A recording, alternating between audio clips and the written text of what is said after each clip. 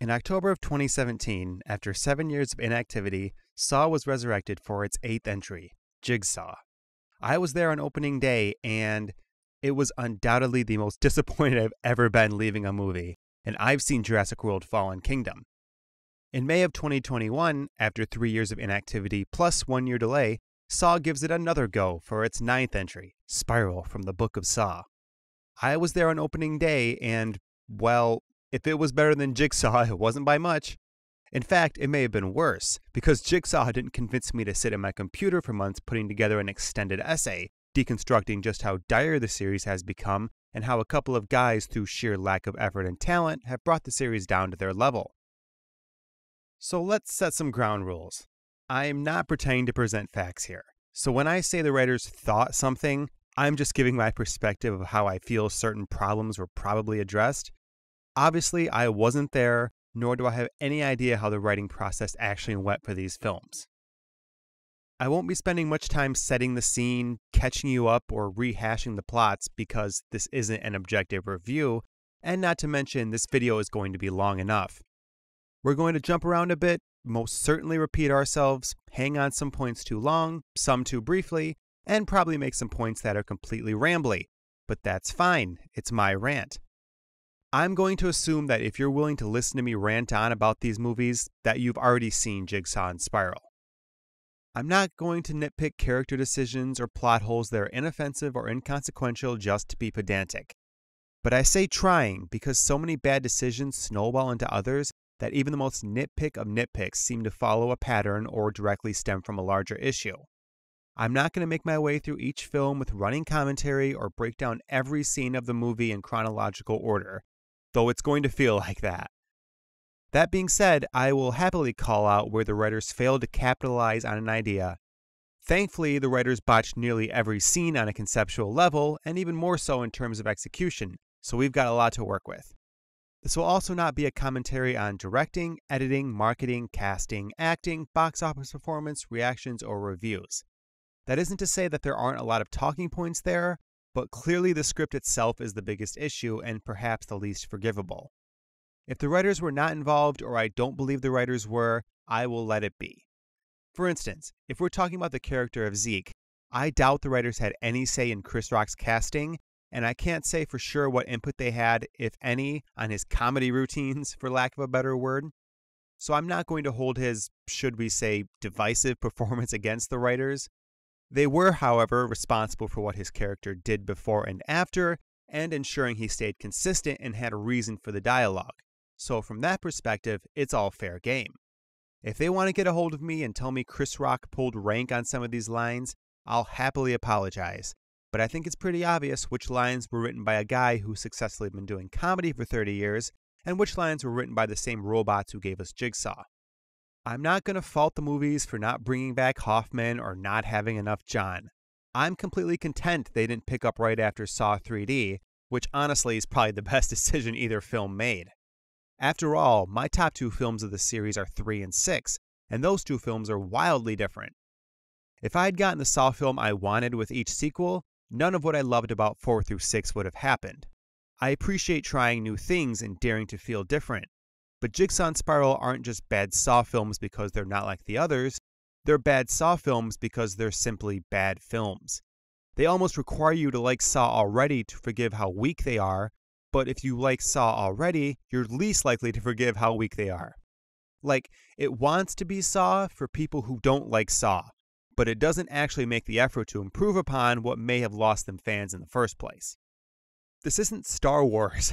There's not 40 plus years of complex, fantastical, involved lore with endless spin offs, video games, books, comics, and TV shows where every character and line has multi billion dollar implications and practically requires scholars to consult.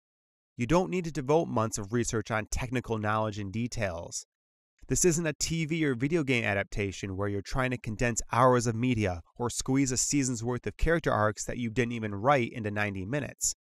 If you just worry about making a good movie, you can be as much or as little of a traditional Saw film as you want to be. And that's not to say it's easy or that writing a Saw movie should inherently require a little time focusing on details and depth. But at the same time, it's also a blank slate, at least the last two films were. So there's no excuse as to why we should end up with movies that feel more like Saw ripoffs, that pull elements from the other films almost at random, perpetually teeter between boring and absurd, and can't decide if they're a spin off, reboot, sequel, homage, or standalone entry. Jigsaw and Spiral are such rushed affairs in terms of pacing, non existent character development, nonsensical twists, over the top schemes, and cliche dialogue that the writers don't come off as fans of the series so much as guys who thought it would be fun to write a Saw film but were wholly uninspired otherwise. I don't think the series is having an identity crisis or that it's gotten off the rails. I just think we've hit a point where the studio and the writers are content with knowing that people are going to see the films regardless of quality. Maybe they've bought into the negative stigma attached to the series and are just desperate for an easy to write, quick to turn around formula and took on a couple of writers who seem to put in just enough care to keep their jobs. You can practically hear them going, Look how safe and by the book we can be. We're professional, big time Hollywood screenwriters. We can write franchise films. Oh, and if you hear about any openings for the next Marvel film, full disclosure I admit, for as much as I've poured over these films, I could be wrong about some things. Maybe there was a scene or a bit of dialogue I glossed over that explains away some of my complaints I have, or heaven forbid, I contradict myself once or twice. Mistakes happen. And I haven't read any interviews or tweets or listened to any commentary tracks, so if the writers themselves have come clean and filled in some gaps, I'm entirely out of the loop. That being said, if I grossly overlooked something or just completely misinterpreted some events, just let me know. I would love nothing more than to find reasons to love these movies and not feel compelled to complain about them to strangers. Like I said, this isn't meant to be a comprehensive rundown and objective breakdown. It's just one guy ranting about a couple of badly written movies. I'm not attempting to say that Jigsaw and Spiral are objectively bad films or that the writers are bad writers. I'm sure they're great at something, it's just not Saw movies. From a purely technical approach, everything is probably acceptable at worst compared to a lot of what Hollywood churns out. But I reiterate, this is purely the ramblings of a longtime series fan who at this point has spent more than half his life with the films. So when I say these movies are bad, it's completely subjective. This isn't meant to convert anyone into disliking Jigsaw or Spiral or invalidate anyone's opinion. Honestly, if you like the films, I think that's great, and I wish I could share in your enthusiasm. We're all fans at the end of the day, and if I met someone in real life who said that Jigsaw was their favorite Saw film, I'd just be ecstatic that I met someone who's seen all the movies. I really don't want to get started on a diatribe of what Saw means to me, or even really why I'm such a fan of the series. But what I will say is that 1 through 6 at least didn't insult your intelligence. Not that there weren't some missteps, but over the course of those films, you were rewarded for having the decency to pay attention and you didn't feel stupid when the movie pointed out what you missed. Sure, you can treat each film as mindless, violent fun and not bother watching any of the other entries, and you'll still get a great movie. But if you're savvy and loyal and attentive, there was always a bigger picture, ripe with callbacks, returning characters, and mystery that made the series feel cohesive without getting weighed down with the idea of an extended universe approach. Jigsaw and Spiral do not reward you. They're written by people who don't care for people who don't care. Instead of leaving us wondering, they leave us hanging. Instead of calling back to make the story more interesting, they wedge elements in with a crowbar just to get by. They only work as turn your brain off entertainment, where if you dare to think about details, the more the script just unravels. I've already wasted enough time and I haven't even given one legitimate criticism yet. So suffice it to say, every Saw movie has faults. Let's get that out of the way. I'm not claiming 1 through 6 to be the pinnacle of dramatic storytelling but they are the pinnacle of Saw storytelling, faults and all. But even with their faults, the movies had heart, urgency, suspense, connectivity, and atmosphere that more than made up for it. We're going to discuss a lot of problems, so I suggest you get comfortable. But all of them can be summarized and explained with one, or should I say two, problems.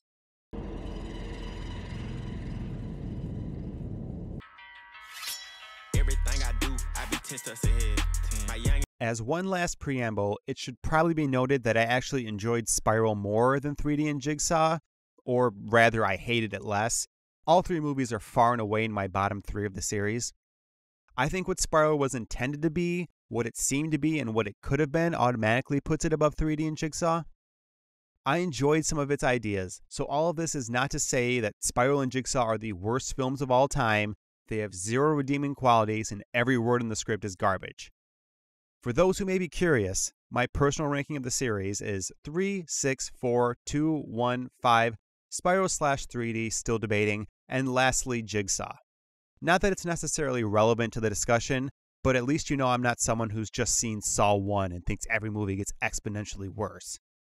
Here is where we're going to try and compare and contrast the two movies as broadly as possible. And by that I mean we'll avoid getting bogged down with specific criticisms in favor of more sweeping statements of quality and initial impressions. Consider this the primer that will give you an idea of what my overall feelings were of each film, what I believe the writers may have been going for, how the writers repeated mistakes, what they may have done right and wrong from one film to another, and what things they failed to do on a fundamental level. And later on, we'll get to the nitty gritty of breaking down the various mind boggling scenes and plots themselves. That all being said, the writing style, storytelling we've gotten in Jigsaw and Spiral is horribly ill suited to the Saw series. Considering that we ended up with two films with a safe but painfully uninspired runtime of just over an hour and 30 minutes, I'm inclined to think that these stories, and perhaps the writers themselves, are better suited to killer of the week television than full length feature films, Take that how you will, but what I mean is that both of these movies are weak to average detective dramas, jam packed with disposable surface level characters, soap opera conveniences, clumsy exposition, and after the fact character turns, but with the rusty paint job of saw traps and imagery. This formula works for 45 minute episodes where you don't expect the action to slow down or for characters to really develop, and everything for the most part can be reset come the next episode. This doesn't work for your 8th and ninth entries into a movie series that already doesn't seem to know quite what it's doing, especially when the plan is to continue making sequels and presumably continue a single story over the course of them. Or maybe the writers are better suited to something like a Final Destination, something that skews younger, has more of a PG 13 feel, and plays into the horror tropes and the cheesiness. And perhaps that's one issue. Perhaps the writers do see Saw as a popcorn flick ripe with a dizzying amount of misdirection, where characters are expected to stop dead in their tracks to make wisecracks, and traps don't need to serve any purpose beyond finding creative wills to kill people. Essentially, a Rube Goldberg machine that, while entertaining at first, is utterly predictable, convoluted, takes too long to set up, and is less impressive for what it actually does than for how it did it. And as a result of all the detours, the movie ends up full of hanging plots, unresolved tension, and questionable pacing that makes them look like they were edited in a blender. But if everything they introduced or should have introduced was given the time to be fleshed out, you'd have to have a three plus hour movie. So, despite the lack of time and the density of nonsense, the writers really don't want you to, or expect you to, or care that you might watch the movie again. And that's strange for a movie that's constantly patting itself on the back for callbacks and foreshadowing to explain things that aren't really explained. The more you watch these movies, the less they make sense, which I believe is the opposite of what's supposed to happen. They struggle with dialogue, with pacing, with tension, with metaphor, with cohesiveness, with subtlety, with audience, with the source material, with characters, with arcs, with payoff, with resolution. I know it's harsh, but having buried myself in Jigsaw and Spiral, I just cannot find any strengths consistent between the two films. Even if I try to give credit for the moments where I enjoy a scene, a character, or some dialogue, it's a rare case amongst a number of other terrible scenes, characters, and dialogue. Like, yeah, I liked Anne as a character relatively, but when she's written by the same people who wrote Logan and Halloran, it's hard to give positive feedback for character writing, you know? Spiral, I don't even think has a great character. Zeke is the closest you get to a fully formed one, but I don't think it's because he's written well so much as him just being the sole focus of the movie and having the benefit of being played by someone with as much charisma as Chris Rock. Personally, I think Pete is more intriguing of a character, but as we'll discuss later, it doesn't feel like he's supposed to be. But if you're willing to overanalyze what isn't there, you might be able to headcanon your way into something. Let's give the most basic rundown of these movies that we can. Jigsaw is a movie about a seemingly nice but secretly vengeful guy who, while working for the police, operates as a jigsaw copycat to get revenge on a corrupt head detective for causing the indirect death of a loved one. In the meantime, they conduct games and leave trails of bodies to send the authorities on a wild goose chase across town, all in the name of righting the wrongs of the justice system. Spiral is a movie about a seemingly nice but secretly vengeful guy who, while working for the police, operates as a jigsaw copycat to get revenge on a corrupt head detective for causing the indirect death of a loved one. In the meantime, they conduct games and leave trails of bodies to send the authorities on a wild goose chase across town, all in the name of righting the wrongs of the justice system. So, not only do both films needlessly ape characters, plots, and scenes from the previous films, but they ape plots from their own films, and that's just one of the many reasons I find them to be failures an utter lack of craft. They're glorified fanfics written by people who aren't invested enough or knowledgeable enough about the source material to actually write a fanfic. These aren't otherwise solid films brought down by a few glaring oversights or plot holes. These are entire films constructed around the glaring errors, themselves composed of even more errors created to fix the existing problems, if they even bother to acknowledge those problems in the first place. I would actually be really interested to see the initial drafts of the scripts to Jigsaw and Spiral. On one hand, you'd think a first draft would inherently be worse and unpolished, which seems impossible. On the other hand, the movies we did get come across like a couple of writers who just couldn't stop themselves from adding that one more cool thing. So perhaps the earlier drafts, polish or not, don't have all the unnecessary fluff. I legitimately can't get a feel for if the writers spent too little time on refining these scripts or if they spent too much time bloating them. Ultimately, neither movie seems to take inspiration from the previous films, nor do they acknowledge the criticisms and attempt to improve on them. They're afraid to be too different and simultaneously incapable of being too similar. And while maybe the movies aren't terrible in a vacuum, when you have the third straight movie of good guy is really a bad guy taking down an even more bad guy, which makes him a good guy, but he's still a bad guy, I'm far less forgiving. Both movies are a house of cards that seems impressive because it hasn't fallen over, and you realize it's not because it's structurally sound, but because they superglued the whole thing together. Jigsaw is what you get when a couple of B movie writers try to write a franchise movie by cobbling together bits and pieces from the previous installments, attempting to make it feel authentic. And in their attempt to appease everyone old, new, and returning, end up playing it painfully safe, pleasing no one, and having no unique traits. Spiral is what you get when those same writers overestimate their talents in mystery building and just double down on all their mistakes to get to the finish line, as if to say, well, the studio liked Jigsaw enough to hire us again, let's just give them Jigsaw again. Jigsaw is a failure just from the construction of its general plot.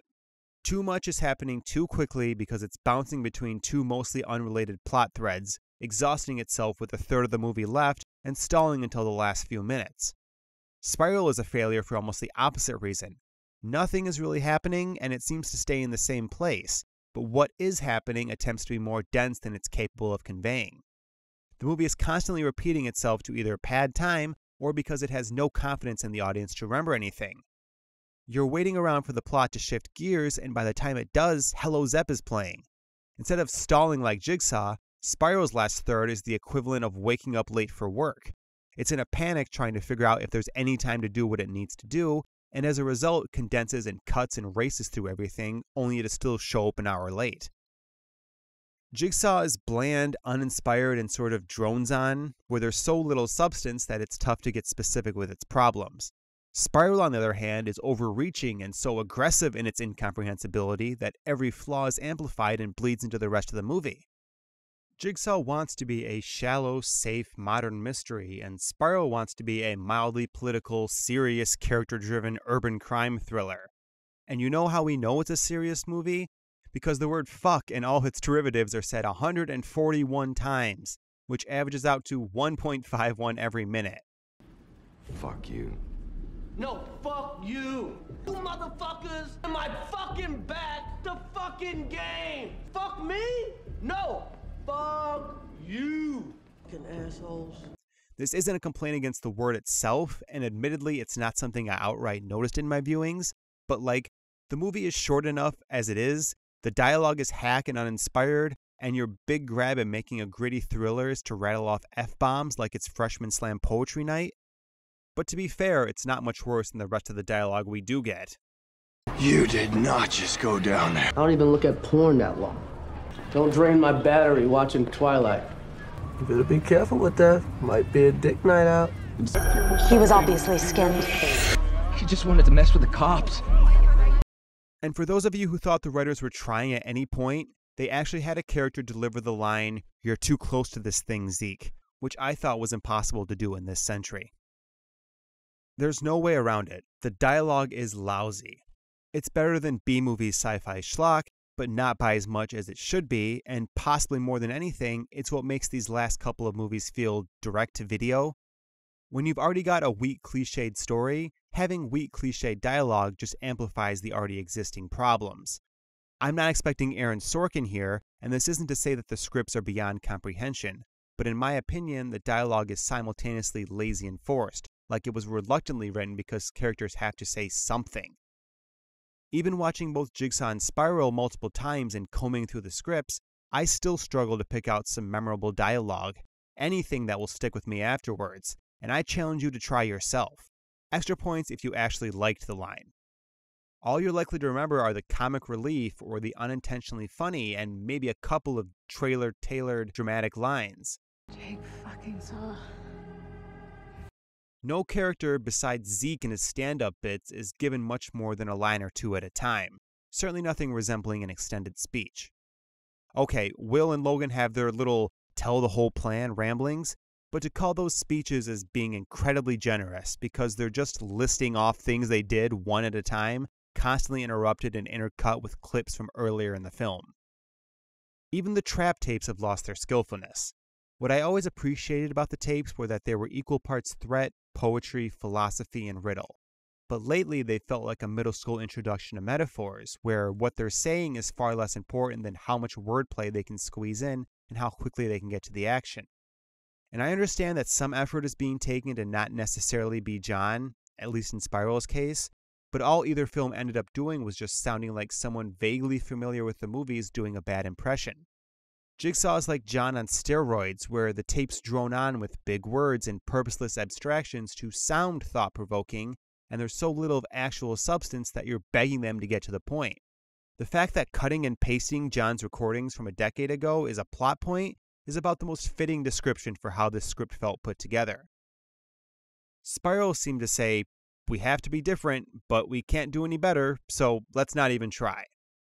Descriptions of the task at hand are reduced to such platitudes and corny one liners that you almost think it's parody, undermining both the killer and the horrific nature of what's to come. The robotic minute to win it voice I actually liked on its own, but I don't know if that was a writer's decision. And regardless, I think the rhythm of the delivery only exaggerates how trite the dialogue is. Like, it might sound sinister and impersonal if it wasn't bombarding you with pun after pun that are then unfeasibly stretched in order to relate to the trap, not being content with solid, clever turns of phrase. The tide of justice is rising around you. You murdered a man because he insulted you. All that awaits you is this watery tomb. You have covered up corruption in your department, never sticking your neck out for the innocent. Now, the cover up will be on you. Boiling hot wax.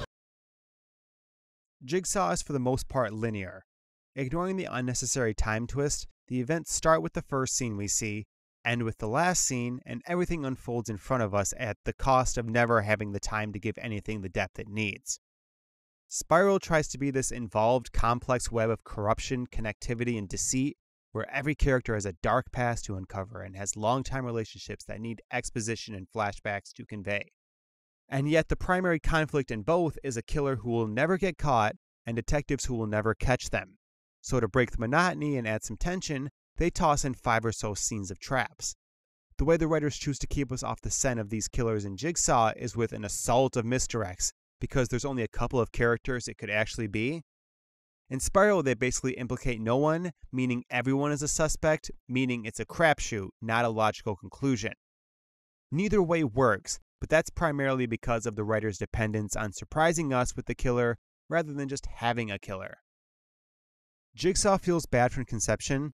Like the structure and story of the movie itself just wasn't any good, and therefore the script wasn't ever going to be good, even with competent writers. Spiral feels like the writers were upset that they didn't get to do Jigsaw 2 and suddenly had to write a noir for Chris Rock, so they cranked this out in a week out of spite. The idea and approach of the film was completely workable, and its faults came not from a bad idea, but from a refusal to do anything with it. Jigsaw is terrible, but at least it comes across like the writers had a fully formed idea that they saw through, albeit one that should have never made it to the screen. Spiral feels like a good idea and opportunity that the writers weren't qualified to pull off, and so they just threw in every late 80s, early 90s crime thriller detective cliche hoping to fill it out. Jigsaw gets worse with each rewatch. It's one of those movies you'll forget about instantly, even if you're trying to pay attention, and so you'll have to watch it again to remind yourself of all the crap. But Spiral gets worse the more you think about it. It's more in your face and does a better job of sticking with you, good or bad, that after the movie is done, you spend the next couple of days replaying all the crap in your mind, and then assembling a needlessly long video over the next year. I think Jigsaw is a worse film, but I dislike Spiral more, and I think it has worse writing, if that makes any sense. Like, Jigsaw is a case where the sum of its parts are worse than the whole, and Spiral is a case where the whole is worse than the sum of its parts. Jigsaw may do nothing good, but Spiral does nothing right. It didn't feel like they sat down and thought about what new approaches they could take or what had been done wrong. Did they continue what worked or fix what needed work? If you ask for a consensus on what things the Saw series was doing wrong coming out of 3D, did they acknowledge any of it? Or have they drawn up a vague plot line and realized that it's too short or not very good, so they patch in a reference or two to keep it afloat, relying on the merits of the rest of the series to compensate? The main series was done, and despite some unnecessary ambiguities in 3D, it did try to be a resolution, even if it wasn't a good one. So when we take a seven year break and come back with Jigsaw, it's perplexing because you have no idea what the writers were trying to write or what we ended up with. It's a softish, sequelish, rebootish that seems to think that the only issues with the series coming out of 3D was that A, people were just exhausted with Saw, and B, that people were struggling to keep up with the story. Well, the first part was done for them. Just take a few years off. And the second part is easy enough. Just ignore four out of the seven movies. While the point of this essay isn't to dole on the overall series lore or try to place Jigsaw and Spiral in the context of the other films, since I do respect that they are mostly sort of fresh starts, however, because they both insist on, or rather resort to, connecting to the original series, it can't not be discussed. If they never want to mention the name Hoffman, that's cool, but they can't have their cake and eat it too by suggesting he exists or refusing to commit to him not existing. Even if we acknowledge there was a John Kramer and accept that he needs to play some role in these films, the writers have so little faith in their own ideas that they're always giving themselves an out by suggesting their movies connect even more to the original series. Matched. What? He came back from the dead? Wouldn't be his first time. Wait, I thought the Jigsaw Killer was dead. Yeah, but if it's another copycat. Well, what do you think about this whole uh, jigsaw angle? You think it's what do you call him, one of those disciples? Are these guys so afraid that they might accidentally write a story that stands on its own that they need to throw lines in like this to make sure we don't forget that this is a Saw movie? Or to try and score some points with the fans? Even worse is that these are completely throwaway lines because that's pretty much the extent of these conversations, as no one takes them seriously or dares to fill us in. On one hand, you'd think this is a wink to the longtime fans, and fair enough that the writers showed some restraint from their over explaining and hand holding. But on the other hand, these aren't props or cameos, they're serious discussions by important characters. You've just told people who are brand new to the series that these new killers are just another in a long line of many, and if these newcomers go back and watch the series to figure out what they're talking about, then they'll be even more confused because Jigsaw and Spiral weave into the timeline so haphazardly and spend most of their time pretending like half the movies don't exist. And as a fan, the ambiguity of these passing mentions makes you want to go, I dare you to actually name one of these disciples or copycats, because you know the writers aren't going to. Not to mention, it also works against the detectives in the films. Like, it's super important to pursue the John Kramer connection, even though he's dead, but it's not worth pursuing one of these alleged copycats who might still be alive. John is so notorious that detectives can instantaneously make a connection and make passing comments about how dangerous things are, but then they fail to take basic precautions like not following clues blindly or not going into warehouses alone. Most of Spiral's capturings are just people wandering alone in a suspiciously desolate and dark area and cautiously approaching an obvious trap. Jigsaw only has one capturing scene, and that's Halloran, where he went off alone to a desolate barn in the middle of nowhere where he suspected the killer to be. Would it have killed the writers to have a scene where an officer goes, Maybe we should pair up? Jigsaw I can forgive for these lines to an extent because most of the movie depends on the existence of John Kramer and a sort of passing of the torch moment, though I don't forgive them for putting themselves in that position in the first place. Spiral has zero reason to connect. If the movie went on as if there was never a Jigsaw killer or a John Kramer, you'd lose a few lines of unimportant dialogue and a couple of photos on a board. No one would have left the theater upset that the film didn't squeeze into the timeline if they just had the guts to let the spiral killer stand on his own. It's like a tightrope act where the writers are teetering above a John Kramer safety net. Sure, you can fall and we'll give a polite clap, but it doesn't take practice and skill to be able to do. We want to see you take risks and do impressive feats. Just because you can fail without disastrous results doesn't mean that we're going to be happy to see it happen or that you don't need to put in the effort to succeed. Even if Jigsaw and Spiral were looking to tackle criticisms that the series is too convoluted, too centered on mindless gore, that the killers after John were boring, that the movies were downers, then I really struggle to see what the writers were aiming for because absolutely none of the criticisms were addressed and many were amplified. All they did was try to fit more story and less movie. The stories are arguably the most convoluted, both within the scope of the film itself and their needless place within the series. The writers, so focused on the idea that Saw is just a 90 minute clip show of mystery reveals and audience deception, end up smashing in so many misdirects that even they can't keep track. Their solution is just to double down and convince themselves that being confusing is the same as being thought provoking. The gore is some of the most egregious of the entries, with partial decapitations, bodies thrown from giant blenders, and human corpses being skinned. The worst of all this is at the tail end of Jigsaw, where the writers, in a complete lack of awareness and restraint, turned the movie into Saw with lasers and actually wrote a trap that appears to go against science itself in order to gruesomely dissect a guy's head into six equal parts. It's so gratuitous and unconvincing that you don't even care that a death is happening and are more focused on how distractingly obnoxious it is. Even conceptually, it's hard to imagine what they were thinking beyond, that's gonna look sick. And it comes across like they're falling back on excessive pouring displays of bloodshed to compensate for how little intrigue there is in the story otherwise. In a normal Saw film, these moments fit the atmosphere and tone of what's happening around them. But in Jigsaw and Spiral, where that atmosphere is toned down and sanitized, the traps feel like they're pulled from different films altogether. Logan and Will are so devoid of emotion they make Hoffman look like Al Pacino by comparison. All because it's super important to not tip their hand, which is a great approach. Make your killers the physical embodiment of monotone for 98% of the movie, so they seem more interesting in the last 2%. So suffice it to say, the boring killers issue is not resolved, and spoiler alert, everyone dies. So the movies are just as much of a downer as ever.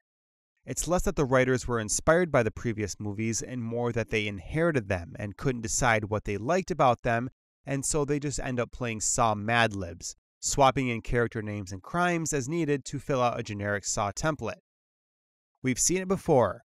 We know the cues and clues and twists, the tropes, the survival rate. It can be good despite not breaking from the formula, but it's not guaranteed to be good just because it doesn't.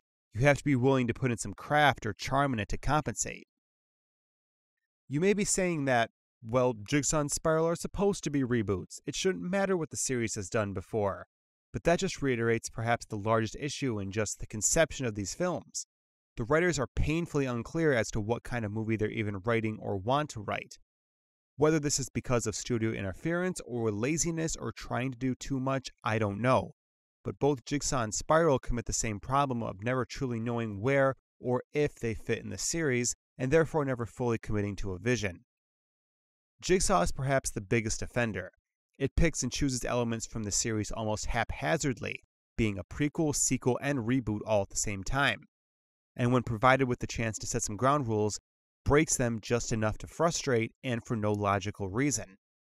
For example, Jigsaw could have easily stuck to its rules of essentially being a sequel to Saw 3. John died, his one apprentice died, and there was no Jigsaw killer until, well, Jigsaw.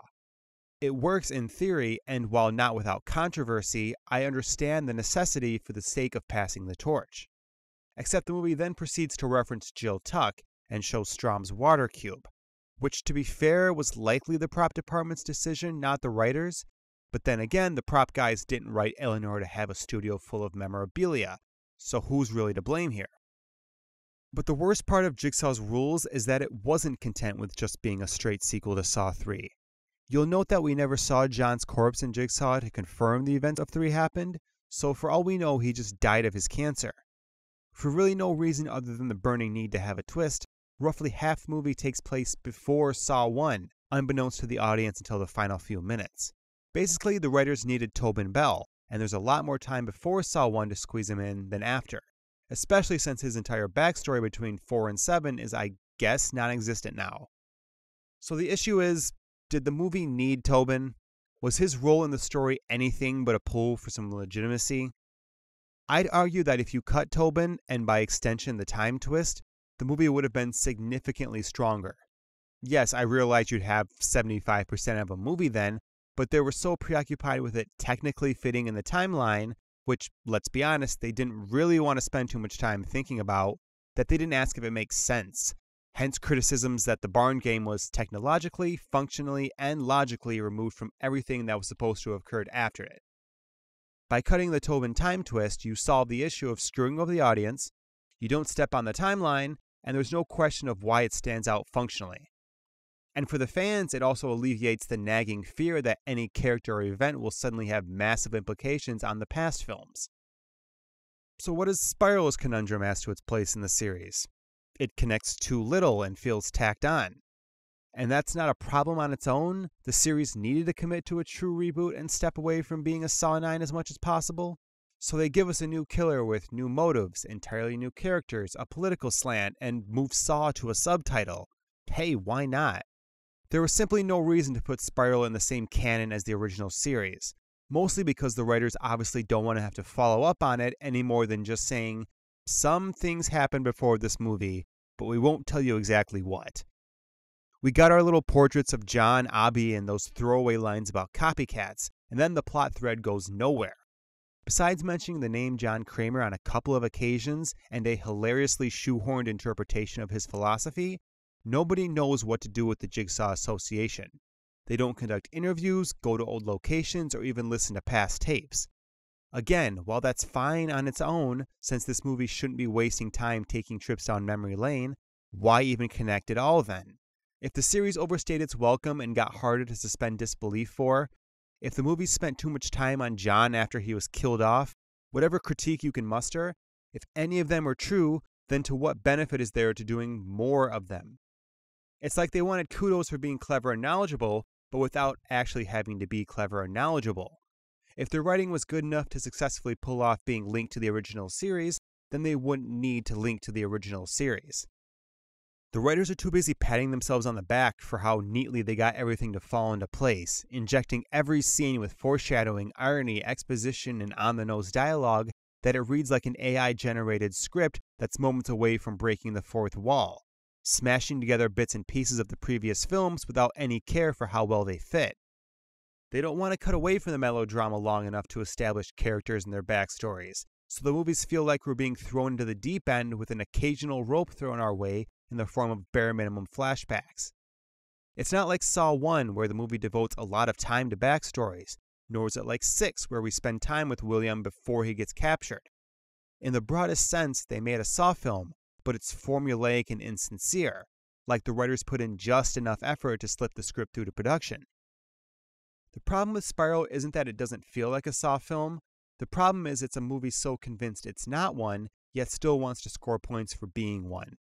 The writer's understanding of the franchise is so limited to the most surface level of ideas that even if the detective story was grade A, it would be dragged down kicking and screaming by dumb characters, overbooked twists, uninteresting villains, and over the top deaths.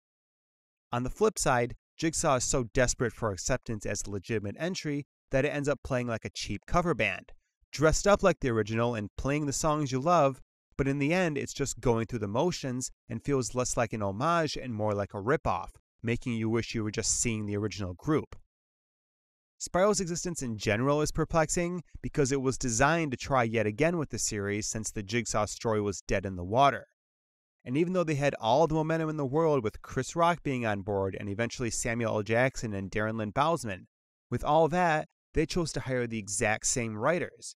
Fair enough if this was supposed to be Jigsaw 2, but the intention was to try something different.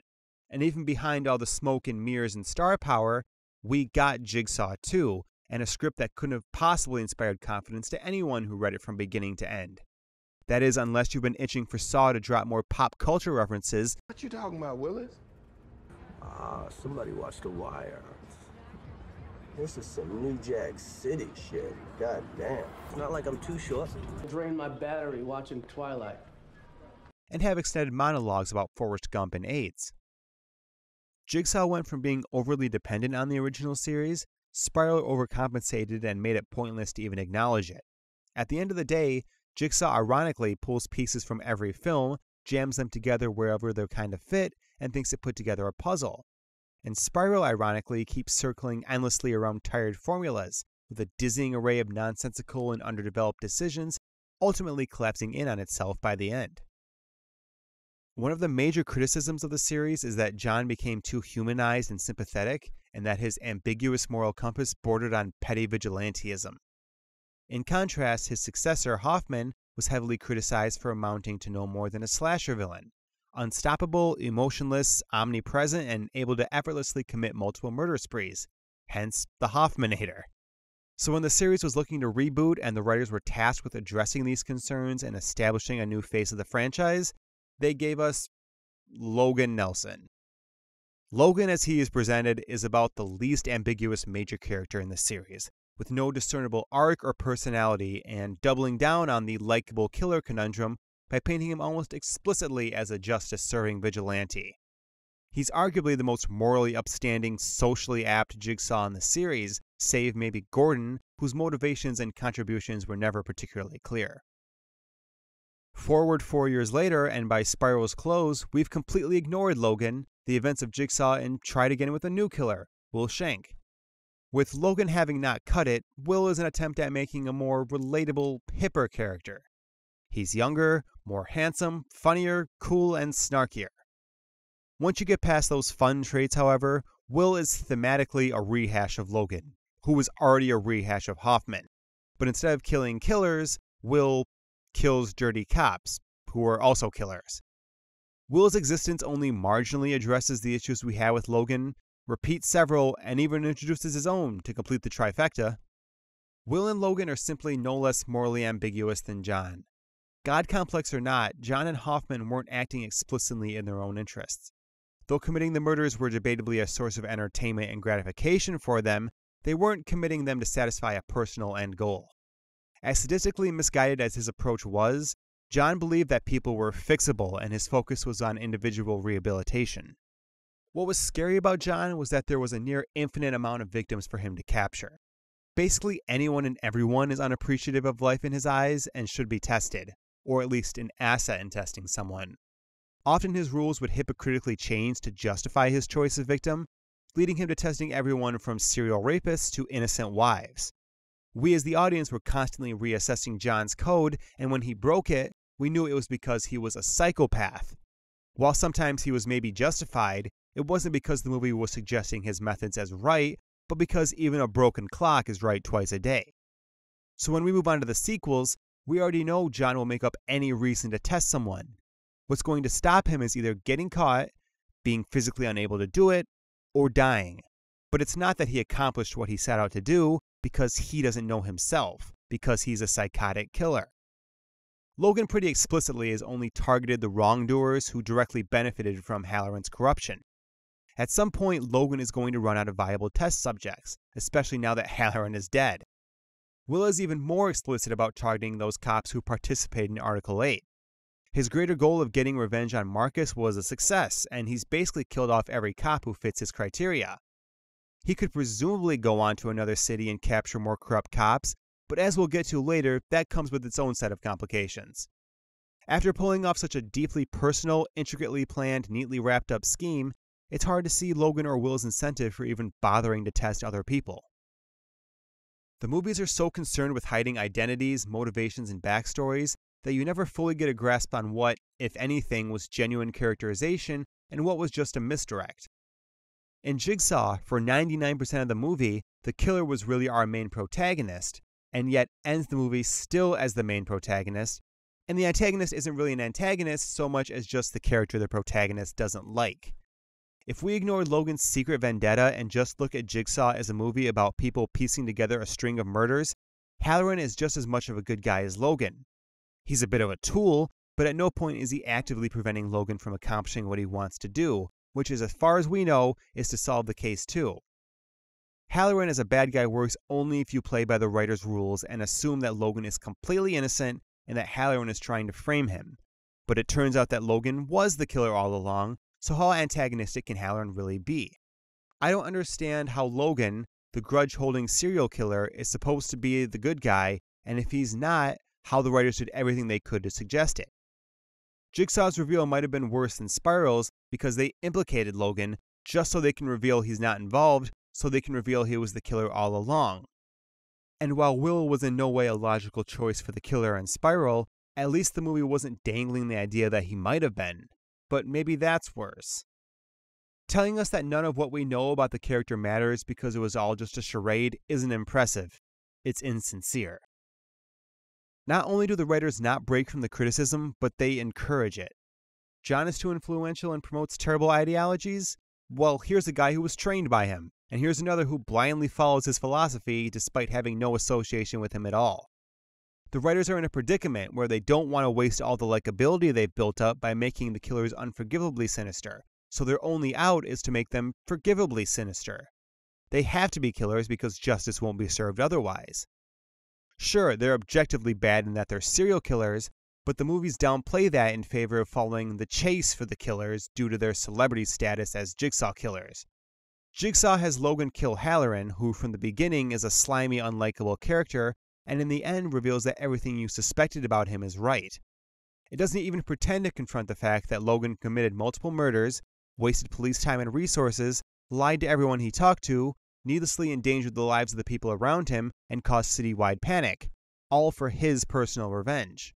Going back to his reason for being tested by John, mixing up test results, the writers couldn't say that Logan mixed them up while under the influence or made this mistake multiple times, lest he appeared flawed. He made a mistake, which, even ignoring that everyone else in the barn game was at best guilty of involuntary manslaughter, it's such an innocent mistake that makes sure that we don't see Logan as anything but a hero. And in case it was too subtle, the movie spells it out. John decided I shouldn't have to die over an honest mistake. So even the Jigsaw Killer himself thinks Logan's an okay guy. But yes, thank goodness we got away from having a likable villain like in those first seven movies. Spiral marginally fixes these issues and then immediately backtracks on it. By capturing Zeke and Marcus, who up to this point are likable, wisecracking, and fearless protagonists, the movie sets up Will pretty clearly as a backstabbing villain for us to root against.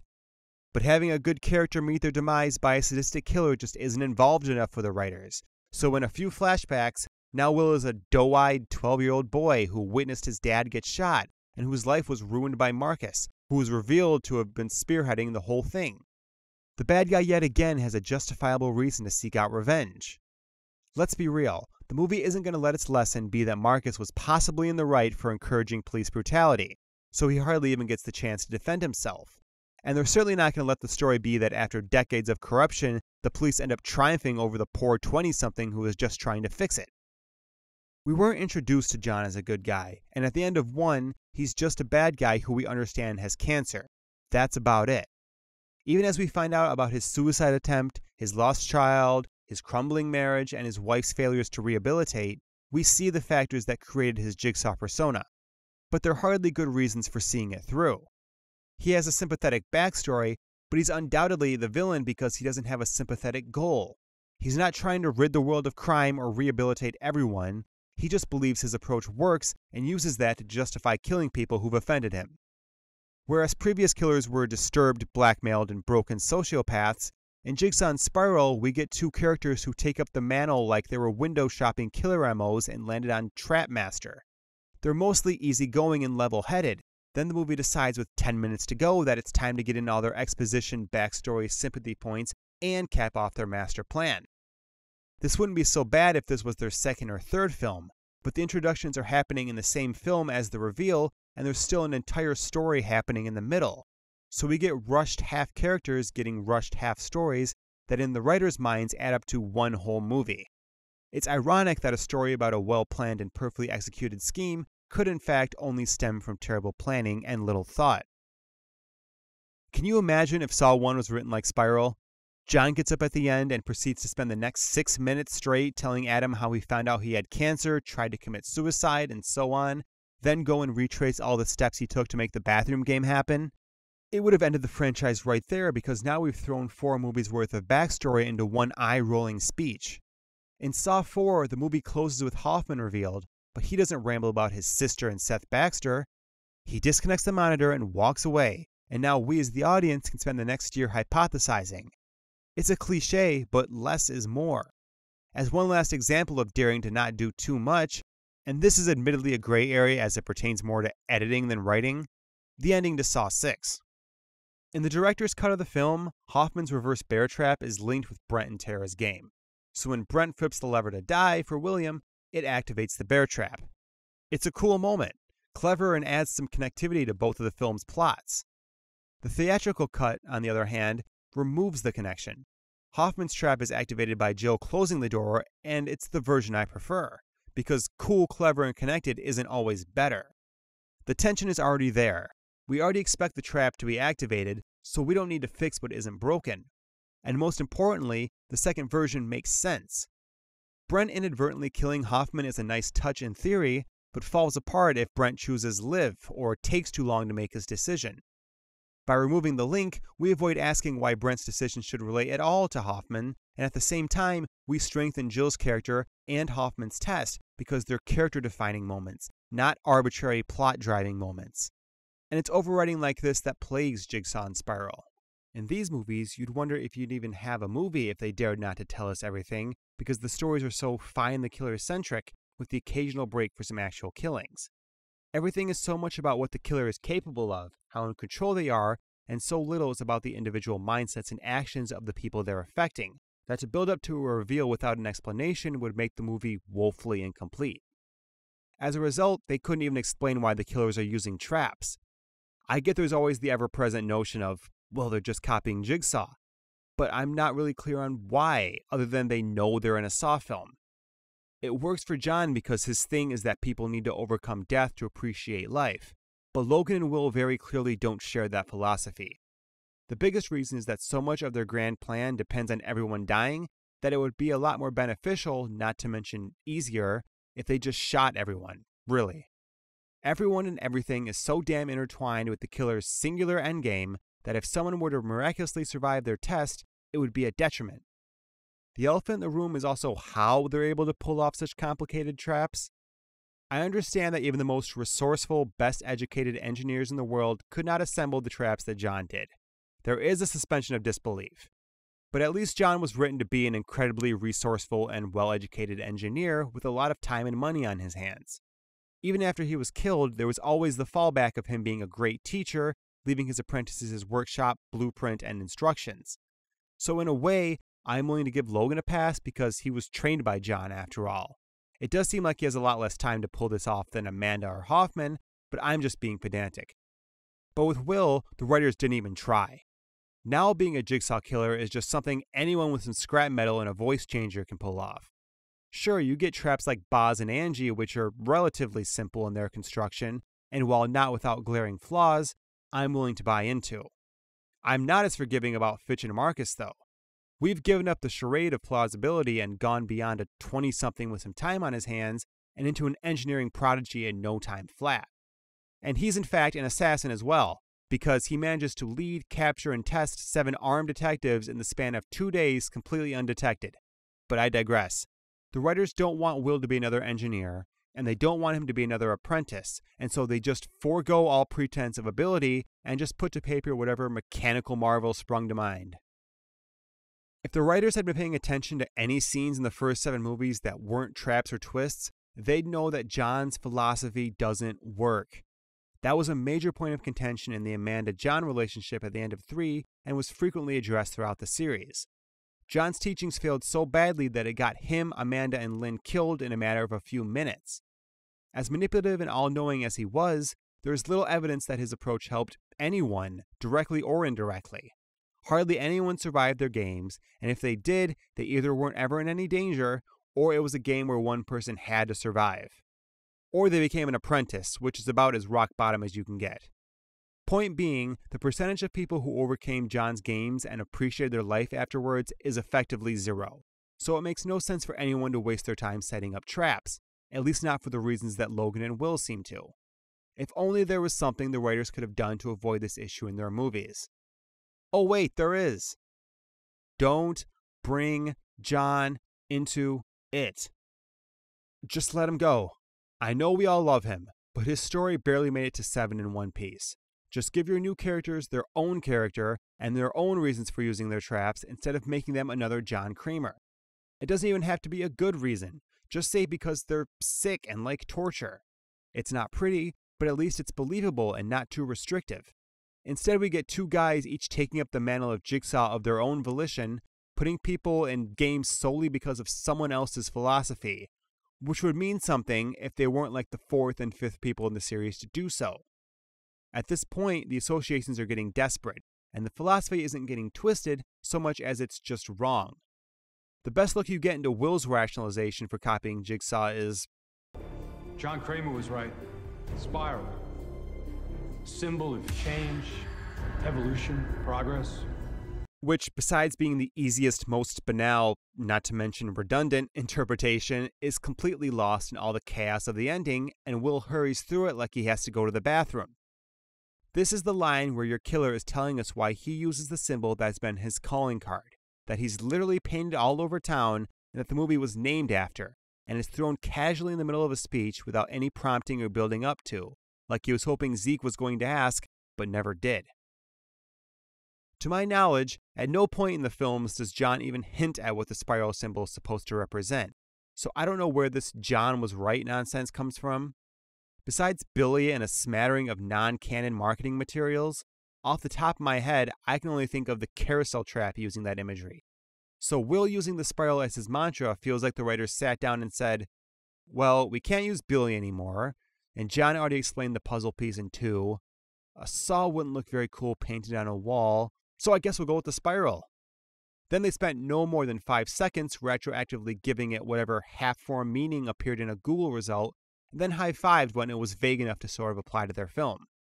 As far as we know, Will just decided one morning to start killing people and was like, oh, but I need a gimmick. Say, who was that killer from when I was like 12? He was kind of cool. It's like he wanted to entertain himself by pretending to be Jigsaw, but since he doesn't seem to care about the whole appreciate your life aspect and just wanting to kill people, he made up some crap about a spiral to seem more profound. This ironically makes him look less profound because he has no ideas of his own and has nothing beyond a third grade understanding of the ones he takes. The way the games are presented are less live or die, make your choice, and more, well, scream or don't. And the appeal of the traps isn't survival, it's extravagance. They're not moments of crisis with building tension, they're breaks for balls to the wall action that overshadows whatever story purpose it's meant to serve. Despite the games being the ultimate test of character and determination, we get no insights of either as a result of them.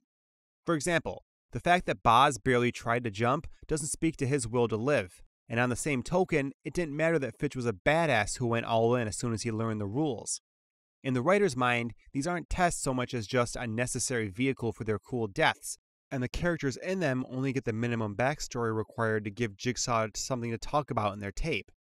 When people criticize Saw for just being mindless torture, these are the kinds of traps they're talking about. And it's not even so much the traps or the gore, it's the way they're presented within the film. If you take a character whose name we barely know and start violently ripping off fingers, electrocuting them, and killing them, all while framing the scene like their death was a foregone conclusion, that's when people start complaining. They feel contrived, not terrifying. There's no contemplation, but artificial urgency that races the traps to the finish line in order to reach their most violent conclusion. The killer leaves bodies and the games of the method by which they're killed, but ultimately they're just bodies who may as well have been stabbed and left in an alley. The detectives are only interested that a game occurred only due to the bizarre circumstances, but their procedures and concerns aren't changing. So we have a killer who doesn't have a reason to test people, people who can't pass their test, and detectives who don't care that there were tests, And so all we're left with are disconnected displays of violence. And this is an already pretty disconnected film where we don't see the killer do anything but wait for someone to walk into a room. But being a Jigsaw copycat isn't a character flaw per se. Just because we've seen the angle done before doesn't mean that a character can't find a way to feel fresh, but that's assuming they're giving something interesting to work with. Perhaps one of the biggest issues is that even with the extended speeches and information dumps, the characters feel insincere as villains, where their roles as the primary antagonists are mostly undeserved and completely disproportionate to what their characters seem capable of. As a result, the movie struggles to write Logan or Will with any degree of nuance. Neither have any genuine concerns because why would they? Logan might struggle with having time to be a good dad or worried that he might get caught and leave his daughter without any parents. Will might struggle with the fear of being an inexperienced cop and a potential murder victim, or the idea that he'll end up as miserable as Zeke but they're genius serial killers with flawless foresight, the ability to manipulate everyone to their will, have exceptional engineering skills, are young and healthy, have successful, respectable careers, and can still keep up everyday normal appearances. If they did worry about anything, it's either not going to be an issue because they're that skilled, or it was just a fake worry for the characters they're playing. I'm not saying that you can't have surprises or characters with ulterior motives, but at some point you have to ask yourself if it's serving the story or the ego of the writers. If there's anything the series could have used more of, it's protagonists that last longer than one film that we can get attached to. And yeah, everyone being killed off worked for the majority of the series. It was something that kept it grounded, terrifying, and unpredictable. But by the time we got around to characters like Strahm and Jill, I felt like we were ready for some, I don't know, triumph? Which of course we never really got. The only living hero coming out of the series was Dr. Gordon, but him being involved at all was, to be nice, short sighted and poorly executed. And still, his role in 3D was to be an uppity, smirking caricature who wasn't a good guy so much as just the righteous bad guy defending the honor of the old bad guy by taking down the new bad guy. But the writers of Jigsaw and Spiral were too busy cackling at the genius of having another there from the start villain to notice how much of a middle finger it was. Rather than reset and lose all the Secret Apprentice nonsense that undercut the more substantial plots, now entire films are constructed around a bet you didn't see that coming reveal, and for no real reason other than the writer's misguided belief that a twist is always better than no twist. We get two movies that both have scenes where the killers dramatically fake their own deaths for the sole purpose of wowing the audience later. Okay, that's not entirely true. There is a reason, it's because of the ending to Saw 1, where the dead body on the floor gets up and we find out it was the Jigsaw killer all along. It's an absolutely iconic horror movie ending that even those who haven't seen a single Saw film would be able to reference. Unfortunately, two of those people were also put in charge of writing Jigsaw and Spiral. The ending of one was great for a number of reasons, and that's not even factoring in that it has the benefit of being the first film in the series. Near the bottom of that list, though, is the concept of the dead body wasn't actually dead. I'm not saying it wasn't great, it was, but it's not as important as the killer being in the room the whole time. That the killer was really Gordon's patient from that one scene, that it was the culmination of a gruesome and intense climax, or that it was satisfyingly foreshadowed. The ending isn't great because a dead body got up off the floor. The dead body getting up off the floor was great because the ending was already great. You can't just look at that one moment in the entire scene, paste it into your script, and expect it to magically improve everything around it. It would be like if at the end of Spiral, suddenly a safe opens up and Zeke's kid is inside. Sure, you've technically recreated the ending to 2, but like being in a safe isn't cool on its own. A specific character after specific events is what made it cool. When Logan and Will are both alive as some sort of dramatic revelation, it doesn't work nearly as well as the writers would like to believe it does. For one, it doesn't really serve a narrative purpose, I might be willing to hear an argument that Logan's fake death scared Halloran into confessing, but at the same time, it didn't. It was the threat of his own laser collar that got him too. If anything, Logan's death should have had the opposite effect. After all, he did exactly what was asked of him by pouring his soul into a confession and was still killed for it. So why would Halloran think that things would be different for him? And his confession in general is pointless because he's actually going to be killed almost immediately after. But okay, sure. Logan got what he wanted and felt like rigging exploding blood capsules was the best means to an end. But Will's fake death is hilarious in how unnecessary it is. I think it was supposed to trigger Zeke's pushed over the edge moment, but there's really no evidence of that other than my own desperate attempt to make sense of it. And if it was to make sure Will wasn't a suspect, well, he was never even close to being one. Heck, you could argue that the odd circumstances surrounding his death would have raised suspicion, which we'll get to later. It also begs the question of if Will is just going to be standing there and tell his plan to Zeke unprovoked, then why did he bother faking his death? Will could have done the entire reveal, killed Marcus, and escaped all the same without the theatrics. Despite what the writers seem to think, John didn't fake his death. It's not like we actually saw some guy shoot himself in the middle of the bathroom. No one was led to believe that John Kramer was dead. And even if we were, we nor anybody in the movie besides Gordon has a single clue about who John Kramer was in the first place. So when it's revealed that the body is both John and the Jigsaw killer, it doesn't step all over what we've been led to believe. When Logan and Will, two characters we've spent a significant amount of time with, are dramatically killed in front of us, you've just killed off a major character. You can explain away how they managed to pull it off all you want, but it still comes down to the notion that they're not actually dead after we were explicitly told and shown they were. And so we were deceived, not just making assumptions. It's a very ugly precedent to set that in a movie structured around living, dying, and the survival instinct, that we can't be sure when someone is going to get resurrected for plot convenience because there's really no baseline for proof now short of an autopsy, and even then they'll try to convince us they're alive. We get killers who seem to spend more of their time staging bodies and leaving muddied riddles than they do following through with actually testing people.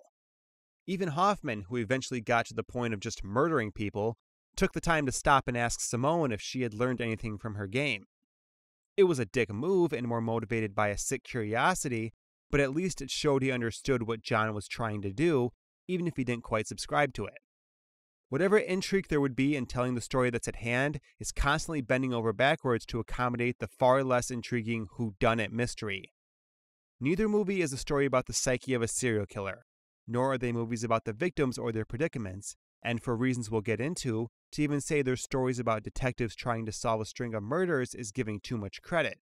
They're both just movies about some guys with a revenge scheme who obsess themselves with trying to play supervillain, where who they are, what they're doing, and why they do it is far less important than the thrill of being able to pull it off one needless twist at a time. Because of that, the whole mystery detective drama aspect of both movies suffers, even ignoring that they weren't particularly well crafted in the first place. The movies function as if to say, it's a Saw movie, guys, just expect the killer to be someone you know, but don't suspect this guy. They're whodunits that don't want to clue the audience in or give them a chance to solve it, so they mostly ignore major deductive elements like MO, forensics, and serious discussions of suspects, but then leave in mildly relevant dialogue and innocuous hints that they can point to later and pretend like it was right in front of our faces. In both movies, the characters aren't deep enough to pull off a slow burn detective drama, and there isn't enough actual mystery to pull off a noir. It's too over the top to be taken seriously as a thriller, and at the same time takes itself too seriously for a go along for the ride action film. Both movies seem to take glee in that you're gonna forget everything that's happening and therefore not notice when they screw up, ignoring that's what makes it a confusing slog. Again, we go back to the writing for TV approach. Viewers of those police procedurals love the whodunit aspect, knowing that the killer has already been interviewed and going, Oh, I called it And while I'm sure there's overlap between those fans and Saw fans, for the most part, we don't like figuring it out. We like knowing we could have. We like putting ourselves in the shoes of the characters and being just as smart as them. What we don't like is feeling that we're smarter than the protagonists and dumber than the villains. In a way, it's like losing in a fighting game and the other person revealing that they gave you a broken controller. You don't mind losing and you did everything right, but you're unknowingly being handicapped. In both movies, the killers are pretty much the front lines for the case, meaning that, in hindsight, the ability for anyone to solve it is dependent on Will and Logan's willingness to give clues or how much they can hinder progress. You can never trust that any legitimate crime solving happened or if it was just allowed to happen. We're watching stories about detectives where the second or third most important one is actively sabotaging it, but still appears to contribute as much as anyone. So as a result, the people actually working the case are never good enough to solve it, or at least are never given the chance, rendering the entire notion of a murder mystery pointless. Most of the detectives in the two movies are only good in the sense that they're determined to seek out the killer and seemingly devote themselves 24 7 to their job, but they come off bumbling, dumbfounded, and unconvincing in their roles as seasoned veterans, all because of the writer's belief that the way to hide the killer's identity is to make the detectives incapable of figuring it out. At the deductive pace both films move at, if Will or Logan decided to drop the theatrics, they would never be caught. They wouldn't even be suspects, and it's possible their victims wouldn't even be found. So, as you can probably guess, no one solves anything. Yeah, they try, and on occasion they get an inkling as to a lead, but they're always playing catch up. Even when the detectives appear to get the jump on a clue, either it's too late, a dead end, or the killer just comes forward and confesses before anyone can get a real break in the case. There's no time to get a real break because there's so many things happening at once. They're not detectives urgently hot on the trail of a killer, they're detectives who are completely overwhelmed and unprepared for everything the killer is managing to accomplish. Zeke is probably the biggest casualty of poorly written detectives in these films, and that's not to say he's a bad character in his own right or that the other detectives are exceptional themselves. Because Spiral is a police procedural, with Zeke being the focal point of nearly every scene, he's pretty much defined by the quality of the policing. As good as his intentions may have been, and as determined as he was, did Zeke do anything that helped the case at all? I realize that sounds rhetorical, but for all the time we spent following his every move, it's hard to pinpoint what he was able to bring to the table. The writers were so committed to making sure that the killer be so ingeniously clever that they didn't consider that as a result, their protagonist looks clueless and incompetent. Zeke doesn't have that many moments where he's putting together theories or seriously pursuing leads. He mostly just reacts to the things happening around him. He starts off good. When he's investigating the train trap, he notes the Fitbit and the wedding ring. But soak that in because almost as soon as he gets the first video from the killer, he's helpless. Some of the major stumbles. His biggest clues are the packages and videos, but they're literally handed to him with his name on it almost randomly. It happens enough that it feels like he's waiting around for them and isn't sure what to do in the meantime. When Zeke and Will first arrive at the train tracks, the first case related thing out of anyone's mouth is Will asking about the TV and Zeke just shrugging it off. You see a lot of TV sets in the subway? Get everything down here. This is the first instance of a hilarious but unintentional running gag of the movie. Will put together this mastermind plan almost entirely for Zeke, but Zeke is so frustratingly incompetent that Will is constantly having to point out everything like a child trying to show their parents their drawing. You see a lot of TV sets in the subway? Yo, Zeke. And Boz was accused of lying on the stand more than anybody. Anything special about the bridge where we found the fingers? The boxes because you're the lead detective on the case because you're you. Well, you got any enemies? That aren't cops? His only proper interview is with Boz's wife, where the little information she gives is never referenced again. More on that to come. His first lead is the John Kramer Jigsaw connection, but of course, the first person to bring that up is O'Brien. If that spiral is what I think it is. Jigsaw? And that lead is quietly dropped maybe halfway through the movie without resolution. His first suspect is Pete, but only after Will's suggestion to him that the killer might be one of Zeke's enemies. So he wasn't Zeke's primary suspect based on hard evidence, so much as his only suspect if he runs with a half baked theory from someone else. Because Zeke is going entirely off of an unsubstantiated hunch, all he can do is just sort of ask Pete if he's the killer. From there, Zeke doesn't tail Pete or move on to the next person that might have it in for him. He's just at a dead end until the next clue is shoved in his face. Zeke tracks down Benny's dealer, but by tracks down, I mean it cuts to Zeke and Will inexplicably there.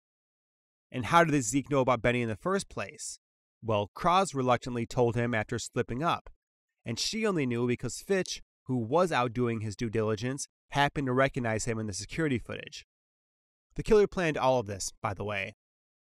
When he interrogates the dealer, he does a good job at strong arming information out of him, but he's only told that Benny is presumed to be dead, squashing his only lead, and so he's back to square one come the next scene. Despite two other officers being killed and his dad suspiciously missing, Zeke doesn't put two and two together when Will doesn't show up for work. He does manage to find out Will's location, but by this point, the killer has grown tired of leaving clues and regressed to basically putting location names on objects. The only thing Zeke needed to do was know the address. Barring all that, Zeke only got the clue because Will's already dead, so it's not like knowing the location could save him. He doesn't do or learn anything at the crime scene, not even exaggerating. He falls hook, line, and sinker for the injured cop diversion, and to his credit, does figure out the take your head riddle, but that really doesn't matter because, of course, he's too late to save Angie. And just to add insult to injury, he actually should have been able to save her, but no one in the entire department could answer their phone in a nice bit of plot contrivance. And his last bit of old fashioned gumshoeing is circling back around to the Pete theory because his badge number showed up in the evidence logs. When he goes back to confront him, he's captured, so it was just a trap. And as we find out a couple of scenes later, Pete wasn't even the killer, so at no point was Zeke on the right track. He's supposed to be a lead detective, and besides running a meeting or two, there's no evidence that's the case. There's some brief theorizing about the jigsaw killer, but no one discusses the killer's MO or the possible relationship with the victims.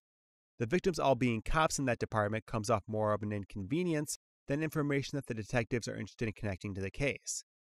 It doesn't feel like there would be any greater urgency if 10 more cops had been killed because there isn't enough time for anyone to discuss anything other than what's put in front of their faces.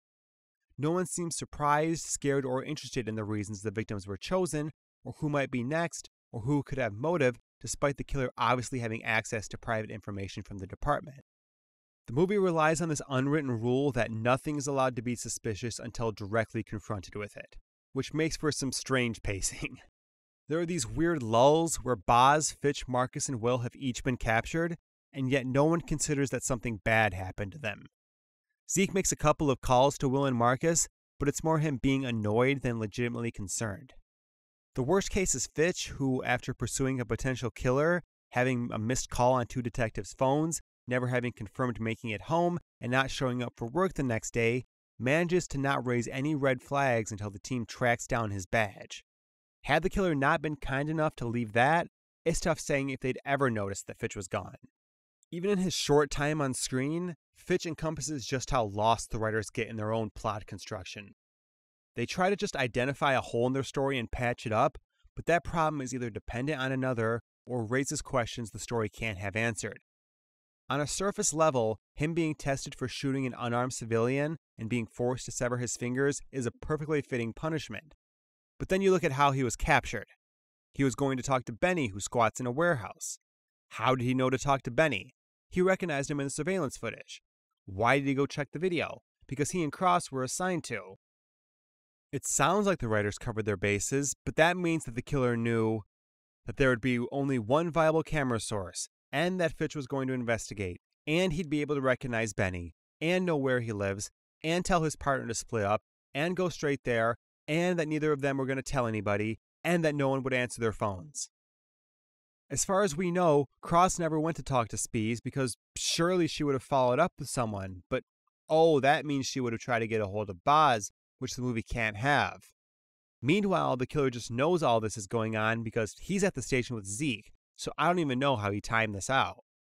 This is all for Fitch, a one note character with a handful of lines whose sole job is to be a dick and become trap fodder halfway through the movie.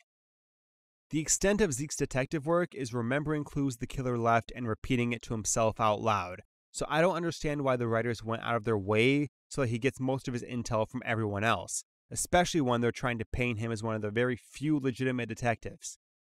He's always asking questions and thinking about the case, but gathering evidence, formulating theories, and basic due diligence seem to be relegated to side characters who don't really do it either.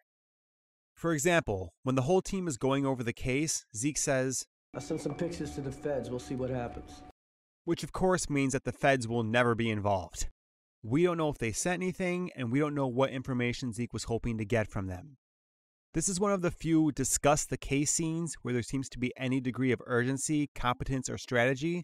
So when the writers dangle leads and suggest action, only to completely forget about it, it makes everyone in it look inept.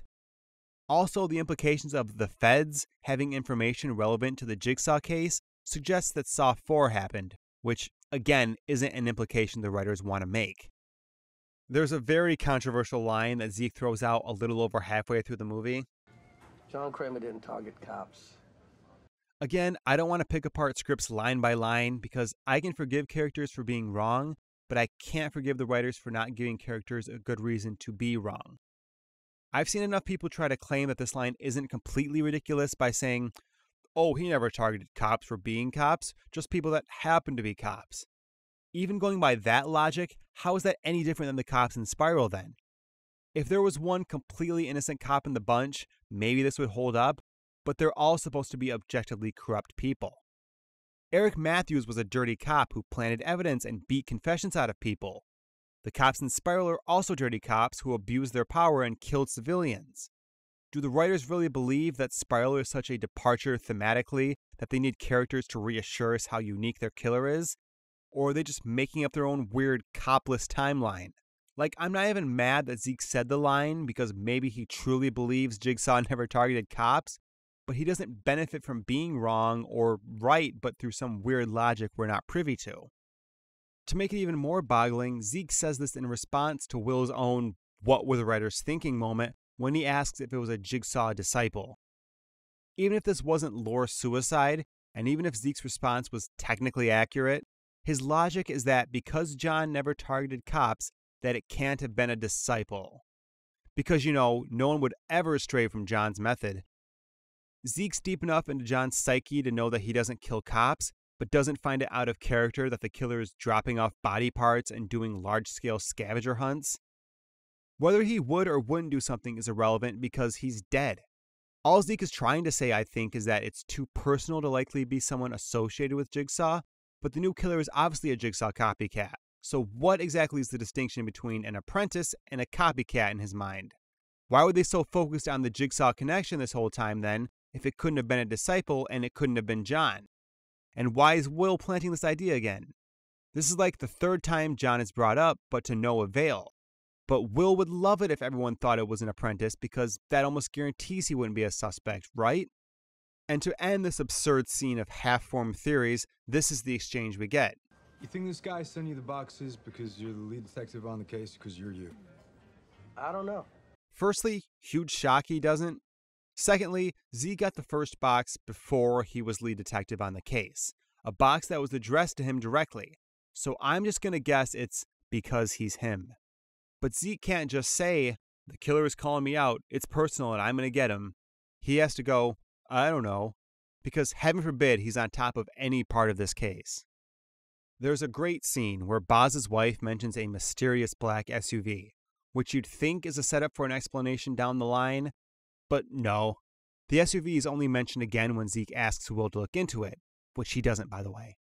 Will borrows Zeke's phone to presumably make the call, and everyone just forgets about it and goes home. Will doesn't even bother to lie about making the call, lucking out that no one bothered to follow up. Of course, no one can ask him about it, and Zeke can't, say, check his phone logs or look into the SUV himself because that might put Will in a position to look suspicious, even if he has a good lie to explain it. But this all presumes that Will had anything to do with the SUV. We can't say either way. If he didn't, then why waste an entire scene where that's the only logical takeaway? And why bring it up again later? If he did, how? Why? We don't have any idea because there's no connection between Boz allegedly yelling at some guys and anything we see him or Will do in the film.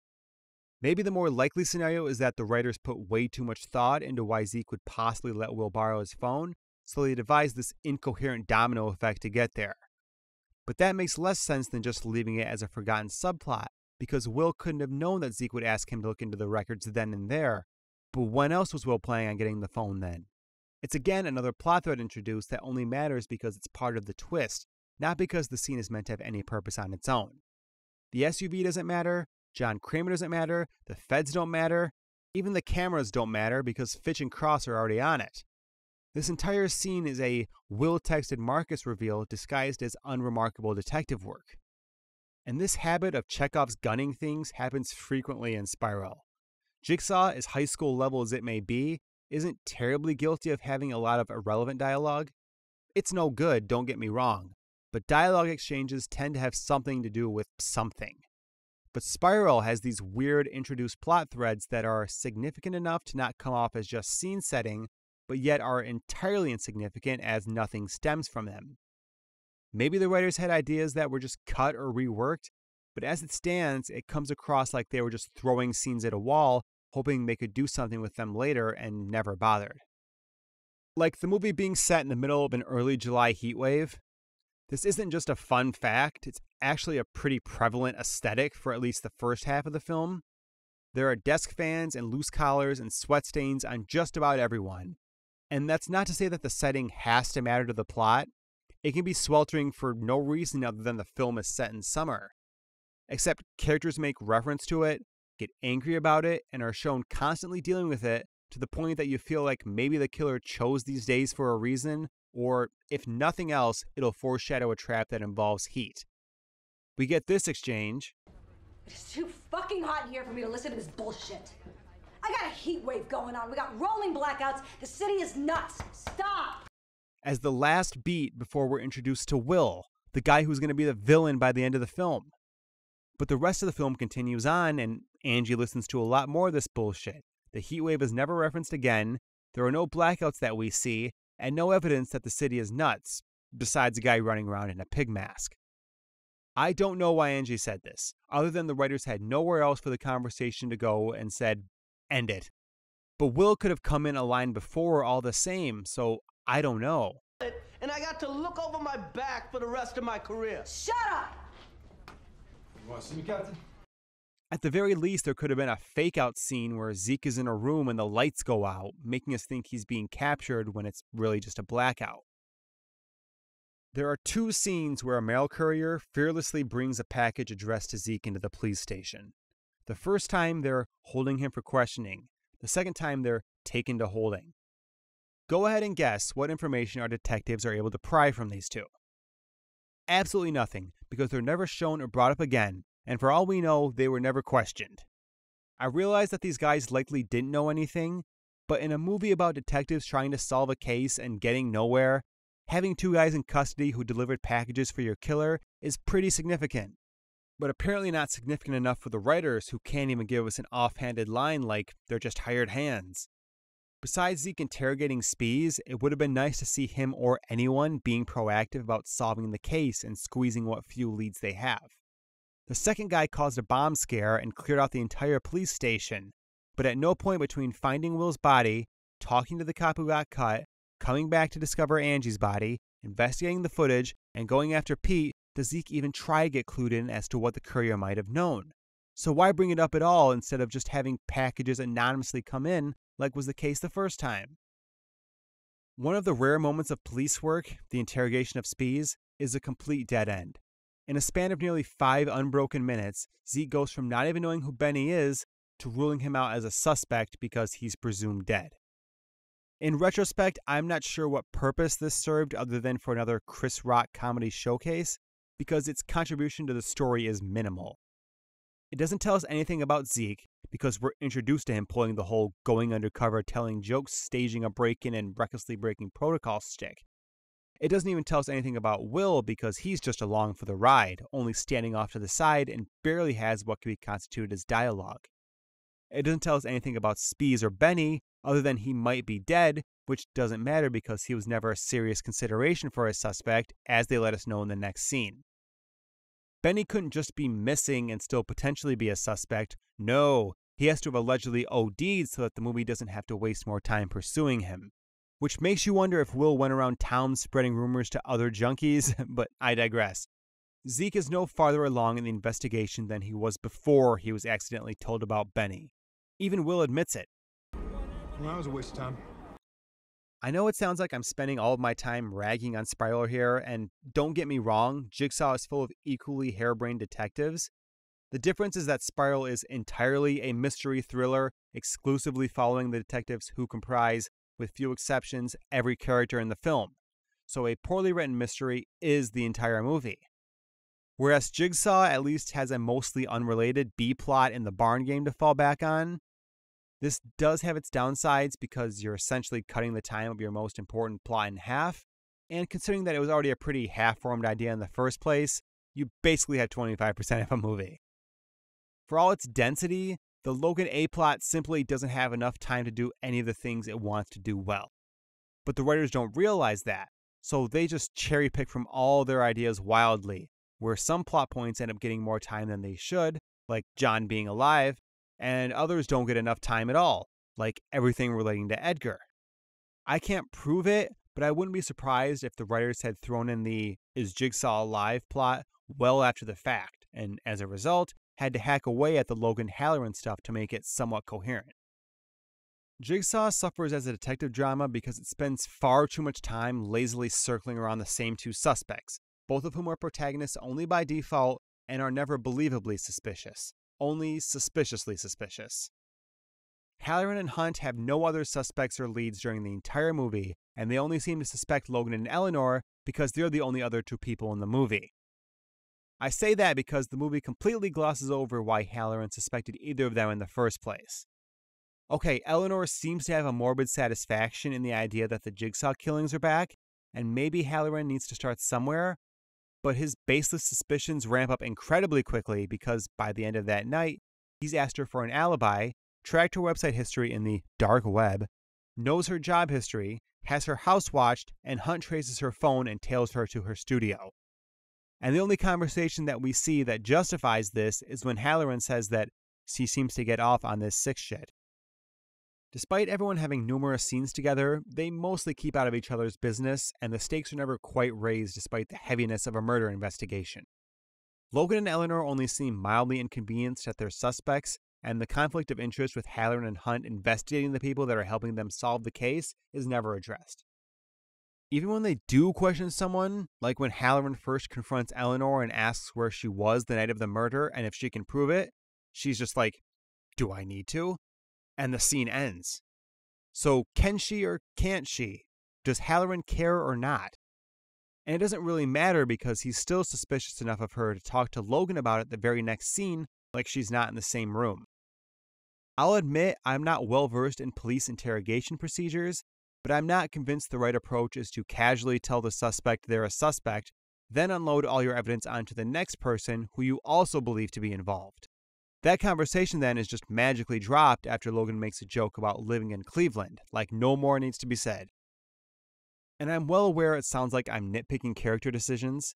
If Halloran isn't great at his job, then so be it, but the movie obviously wants us to somewhat buy into his thinking and play detective alongside him. It's not like at some point in the movie we know something he doesn't. The closest we get is Logan and Eleanor having private conversations about their innocence, which itself isn't proof of anything since Logan was in fact the killer. Otherwise, it's not like Halloran was so blatantly on the wrong track that we don't take him seriously. When he's questioning someone and the conversation just cuts away or ends on a sarcastic quip, that's not a resolution. That's the writers hiding something or being too lazy to finish it. They want all the intrigue of interrogating a suspect and all the badassery of a one liner, but don't seem to comprehend why the interrogation is happening, what implications are made during it, or what questions are left hanging. The thing is, Halloran isn't a bad detective. Unlike Zeke, the movie isn't bending over backwards to make Halloran confused or waiting around for something to happen. Now, he's still not able to do much because the entire case is absurd and unsolvable for anyone, but in terms of just sticking with it and not buying into the nonsense, Halloran is alright. He's unfortunately neutered by the movie's narrative that he's the bad guy, we're not supposed to like him, and that we're satisfied with him dying at the end. To accomplish this, they try to play him as a smirking chauvinist for all of 10 seconds. What do you think about his second, Eleanor? She's got a great ass. What's your story, sweetheart? One of those uh, kinky types? Like a little pin? But either he's ignored, or in the latter's case, Eleanor flirtatiously plays along with him. She's not sincere, obviously, but she doesn't seem to find his strange approach offensive. None of the examples of Halloran's gum smacking jackassery play a part in the plot itself. There's not an implication that maybe his suspicions of Eleanor stems from some weird obsession with her, and no one ever resents him or calls him out for his comments, mostly because he only makes a couple of them. Because of this, Halloran doesn't get any moments of self reflection, even on the most basic of levels. He doesn't struggle with the idea that his wrongdoings are coming back to haunt him because he's never clued into why the killings are happening in the first place. Logan makes one passing slight about failed convictions after the idea of the first body, but it's the first body, hardly grounds to think it's any more than just a coincidence or that it's Logan just projecting. Besides the opening scene with Edgar where he's called out, there's not a sense that he's involved in the case for personal reasons, since the clues he comes across aren't for him specifically. Thanks to Edgar not bothering to explain anything, Halloran doesn't ever wonder why the killer wanted him to be on the roof. He just thinks Edgar is scared and hoping that he can get him out of this mess. There's a very quick line in the hospital where Halloran tells Hunt to start with Edgar's known associates, which might be something of foreshadowing for Halloran's framing, being that Halloran is an associate after all, except Halloran was already was clear about his connection with Edgar mere seconds before, blowing that out of the water. We're good friends. Put him away twice. Start the suspect list with Munson's known associates. If foreshadowing wasn't what the writers were going for, well, they never actually start looking into Edgar's associates, so it was pointless to even suggest it, much like Zeke and his mail carriers. Remember in Saw when Tapp and Sing found Jigsaw's lair? Or 2 when Eric goes old school method on John? Or 5 when Strahm threw Hoffman in the box? Or the awesome right now you're feeling helpless scene from 6? Moments where even for a second we got the impression that the killers might in fact be human and capable of mistakes? Well, the writers of Spiral and Jigsaw obviously can't fathom that their perfect killers could ever have a moment of weakness. After all, what's the point in scripting out such a detailed plan if it can go wrong, right? I understand that John and Hoffman pushed our suspension of disbelief, but at least there was some tension in them getting caught, even if in most cases it turned out they had the upper hand all along. I'm sure that the all knowing, one step ahead killer is probably a blast to write, but it's also really easy to write and teeters the line between serial killer and supervillain. Like, anyone can write a character who can be everywhere at once, can cause citywide panic, set up wild goose chases that span miles, can convince anyone of anything, never have to worry about alibis, are never caught off guard, and can see the future. Despite mentally having a leg up on most everyone, John was always going to be held back by being an old man whose cancer made him increasingly frail and severely limited the time he had to do things.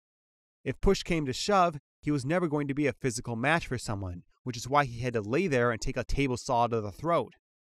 Hoffman was hell bent on keeping as low of a profile as possible, not once did he ramble for minutes on end about his own genius or force himself to put on a performance longer than he had to. But then you look at Jigsaw and Spiral, where Will and Logan seem to cherish any opportunity to test their acting chops, give extended monologues, and wax philosophical on their accomplishments, turning on their villain switch for no one's amusement but their own. The closest thing Logan will have to a weakness is, I guess, their grief over Christine and Charlie, respectively, because if it isn't, then they wouldn't feel compelled to do this, right? But I say the closest thing because they're not vulnerabilities so much as just what secretly sets them off. Hunt and Halloran each bring up Christine, and Logan goes about his business all the same. Pete and Zeke talk about the Charlie incident, and Will stands there unmoved. It doesn't come across like Will and Logan have their loved one's interest at heart, or that their revenge is a coping mechanism driven by the pain of loss primarily because these schemes are way too level headed and long in the making. If Pete had shot Angie's dad or Edgar had killed Hunt's wife, the reveals at the end would have been equally believable, which is to say, it's not a weakness for Logan and Will, just whoever ended up being the killer. The only other weakness is that, well, they're serial killers who are constantly at risk of being caught, but the movies have gone out of their way to show us that the killer is always in control and will never be caught. Yes, Saw is somewhat infamous for complex plans converging at convenient times, but generally they come across as the victim's failures to heed John's warnings or their inability to overcome the flaws they were tested for. One example is at the end of 4, when Riggs' game, the events of Saw 3, and Strahm's investigation happen with near synchronicity. It's maybe a bit contrived, but not unforgivably so. Like, Riggs was at least under a time limit, Strahm was following in Riggs' tracks, and Jeff could only take so long making his way through a warehouse. Insert tired joke about Jeff being slow here. I don't think it was executed to perfection, but I can at least see the rationale for how the characters got to where they ended up. I didn't feel like they were illogically possessed to make decisions that didn't make sense or were distractingly cliche. Now, maybe they were manipulated along the way, but in the end, each of those characters made a decision of their own free will, and those decisions had a clear and logical consequence. Really, the biggest flaw of 4's ending, and that's not to say that I even think it's a bad ending, is that it's a little too neat in how things come together, but even so, things didn't have to happen like they did. We don't know John's master plan, and so if we play the what if game with Riggs, Strahm, and Jeff, there are answers besides the entire plan is ruined and the movie wouldn't make any sense. But in Jigsaw and Spiral, the flaws of the victims are irrelevant, and it seems their biggest mistake is just not being as smart as the killer or being able to overcome the impossible. Because Logan and Will's plans are such calculated affairs designed to serve one specific end goal, the characters feel like they're doing what the killer needs them to do, not what the killer expected them to do. In Spiral, because Marcus is barely in the movie and all the relevant information about his crimes is a tail end confession mostly told by Will, his death is incidental despite the movie's efforts to literally put a spotlight on it. We know what he did wrong, sure, but his death is nothing that came as the result of any decision by him that we've seen on screen. He didn't screw up by deciding to go over the case with Zeke or for believing the fake text from Zeke. And while he did screw up by continuing through the warehouse, we're not sure why he did. This isn't helped by a sequence of events that has him wait until the last possible second to try calling for help, despite being threatened by name just minutes prior and gaining no new information to warrant his epiphany. You don't really know what character flaw Marcus exhibits or what role he had in any of the things that happened to him in the movie. To put it nicely, Marcus is a plot device who exists just to be another twist and then be killed off. In the Saw Mad Libs, his name was penciled in under name of someone who has a deep dark secret and name of someone who will be killed in the climax. But if we're going to talk convoluted plans, conveniences, and characters who have no control over their own lives, then we need to get comfortable because it's time for quite possibly the most ridiculous segment of this entire video. It's time to talk about Logan. More specifically, his plan to kill Halloran. Because this plan was presented as going off perfectly, like this guy didn't break a sweat, we have to assume that he drew this up and at no point considered it to be susceptible to failure. This isn't merely a scene by scene breakdown, this is the order of events that either were taken by Logan or that he needed to happen. Some steps are a little fuzzy as to when they happened, and I'm pretty generous with what constitutes a step, but we're going to do our best, which is more than the writers can say. This is more difficult than it sounds because there's so many little moments that the movie wants you to believe that Logan planned for, yet so little consideration into how each of them connect that you'd believe a different writer was tasked with each step and no one talked to each other. I remind you, Logan's only goals are to frame and kill Halloran, and to an extent cover his tracks. With that, I want you to play Logan for a second and come up with your own plan to murder someone as well as frame them. You're probably going to try and make it as simple as possible, minimizing variables, not drawing too much attention to yourself, and having a good alibi. I'm not saying it'll be easy, I'd hope pulling off a murder wouldn't be, but I promise you that whatever harebrained scheme you devise on the spot would be more believable than Logan's that he's been carefully plotting for at least two years. But let me know how your plan compares. 1. Hire and befriend an assistant who has a jigsaw museum and frequents dark web jigsaw websites. I put this first because I figured it would take the longest to do. Eleanor is not only supposed to be Logan's alibi, but she's also supposed to be framed herself. To pull this off, her and Logan need to have a strong rapport, and she needs to be very suspicious. What makes this strange is that they say she sought out the job with Logan, and not that he chose her based on her suspiciousness. While it's reasonable that someone obsessed with Jigsaw might want to work in his city, are we to assume that Logan just happened to hire the perfect red herring in the midst of putting together this plan? Or that he had been waiting for someone so suspicious? Either way, this isn't the sort of step you can just do at the last minute. It requires a good deal of trust on both sides. 2. Wait for Detective Hunt to be transferred over to do a discreet IA investigation on Halloran. This may not seem essential, but because Hunt and Logan are longtime friends, this will incriminate Halloran when Logan does his you got the wrong guy spiel later. 3. Piece together several tapes using a personal library of John Kramer voice snippets. 4. Gain access to Jill Tuck's farm to fully restore and recreate a barn game from 10 years prior. Also, build two remote activated laser collar death traps, one real and one fake. 5. Capture Edgar, drop him off in a warehouse with a tape, get him to be held at gunpoint by the police on top of a building while holding a remote detonator, then have him call out Halloran. When Halloran arrives, Edgar must mention he's in a game and pull the trigger. 6. Get everyone on the roof to open fire on Edgar, then shoot him with a sniper rifle from a safe distance in a way that doesn't raise suspicion and lodges a bullet in his chest. 7. Capture and test three people who look like those from the original Barn game who also happen to have committed the same crimes and will also die in the same manner. That is to say, mangled. Bring their bodies back to town and cut a puzzle piece from all of them. 8. Steal John Kramer's blood from evidence, which, for whatever reason, is being kept handy in a vial. Maybe that's a thing the police do. 9. Take one of the dead bodies, place a USB drive in it that's labeled Four Victims Remain, plant diseased animal feces from the barn on it, put John's blood underneath the fingernails, and discreetly hang the body from a bridge in the middle of the night. 10. Find the USB drive during an autopsy with Eleanor, Halloran, and Hunt in the room. 11. Make sure Eleanor performs an analysis of the feces, but let her think it was her idea. 12. Throw another body off the roof of a hospital, then attach a note saying that three victims remain.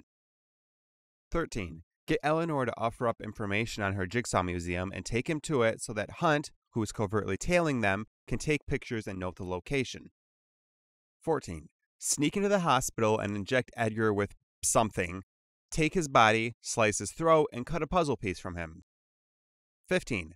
Dig up the grave of John Kramer in the middle of the night, take his body, replace it with Edgar's, and wait for the commissioner to expedite a public digging up of the coffin the next morning. 16.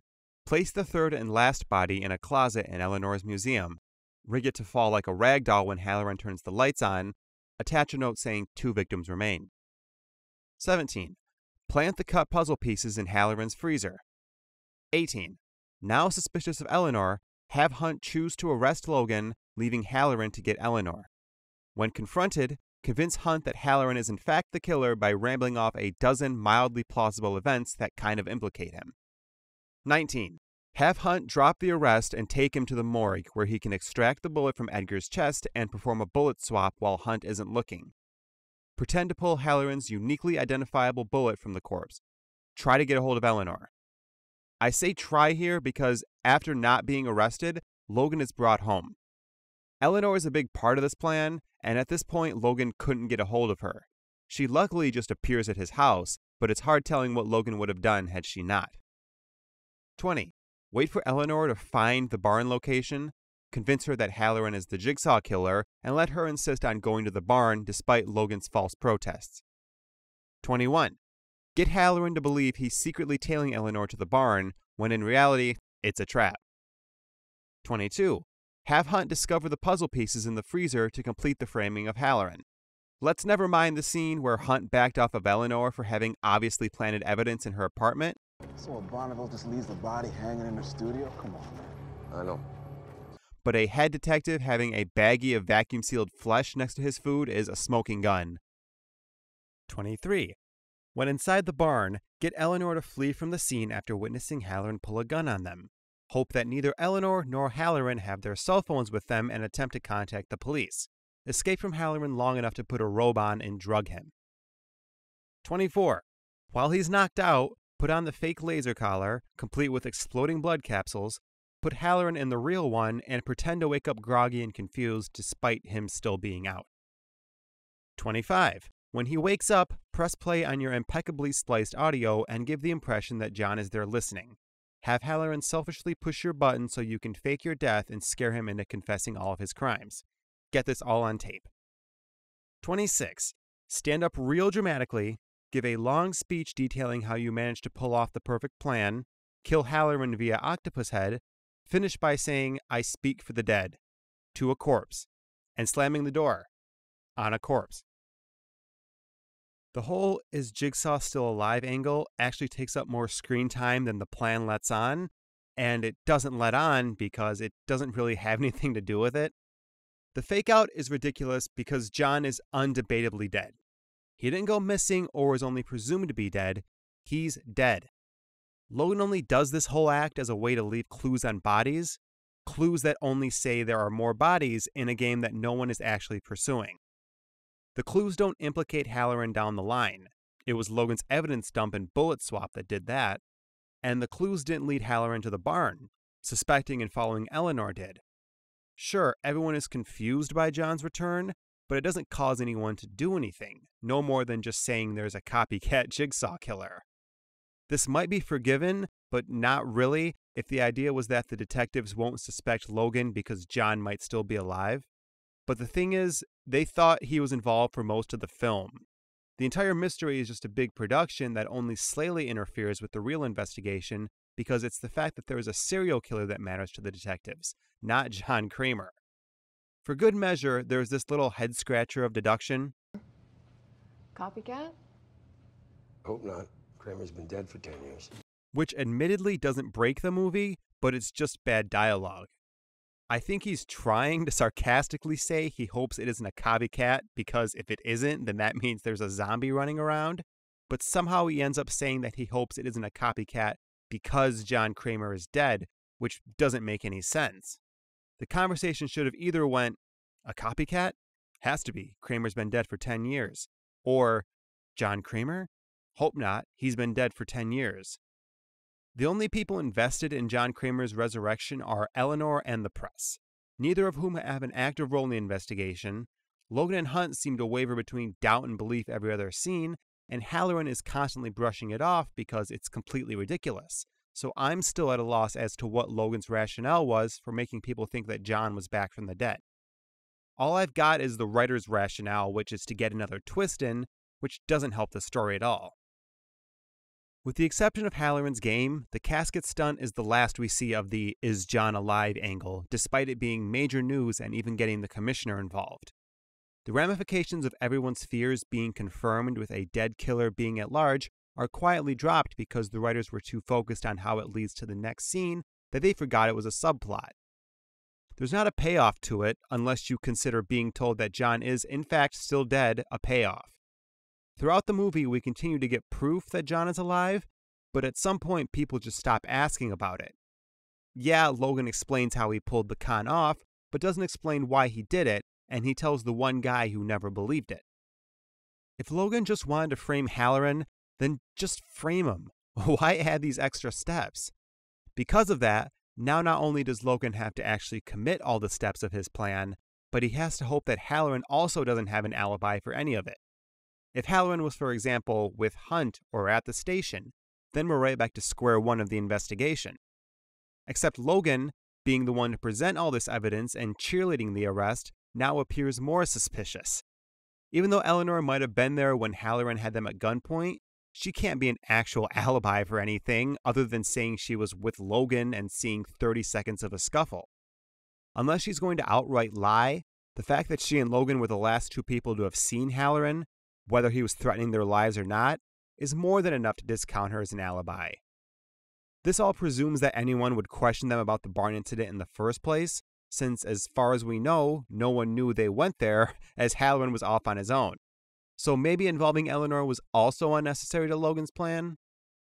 For his last act of framing, and in what surely sounds cooler in a brainstorming session than in practicality, Logan captures Halloran's confession on tape and, in a classic power move, plays it back with one button push from the exact place he needs to. And with a little help from you, no one will ever suspect it. People died because of me! Innocent people died because of me! I did it! But at this point, Logan has planted more than enough evidence to implicate Halloran as the killer. And the confession he recorded comes across as, well, a guy under duress admitting that he's a crooked cop, not a serial killer coming clean. What does Logan plan to do with the recording? Hey, I just happened to come across this tape where Halloran, the guy who you think is the jigsaw killer, is shouting that he took bribes. And then the police would be like, great, and if he ever turns up again, we'll be sure to use that. Or more realistically, where did you get that?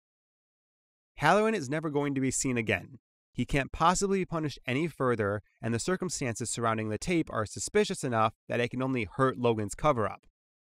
Even if the tape is dropped off anonymously, who is going to care about evidence tampering when he's supposed to be an active killer? I think the grave digging was supposed to be a resolution to the subplot in that Hunt and Halloran are now convinced Eleanor is the killer, but there's no discernible connection between Eleanor being a killer and Edgar being in the casket. Eleanor was already a probable suspect when Hunt saw the studio, and the grave digging at best reaffirmed what they knew, and at worst delayed the raid on her studio for an hour maybe. If they already suspected Eleanor, then another body isn't going to make her more guilty, it's just more proof there's a jigsaw killer. If the casket opening did nothing to change their mind, then why did the detectives wait for it to play out? What would have changed if John was still in the casket? There wasn't any more evidence painting Eleanor as the suspect unless maybe they thought Eleanor would have taken John's corpse because she's weird. At the very least, Logan could have planted some evidence in the casket further implicating her. But if this was all to raise Eleanor's suspicion, then why add the line where the detectives expressed doubt about finding the body in her closet, only then to brush that off? Kudos to Logan for being able to convince an entire city that a dead serial killer is back for more, but the concept behind it is so open and shut that it doesn't make the plan more clever, it just makes everyone besides Halloran dumber. We get several instances of characters kind of sarcastically muttering doubt, but when it comes time to actually offer theories, the writers gloss over it because they need us to believe that John is alive too, otherwise, the big reveal loses its punch. The use of John's blood alone would immediately raise red flags for Logan and Eleanor's lab if anyone actually did detective work. Eleanor, the big jigsaw obsessor, isn't quite obsessed enough to know that there is a neatly labeled vial of his blood in the lab where she works. If the movie wants to play it off like she's fangirling out and maybe deep down wants us to keep going, fine, except she has no problem playing detective with tracing the animal feces. So I guess she wants to find the killer's lair to save lives, but doesn't want to help solve the case. If the movie were to make the effort to explain that Logan covered up the blood stealing, well, then they'd have to answer why Logan would do something that would guarantee him to be the number one suspect. So again, they just ignore it. His plan also depends on Eleanor witnessing everything short of actually capturing Halloran. Eleanor is going to eventually come home. Logan is going to come home, and Halloran isn't. The police are going to wonder what happened, and unless Eleanor is going to cover up for Logan, which she doesn't have any reason to because she doesn't know he's a bad guy, they're going to get suspicious. If Logan comes clean to her, then he could have just done that from the beginning, and it defeats the purpose of her being at the barn, which defeats the purpose of Halloran following her, which defeats the purpose of Eleanor being framed, meaning Logan might not be as genius as he appears. It honestly feels like if there were to be a Jigsaw 2, it would have to open with Logan's plan immediately falling apart and him being arrested. Again, with the Saw 6 scene, remember when Hoffman got cornered by the FBI after his plan to frame Strahm backfired because he used a dead guy's fingerprints? That's going to be your opening to Jigsaw 2, except it'll be a SWAT team, not a couple of agents, and Logan ain't shinking his way out of there. Edgar wakes up bloody in a warehouse, is told to hoof it across town, get on a rooftop, grab a detonator, and call out Detective Halloran. And the first half of that is only told to us at the end, by the way. Those of you who haven't seen the movie will think, I don't see the game here. And those of you who have seen the movie will think, I don't see the game here. Keep in mind that this is the opening scene of the movie. In a matter of one game and a few minutes, the writers can't even keep straight if Edgar is trying to save the other victims or if he's trying to save himself, if he wants to pull the trigger or if he doesn't. And so we're not even sure what decision he actually made, if he won or lost, or if he's even in a game. It's a complete failure of establishing stakes and ensuring that your audience can follow what's going on. So, by pulling the trigger, Edgar starts the barn game, and fair enough, he obviously chose to live because, as he said, I gotta choose who dies, them or me. But I don't see how that has anything to do with Halloran being there or with the people in the present day barn game surviving or not. Edgar was also very clear that He's not here. In 17 minutes, five people are gonna die. Get hell out of here now! So, wait, who is actually responsible for what here, and how? Edgar has a trigger that decides who lives or dies, Halloran showing up decides who lives or dies, and the people in the barn game decide whether they live or die. In case you're thinking that this is clarified later on in the movie, not at all. So it seems what should have happened for everyone to live is for Edgar to not pull the trigger, Halloran to not show up, and therefore the barn game never starts. I think. But Edgar also says that nothing can stop it now, and it's like you could stop it by not doing anything, or giving yourself up, or explaining the situation. I still feel bad for Edgar though, because that tape must have just been nonsense. Hello, Edgar. You have until 3 o'clock to get to the top of this building and look for the X. There will be a detonator. It's not really a detonator though, it just looks like one. But before you pull the trigger, Actually, it's your choice whether you do or not. You might not want to. You need to get Detective Halloran on the rooftop at the same time as you, otherwise, five people who are also in a game will die. Well, they might be in a game. Halloran doesn't actually have to do anything, so if he asks, which he hopefully won't, just try to be vague. Okay, so it's you or those people, but Halloran needs to watch you do it, otherwise, it doesn't work. You need to get him there by 3 too, but you can't like call him and tell him what's going on. If he doesn't show up, people will die. And like I said, if those people die, you'll live. So obviously try to hurry him up, but don't be too quick to make your decision. So don't pull the trigger if you don't not want to die, and make sure you don't tell Halloran what's going on, but mostly make sure he's there, okay? So be quick because their life is in your hands, and it's also in their hands, and it's also in Halloran's hands. But you have the power to save them, but don't forget it's them or you. If you fail to make the right decision, then you'll die through some method, so like don't take too long or choose wrong, you know? And if you make the right decision, then you'll get out of this also through some method. I can't be much more specific. You decide which is which. Live or die, make your choice, which is okay in a turn your brain off sort of way. But because Edgar just doesn't explain the situation and opts to be criminally vague, we don't know what dilemma he's wrestling with while he's just standing there. So, what would have happened if Edgar didn't make it on time? Or if the police never got there? Or if the police got to Edgar before the roof? If Halloran didn't show up? If Edgar never pulled the trigger? If he pulled the trigger and Halloran wasn't there? Would the barn game have never started? Would they all have been killed? How was Edgar going to be killed if he failed his game or chose to do nothing? Edgar doesn't know. We don't know. The writers probably don't even know because none of it matters. Everyone in the barn game is going to die. Edgar is going to die. And there is no reason to think that if he opted not to pull the trigger, that anything would have changed because Logan needs all these people dead for his plan to work. I'm not just making up wild what ifs for spite they're pretty fundamental to understanding what's even happening, and there's just no good answer. Did it matter at all that Edgar was the one who killed Logan's wife? Did Edgar serve any purpose that isn't improved by him not existing? Despite being his informant, Edgar and Halloran have absolutely zero rapport, and Halloran seems mostly annoyed that Edgar brought him into this mess, calling him a sociopathic meth head. If the movie needed someone to have killed Logan's wife and be discarded off camera halfway through the film, it just seems like they could have had Edgar either be already dead or in prison. That way, we don't have to wonder why Logan is spending all this time focused more on a dirty cop than the actual killer of his wife. He's so inconsequential to Logan's plan to avenge Christine that all we really need to be told is that Halloran let someone loose long enough to kill her. But there's no reason to have given him a character. In the end, Edgar served one purpose draw Halloran into the game. But since Logan is already leaving clues and bodies, we would have gotten the same result had the first body just had a note that read Halloran. Admittedly, there were a few points in Logan's plan that I can't say if they were intentional or not, or at least apologists could argue weren't totally necessary. Unfortunately, the plan works out so neatly and Logan never sells panic that it's hard to see how Logan didn't account for them.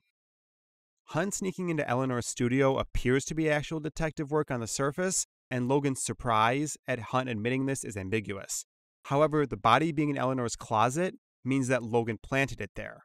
The only reason it was found was because Hunt had discovered the location, and the only reason he managed that was because Logan convinced Eleanor to go to it. Meaning that Logan already knew about the studio and knew that Hunt would be following them and that the police would come back later. Just to further lay into this, there's a super quick line about Hunt getting a GPS track on Eleanor's phone, and almost the very next line of dialogue is Logan commenting that Eleanor has her phone shut off. But this isn't a setup payoff. Eleanor doesn't turn on her phone, allowing Hunt to track it.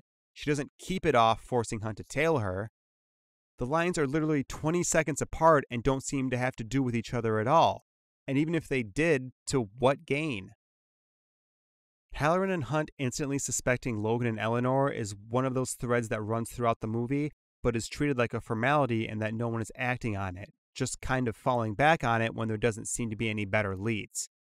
You'd assume that a killer would do what he can to avoid being anywhere near suspicion, but the fact that the first person Halloran even theorizes is Logan. Think he snapped? Come on, man, you're talking about a brother.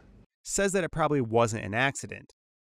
So while this isn't to say that Logan was fine with getting caught, he must have planned to at least be under enough suspicion that he could claim later he was being framed and to necessitate Eleanor as an alibi. But in order to get framed, Logan also needs to talk his way out of being arrested when Hunt shows up for his sorry, I'm just doing my job deal. Again, you want to say that this is cutting it too close even for Logan, but this is what all the framing he's done throughout the movie has built up to. He has to unload all this now because Halloran is on his way to the barn. But let's look at what factors are in play here.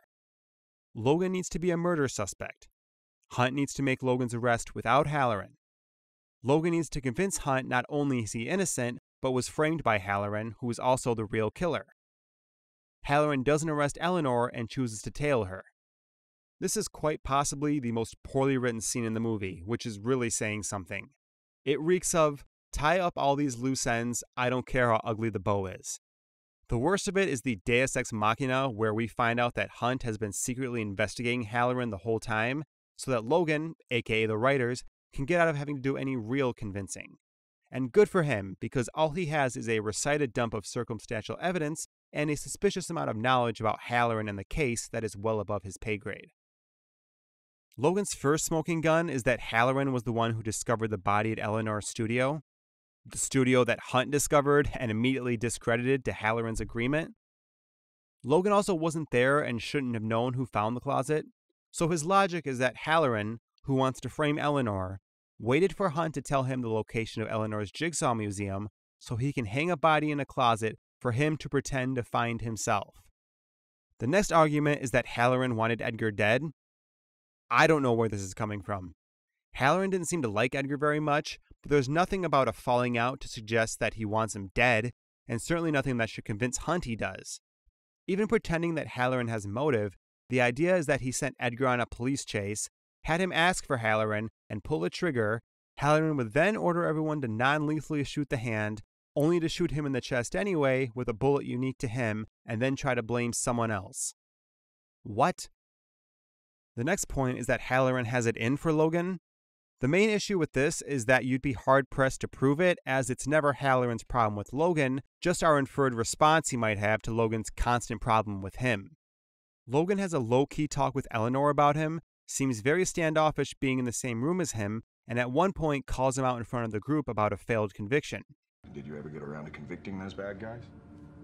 Scratch marks from fingernails.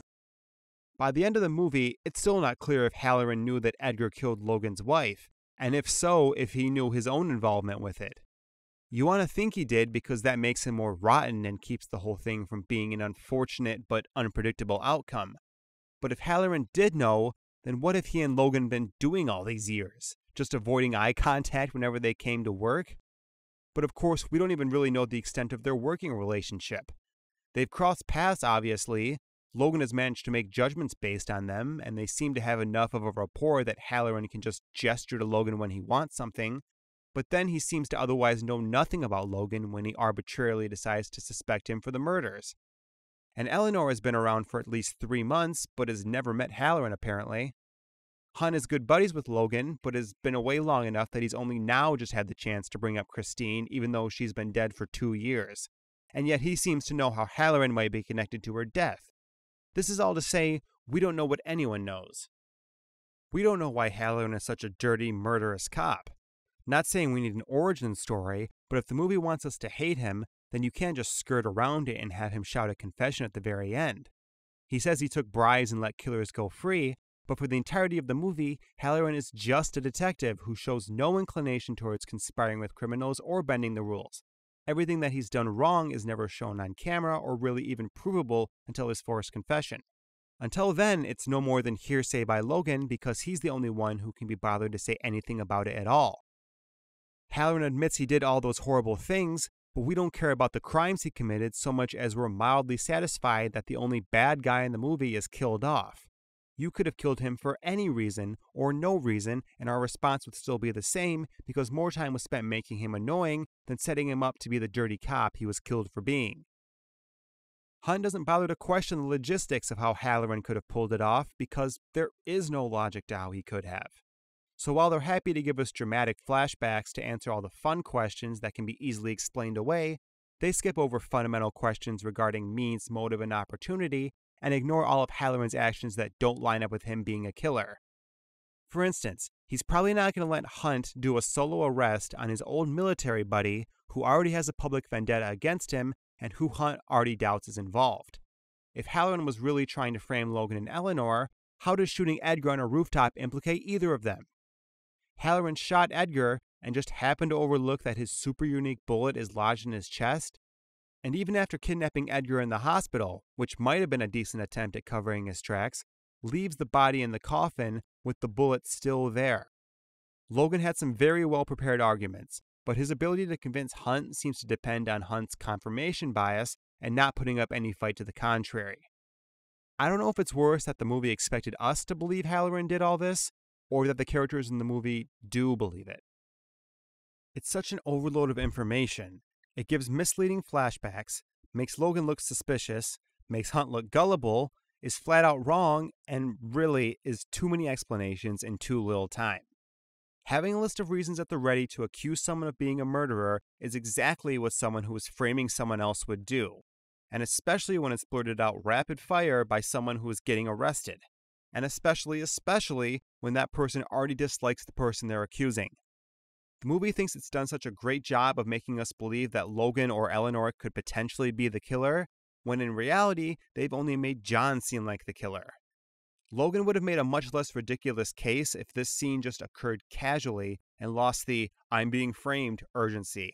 Because with all that Logan is dumping onto Halloran, framing a couple of medical examiners is painfully insignificant. Now, maybe if Hunt doesn't show up, Logan can pull him aside on his own time and the arrest may have just forced his hand. But that only covers his side of things. It doesn't begin to explain why Halloran got the sudden itch to follow them to the barn and not make the arrest on Eleanor, whom he must have already had a lead on because he tails her from Logan's house. It doesn't explain why Halloran can't bother answering Hunt's calls, especially since he's staring right at Logan, who's supposed to be arrested. Things are no more clear in his next scene where he's holding Logan at gunpoint because. Even with Halloran completely suspecting Logan and even knowing Halloran is corrupt, there's no rationale for him to hold Logan hostage and shout, Put it down. I'll blow his fucking brains out. unless he was a killer. But he's not, nor was he ever, which just makes it a desperate misdirect. It's also possible that Edgar wasn't supposed to live through being shot. His only role in the game was to give Halloran a reason to shoot him on the roof, but in the end, his shining moment is being dead in a coffin, and in between him being shot and that, he's in a coma. So you'd think that the easiest solution is just to forego the hospital business and go straight from the roof to the casket. But because the writers are dead set on the big coffin swap reveal, they realize that if an already dead body goes missing, that might lead us to suspect Logan, who would have more access to a body than anyone. But they can't have Edgar conscious during all this either, because otherwise he'd have to answer desperately needed questions about his game, ones the writers frankly don't want to deal with. The idea of a serial killer stealing a patient who's under surveillance in the middle of the night is brushed aside as a my bad moment, complete with classic sleeping elderly security guard. When Logan is running down to hunt all of his reasons why Halloran allegedly was the killer, he doesn't even bring up the hospital kidnapping, Edgar's game, or the coffin switch. In fact, he doesn't even bring them up to Halloran in his big villain monologue. The problem isn't that I believe the writers physically wrote out a 26 step plan as such. It's that over the course of brainstorming, they seemingly never realized or cared that's what they ended up with. If the 26 point plan started as, say, a 10 point plan, and for a number of reasons, Logan was forced to improvise and it ballooned into 26 points, that would be something. But the way the overall story was presented doesn't encourage anything but a perfect storm of a plan that depends entirely on what if rather than how or why. These aren't the plans of serial killers. These are the plans of secret agents or people trying to pull off an ocean style robbery. There's no sense that anything was cut down, hashed out, or reassessed. Just a couple of guys in front of a laptop going, wouldn't it be cool if? back and forth until they typed the words octopus head and clicked send. If some of these plot threads were just dropped from the film or left unresolved or unexplained, I could accept that the script was just a victim to edits or honest mistakes. But there's just too much going on. It honestly wouldn't be out of place if Halloran got up at the end of the movie, ripped off some prosthetics, and confessed to Logan how he was the one behind it all. There's so much happening and no stone is left unturned that nothing is out of the realm of possibility in the world of Jigsaw, and that's not a good thing. It's like entering a corn maze that's advertised to take 90 minutes to get through, and when you enter the maze, you take a few turns and you're out in five. When you go back to complain, the staff goes, Oh, yeah, it only takes five minutes to get to the exit, but if you go the wrong direction and make sure to hit all the dead ends, you'll get to 90 minutes no problem. Or even more apt, they build a maze with no exits. Then, after we've spent 90 minutes going over the same places, they just cut a hole in the wall and tell us to leave. It's not a mystery meant to be solved, it's just designed to confuse us. But it's like the writers want to pretend like their maze is something more than just mindless twists and turns. Which direction you go isn't based on logic, it's based on blind faith and how much time you're willing to waste figuring it out before the answer is yelled at you. And then four years later, they take that same maze, give it a new name, and instead of redesigning it, they have signs at every intersection telling you exactly where to go. And then at the end, they gloat how they can get out of the maze in five minutes. And you respond, I could have too. I didn't think it would be the same maze as last time. I was giving you guys the benefit of the doubt and thinking I would be rewarded for playing along. And that underwhelming new maze is Spiral from the Book of Saw. Since I spent so much time talking about how terribly Logan, and by consequence his entire scheme, was written, I suppose it's only fair that we talk about Will too. And I don't think there's a great place to even begin. I don't want to say that Will as a character is worse than Logan, and I don't even want to say that his plan is worse, because to write one would almost require a skill set beyond human comprehension. But as I've said before, I think Spiral is a more poorly written film overall that only slightly compensates for how misguided and lazy it is by at least having a clear protagonist with some personality. Just have the guts to break from the formula if you're not going to put in the effort otherwise.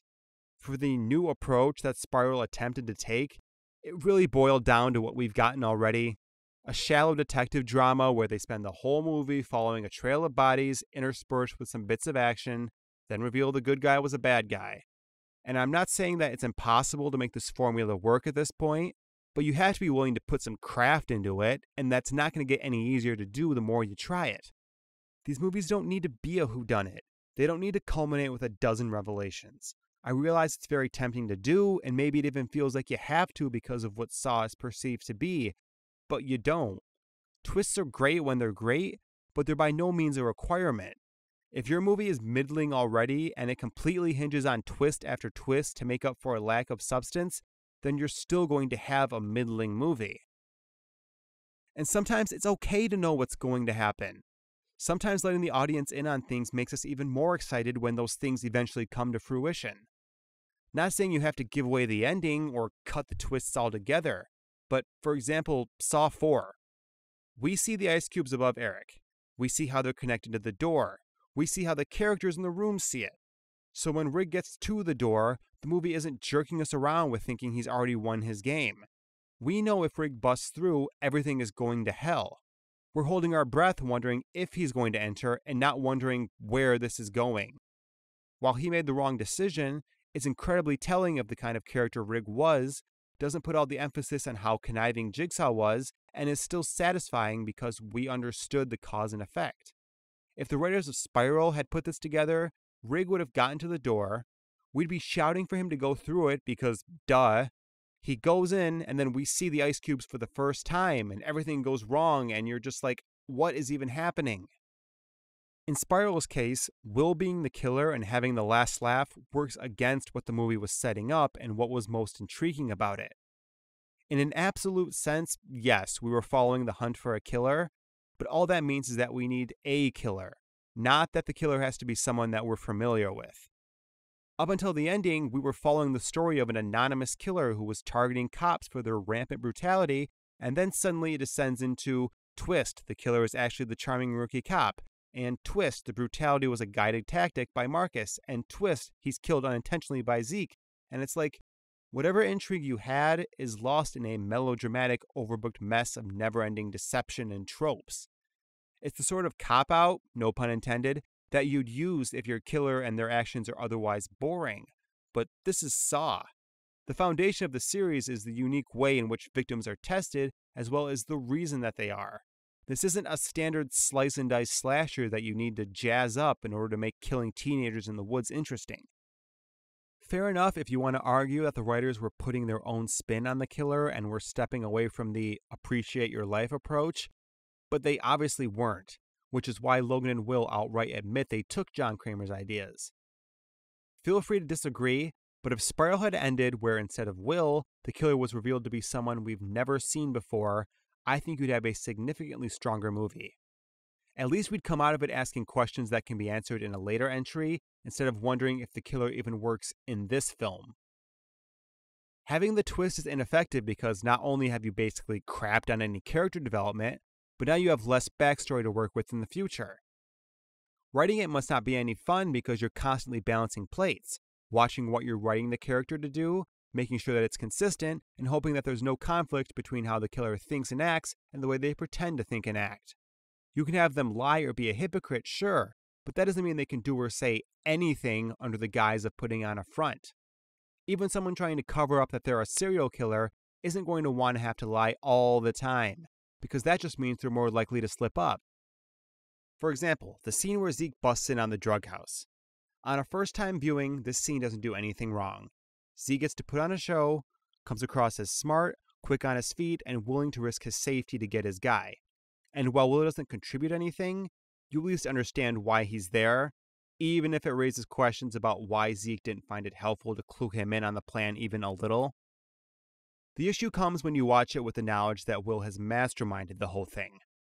It's not clear why Will let the investigation get to this point because the last thing he needs is for Zeke to learn who Benny was involved with. Not to mention, he doesn't want to get himself or Zeke killed in a drug house shootout.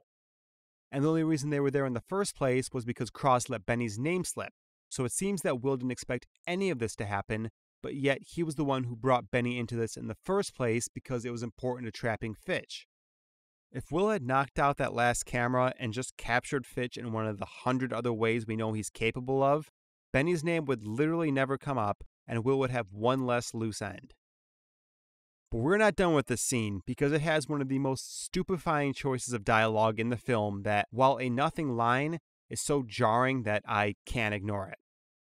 At the very end of the interrogation, for no discernible reason, Will just blurts this out. Fuck the snitch. Fuck! If the movie has made anything clear, it's that Zeke's way of life has all but been destroyed by his decision to rat on Pete. And Will, who's trying his hardest to be on Zeke's good side, decides of all things to call someone out for being a snitch. It's weird because not only is this uncharacteristically aggressive, there was nothing about what was said that should have led him to burst out like that. Spees only said he heard Benny OD'd, which, if anything, helps Will out as opposed to, yeah, I saw a guy with a Charlie tattoo who was about as tall as your friend there grab him earlier. Will's line makes it come off as if he's trying to undermine Zeke by cutting the interrogation short, and at the same time bringing up a sensitive subject. If this is bad guy Will projecting, then it doesn't make sense because he later admits that he thinks Zeke, as the result of his snitching, is the only good cop. Not to mention his dad was killed for almost being a snitch of sorts. If it's Will playing the role of sidekick, it doesn't make sense because it happens while Zeke is finally getting some information, and, of course, it's the one thing that's sure to piss him off. If there was any sense that Spees was about to give up more information or that he was getting close to implicating Will somehow, then I could see where this is coming from. But Will the cop is fine with snitches. Will the killer is fine with snitches.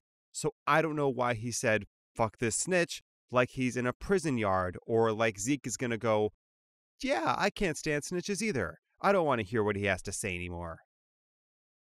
It's these kinds of decisions that invite the audience to go back through a movie and see what they can pick up on with the new information. But the plot itself is already messy enough, and any meaningful connections were screamed at us the first time, so watching through it again is only going to shine a light on contradictions that would have otherwise been overlooked. The writers want to surprise us and figure that there's an emotional freebie in getting betrayed by a good guy, but now we don't trust them, we don't trust the writers, and we're upset because, quite frankly, it's lackluster. Now, not only do you have one less protagonist, but you can't even say Will was a protagonist in a movie series that could really use some. But Will wasn't the twist. is an argument that I've seen, and while it's not the majority opinion, it's been brought up enough times that I'm going to straw man and say, yes, it was. The argument is that Will's reveal, where he's just sort of leaning against a table, is low key and anticlimactic because the writers didn't intend for it to be the big moment.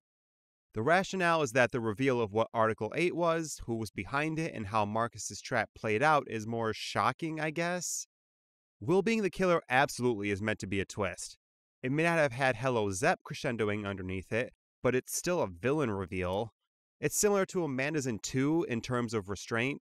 She doesn't Darth Vader into frame or anything. When Eric plays the tape, it's suddenly her voice and she's in the doorway. So to say that Will isn't the twist but Marcus is, is like saying that Amanda wasn't the twist, Daniel being in the safe was, or that Hoffman wasn't the twist, Rigg losing his game was. I don't care how much it's downplayed, you can't have a detective drama climax with the reveal of the killer's identity, especially when that killer was a good guy, and not expect it to be what people focus on. If it wasn't supposed to be a big deal, then why did they spend the movie hiding it from us? And not in a let's just not draw attention to Will sort of way, it was hidden in a let's load this movie up with misdirects sort of way. If it wasn't a big deal, then why did Will spend so much time monologuing his grand plan, and why wasn't anyone in the movie able to even come close to figuring it out? If it wasn't a big deal, then why did they go so far as to make us believe Will was dead? Because on top of the reveal of him being a killer, it's also a reveal that he wasn't actually dead. From the point where Will is standing there to the closing credits, they spend more time montaging all the ways that he was foreshadowed, what his backstory is, his relationship with Zeke, and how he pulled off the whole thing, than they do discussing the trap in front of us or Marcus's role in the corruption Article 8 angle that's supposed to be central to the ending of the film. I'd argue that not only is Will the primary twist, if there has to be one, but the existence of it actually makes the Marcus twist less effective by comparison. Despite Will's eagerness to rattle off the plan like Logan before him, all the hanging threads aren't going to be resolved, and not in a it will be answered later way, but the it should have been answered already way. It's a catch 22 where Will can't possibly explain everything convincingly without needing twice as much time, but most of his plan and reasoning is so far fetched that he has to explain it to have any plausibility. We're far too busy being baffled at Will's 180 and his rushed recapping of events that we barely have a grasp of what's supposed to be happening right now. It borders on incoherent, and the best I'm willing to say about it is that at least it didn't have an octopus head. But even Jigsaw's ending is kind of funny in how flat it falls. Spiral's ending is frustratingly bad and relies on you to untangle multiple poorly explained and hastily assembled plots, unclear stakes, arbitrary twists, underdeveloped characters, forced conflict, and flimsy dilemmas, and that's not even considering its execution in terms of pacing and dialogue. You need to understand Will's plan and motivation for seeing it out the way he did. You need to buy into the Zeke Marcus relationship, understand what Article 8 was, how it led to the death of Will's dad, and make sense of Will's proposition to Zeke and the game at hand. Congratulations if you did, because I didn't and still don't, and I don't think it's my fault. Charlie's shooting is such a ham handed, silly scene that it's impossible to buy into the weight of it. And this is supposed to be the killer's formative moment but it's not even really a scene. It's a flashback to 25% of a scene, and it's cut together so jarringly that little of what's happening sinks in, even after the third time of seeing it. Its bare bones function is to show Pete shooting an unarmed civilian and Zeke being a witness to it. That's it. On one hand, the information does get across in a matter of 20 seconds, so way to be efficient. But on the other hand, the way they chose to get this information across is more convoluted than just telling us what happened. So I don't know what exactly Pete was doing there or planning to do. I get that he's covering for his police buddy and taking care of a loose end, but Charlie confidently agrees. I'll testify, Officer Dunleavy. I'll do it. Which makes it sound like Pete had been pushing him into it. Pete doesn't seem to be trying to coerce him, nor is Charlie saying anything Pete didn't expect to hear so he must have just been there with the intent to shoot him, assuming that Charlie doesn't change his mind on a whim. But that doesn't make sense either because he brought Zeke along, who of course is going to point out the obvious. The witness pulled a gun on you? If all Pete wanted was to kill Charlie, and if Article 8 made it so that he can get away with murder, literally, then just kill him. Why bother with the questioning facade and dealing with the mess of going to his apartment and planting a gun and having a potential liability in Zeke? Just do what Fitch did pull him over on a routine traffic stop and cap him. Nothing about this scene is effective. Pete is comically short tempered, Charlie comes off like a dope who can't read body language, and we don't care that he's killed because we have no idea who he is. For whatever reason, we get to see this scene three times, and each time it ends on the same hanging question. The witness pulled a gun on you? And the scene never answers it. I understand it's kind of a rhetorical question, but Pete's logic is already kind of out there. At least let us see this lie play out. Is Pete going to double down on it, or is he going to tell Zeke to shut up and stay loyal? By cutting off his response, it looks like Pete had a dumb idea with a dumb cover up and was Pikachu face when he didn't get away with it. If we get to see any of the fallout from their conversation, it might serve to flesh out the actual important parts of their movie long conflict. We already understand Zeke ratted on Pete. It doesn't matter how Pete killed Charlie, why he did, or what Charlie knew but that's what comprises the bulk of an already too brief scene. But even taking that scene at face value, Pete would later tell us that we were all working under Article 8. And no, you're not supposed to know what that is. But what you are supposed to know is that at some point, something existed that somehow influenced some of the officers to be out of control, meaning that in some way, Pete didn't kill Charlie entirely because of his own prejudices, short temper, penchant for violence, or strictly to protect a fellow officer, but because he was acting under orders, or was at least given the green light. As big of a deal as Pete shooting Charlie was, and deservedly so, at the end of the day, it's only one of the many repercussions of the much larger Article 8 problem. It just so happened to be the one that convinced a 12 year old to be a revenge seeking serial killer. What's funny is that Article 8 only answers questions we never had and solved problems that didn't exist.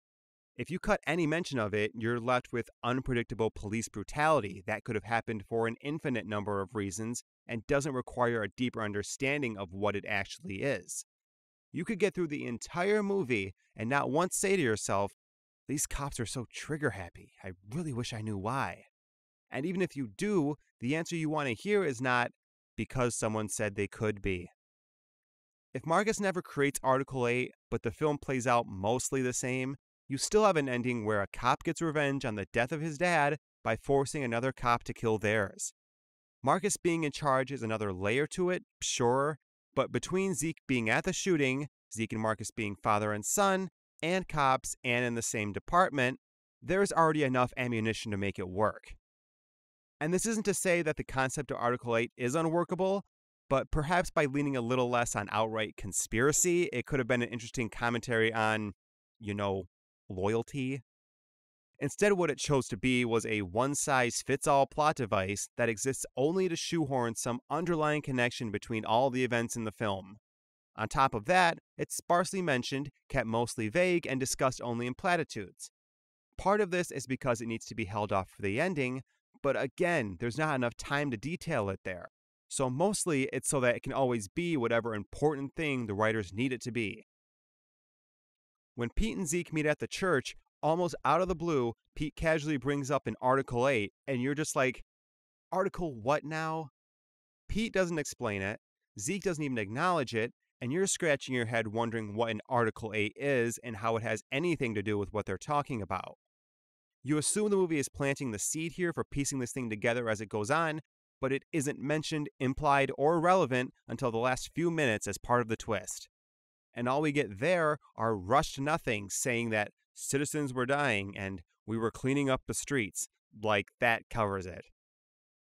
Based on what Marcus mumbles at us, I guess it's just a shoot first, ask questions later policy, which devolved into just killing people for petty reasons. This on its own is not terrible, but the movie tells us that the murder rate was going down and people felt safe, but that it's also bullshit. It's in the name of justice, but it's also corrupt. It's an official policy, but it's also a conspiracy. There's a plaque of Marcus that reads Architect of Article 8, but even in close ups, the architect part is cut off because this is foreshadowing and aren't you stupid for not noticing? Point is, there being a plaque for Article 8 suggests it's something worth commemorating, even though it got Pete put in prison. Its effects are widespread throughout the entire department, yet we get like one instance of wrongdoing per detective. Only two of them actually involved killing a civilian, and only one of those were successfully covered up. You again have to ask yourself just what exactly this plan is or was. When did it begin? How did it begin? Was this like a law? Who knew about it? How did Zeke not know about it? Is it even still going on? And if it isn't, why? If Pete was working under Article 8, then how did he get in trouble? Who did Zeke rat to? Who gave him the medal? If Zeke was in the know, then why was he so confused as to what was happening? If he wasn't in the know, then why did Pete bring him along? I'm not saying police corruption is always logical, but the writers need this to be a scheme with multiple co conspirators and exist in a relatively official capacity. They're happy to tell us how important and wrong it is, but shy away from any meaningful details because it only works as an oversimplified notion of a plan. And what they do explain makes it sound like a well meaning but painfully misguided effort at making things better that failed for reasons and continued on for reasons. The writers were so giddy about pitching the guy who killed people with police brutality is going to get killed by police brutality. Do, do you get it? That it never crossed their mind that said character is horribly underdeveloped and said brutality is horribly explained. Besides the tacked on foreshadowing in Will's speech, the film is 95% about someone who kills crooked cops, not someone acting out revenge against them. At its core, it's not a very well executed storyline. We like Will, sure, but his backstory is a little too clean in that he's only a rookie cop and family man, and there's nothing to suggest that he has ulterior motives or even character flaws besides kinda sorta, but not really letting Zeke belittle him. He doesn't argue with anyone, break any rules, or get in the way of the investigation. He's just a likable sidekick, if I'm being loose with the word likable.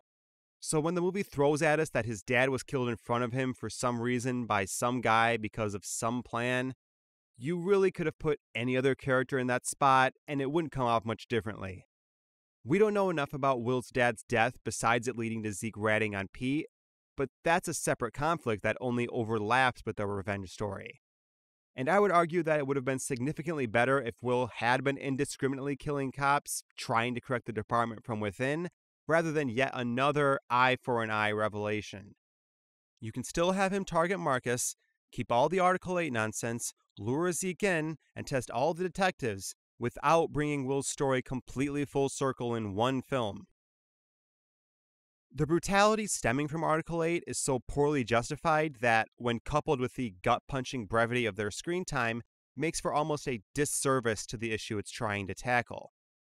Regardless of any preconceptions about what police brutality does or doesn't entail, the movie is eager to portray it as an absolute, where an individual is so uncontrollably corrupt and short fused that they'll shoot an unsuspecting normal civilian with almost no provocation.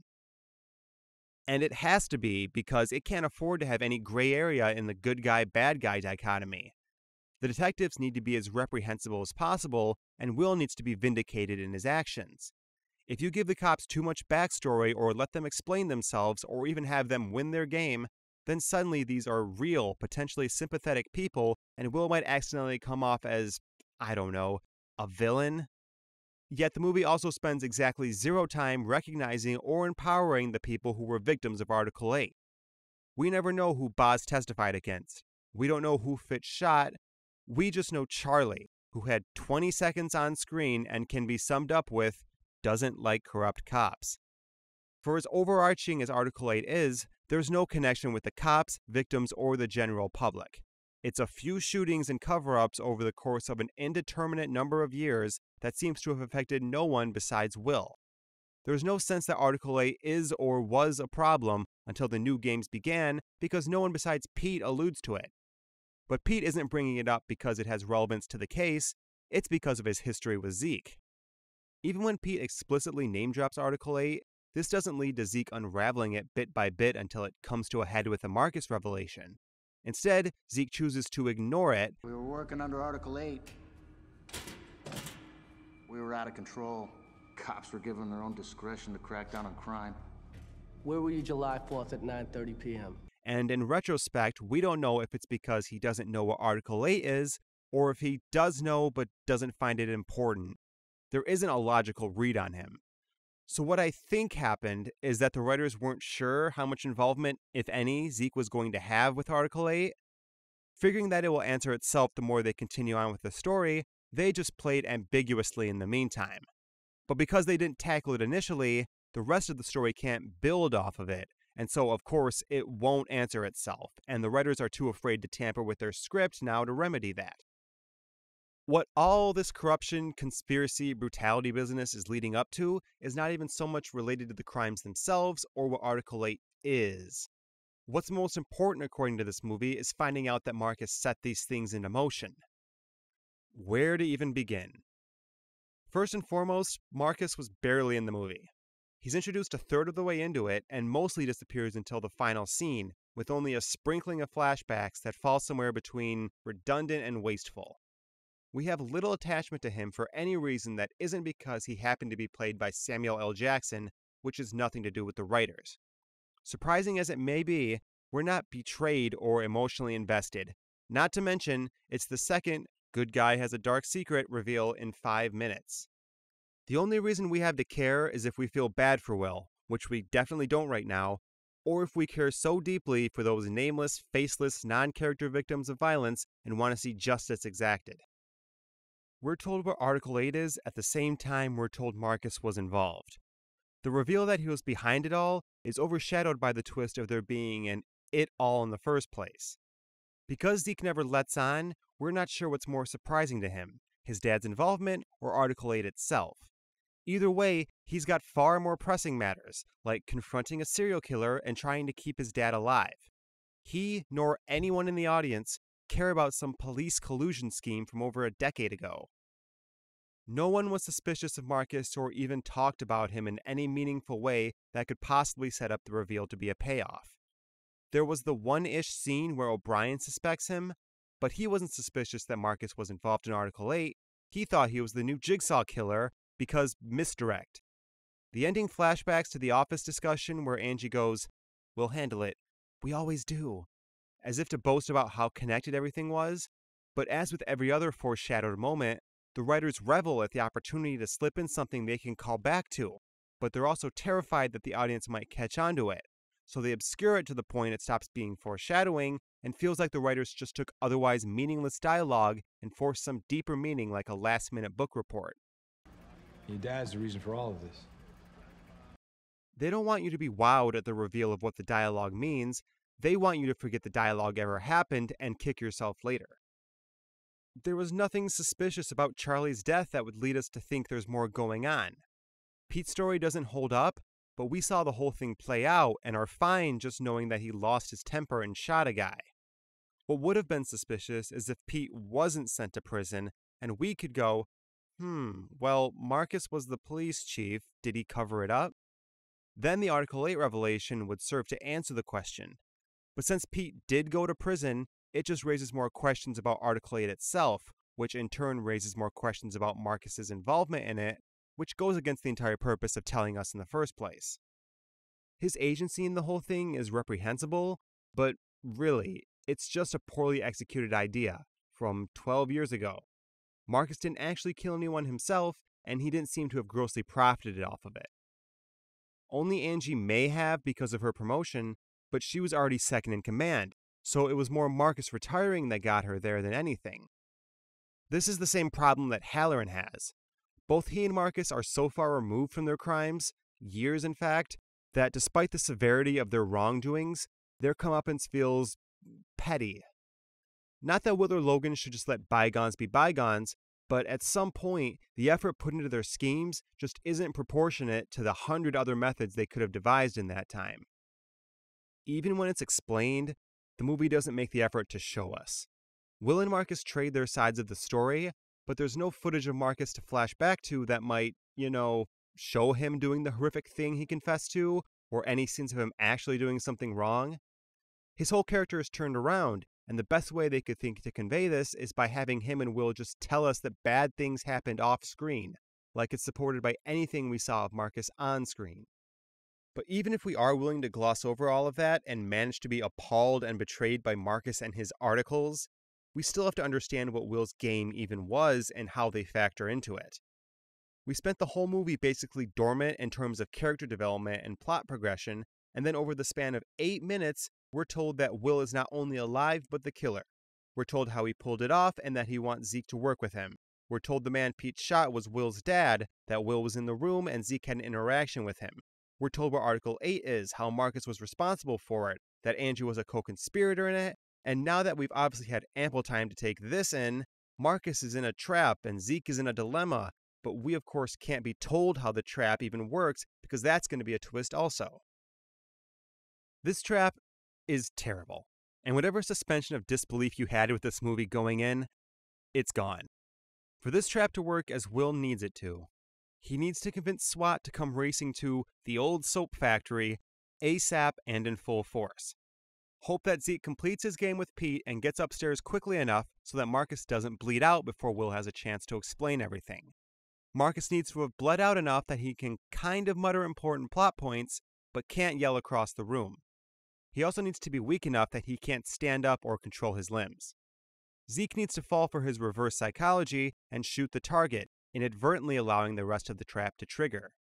SWAT needs to bust in without hesitation through the right door at the right time. Any earlier, and Zeke will still be beating Will up. Zeke has to be across the room so as not to prevent SWAT from going open season on Marcus, either through just standing in front of him, or disabling the trap, or verbally warning them.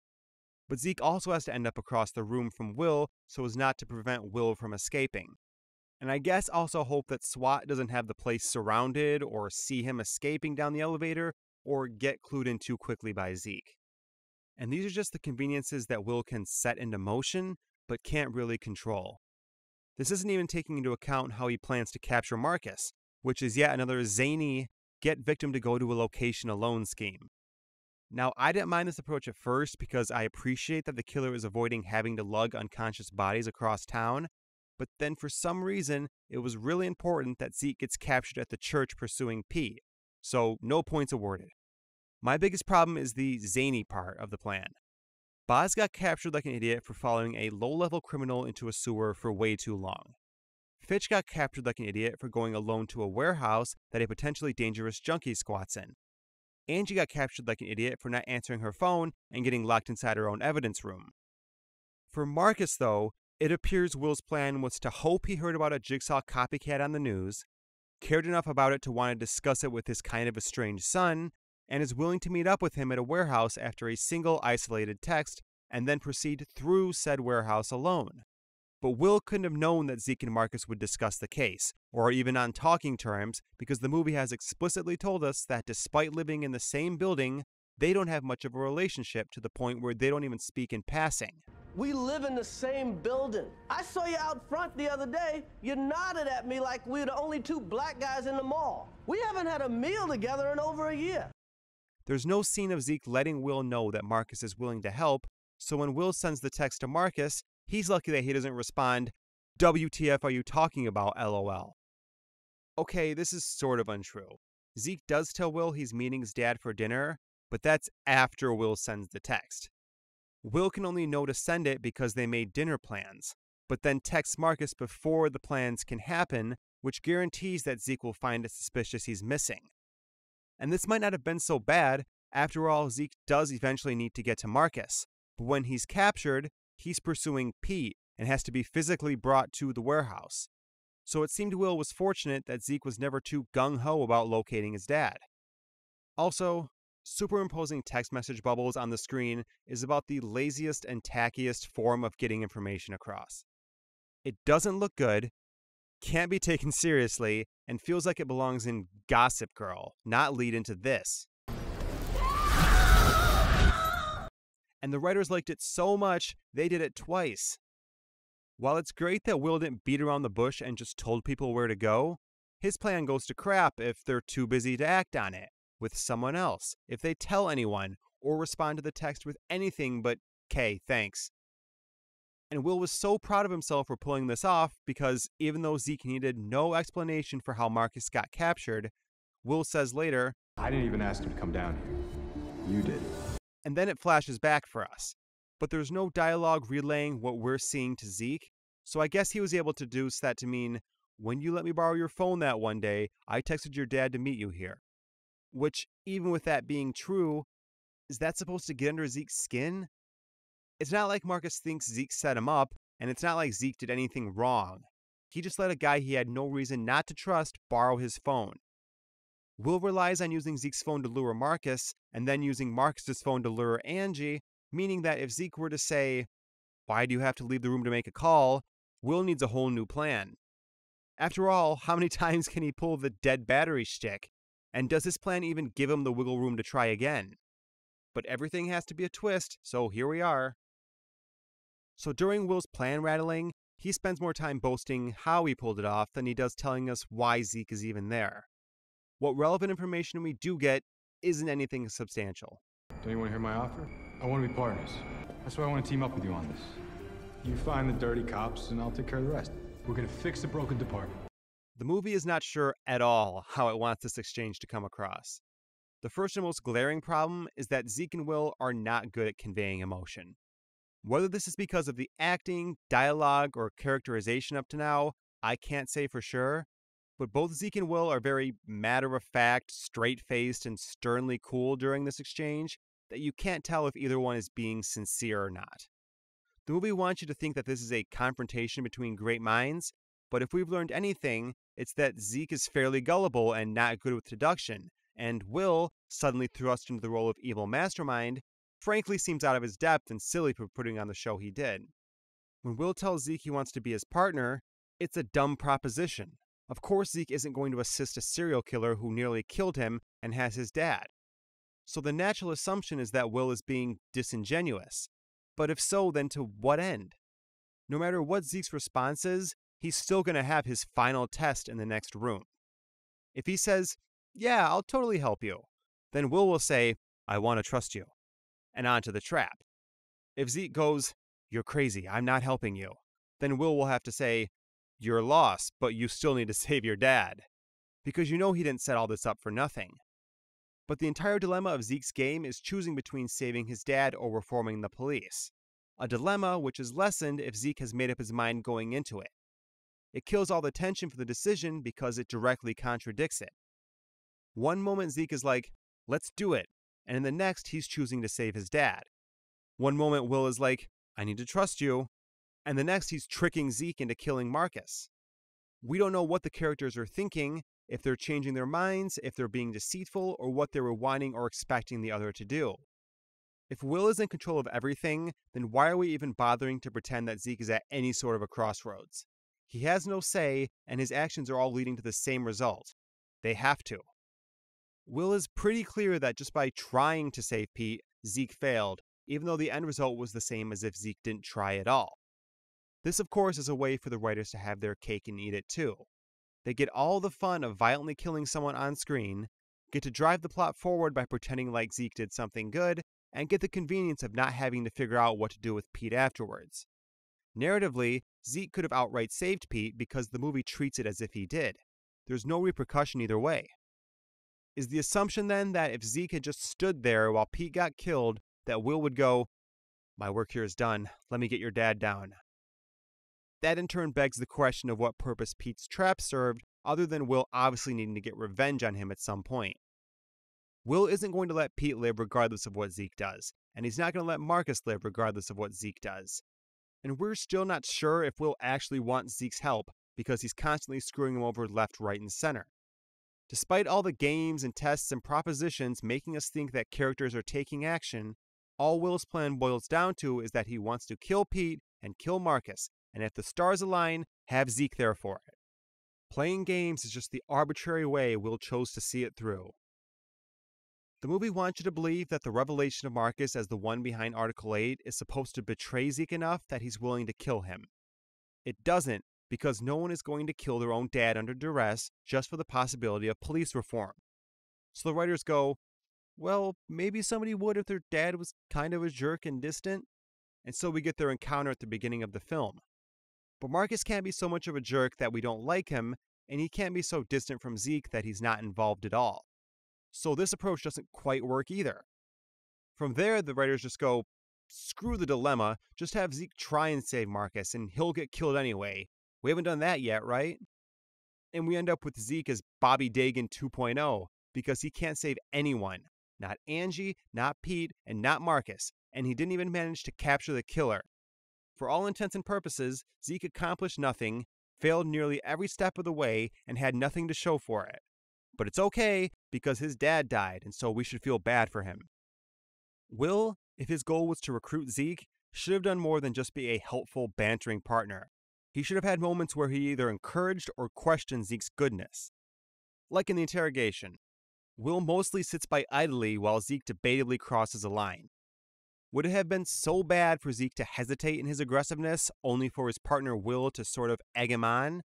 Or the reverse, Will shows disgust or calls him out on selfishness?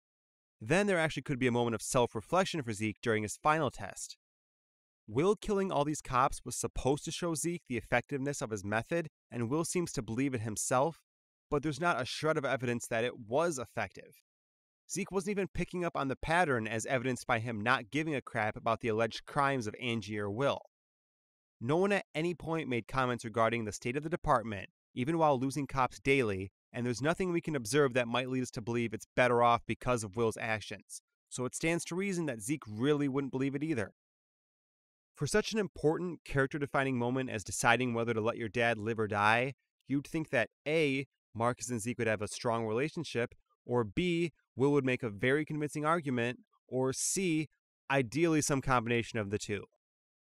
And despite how everyday a strong father son relationship is, to the point that most people will assume the existence of one unless told otherwise, the writers make the creative decision to tell us otherwise. By having Marcus and Zeke mostly out of each other's lives and rife with snarky contempt for the other. I don't know why Marcus and Zeke are bitter. It turns out not to matter because Zeke saves Marcus with minimal hesitation and never appears to have any reservations about their relationship. Their bickering doesn't shape or change their actions. They have one present day scene in the entire film before the ending, and admittedly, I don't hate it.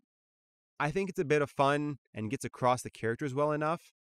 It would get their relationship across too, but the problem is that all the scenes surrounding it, such as the flashbacks, when they talk about each other, when others discuss them, the missed dinner, the concerned phone calls, and the final test, are wildly inconsistent and cover more ground than can be kept track of.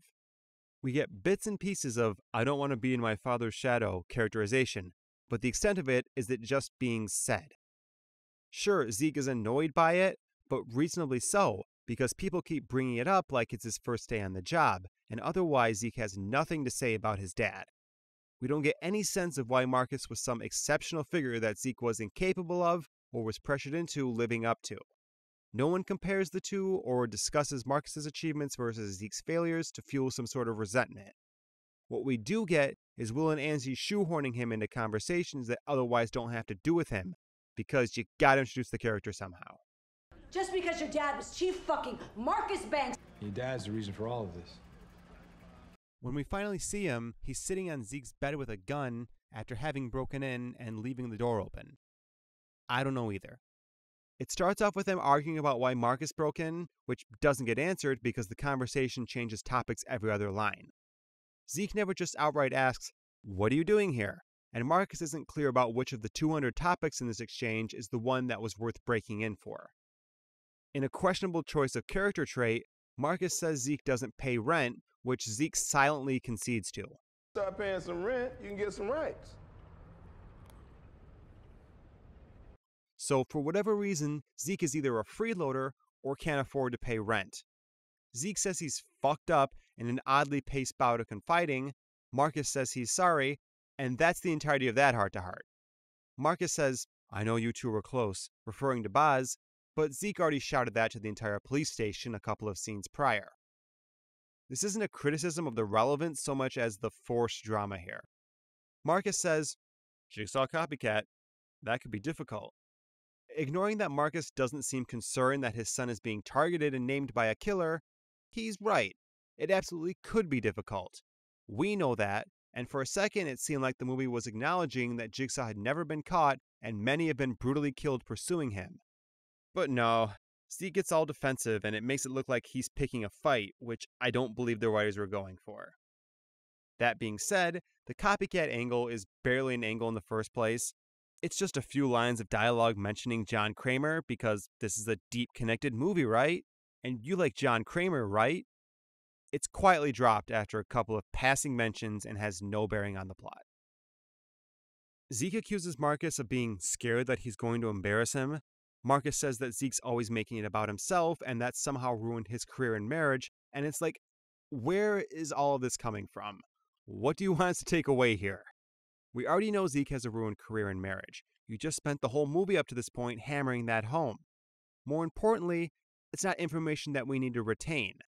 The scene isn't setting up a conflict or character arc because Zeke's selfishness and him embarrassing his dad are, at best, minor details that aren't confronted further. To put this into perspective, in case I'm overselling this scene by giving the impression it has a lot going on, this entire conversation is crammed into a minute and 39 seconds, which basically means it's breaking the sound barrier.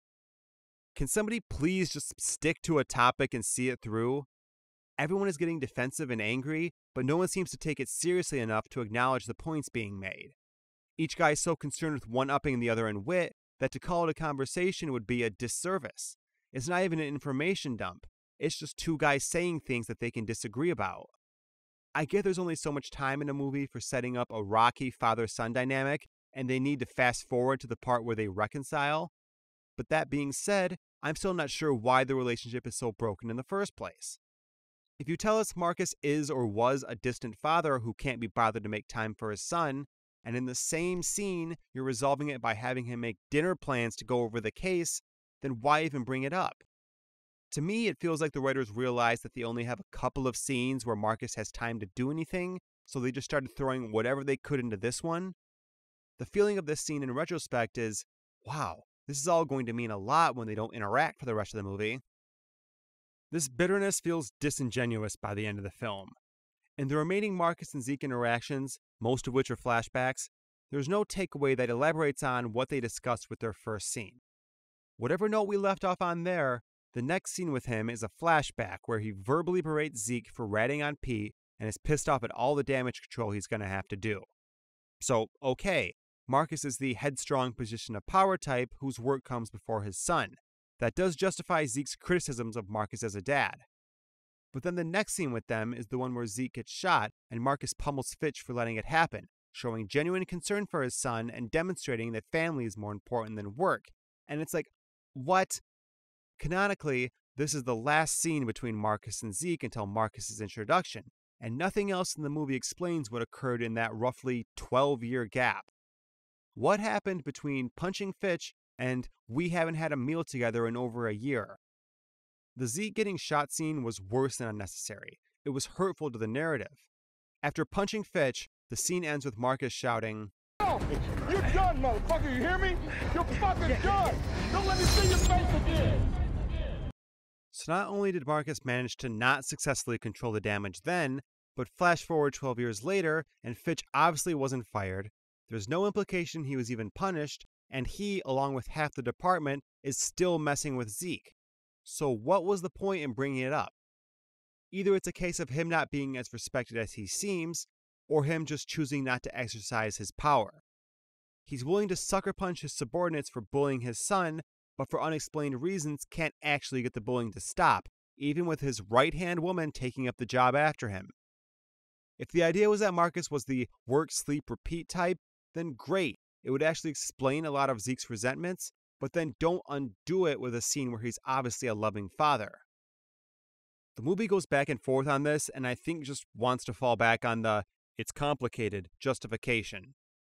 On one hand, a healthy father son relationship is too happy and undramatic, and we need to believe that Zeke might be okay with killing Marcus. On the other hand, an unhealthy relationship doesn't carry the right amount of emotional weight, and we need to believe that Zeke would, of course, choose to save Marcus. There's the cliche of never should have let my son become a cop, but besides Marcus mentioning it to Angie once in private, that point of contention isn't brought up again. Despite the berating being centered on Zeke royally screwing up, they forego Marcus using that to convince Zeke to get out of law enforcement and maybe set up some animosity, and instead only tell us that Marcus is mad and Zeke is whatever.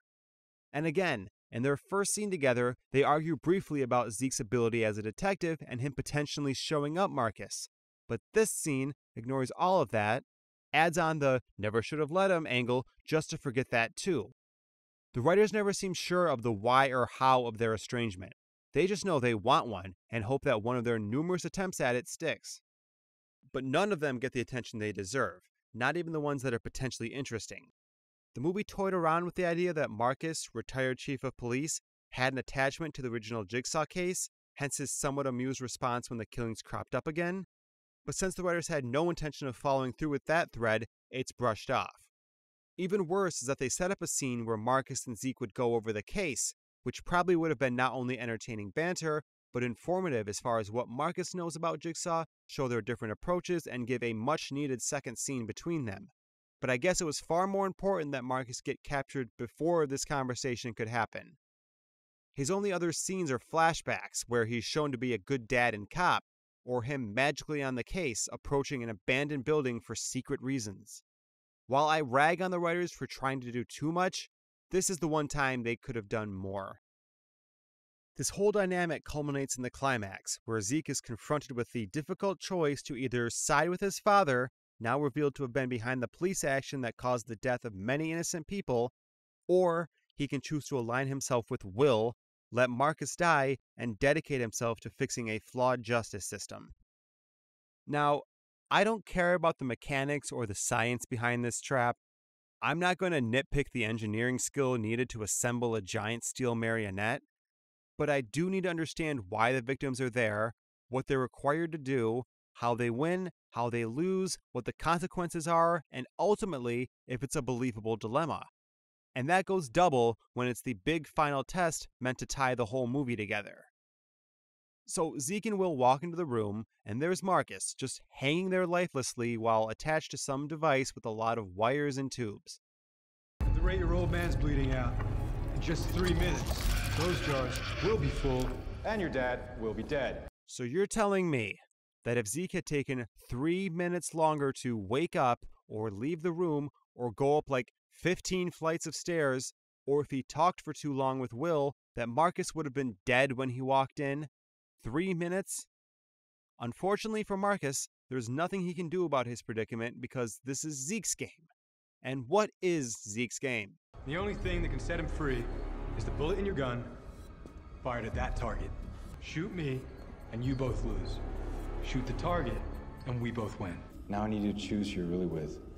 The man who corrupted the Force, or the one who's trying to save it. Still need to decide.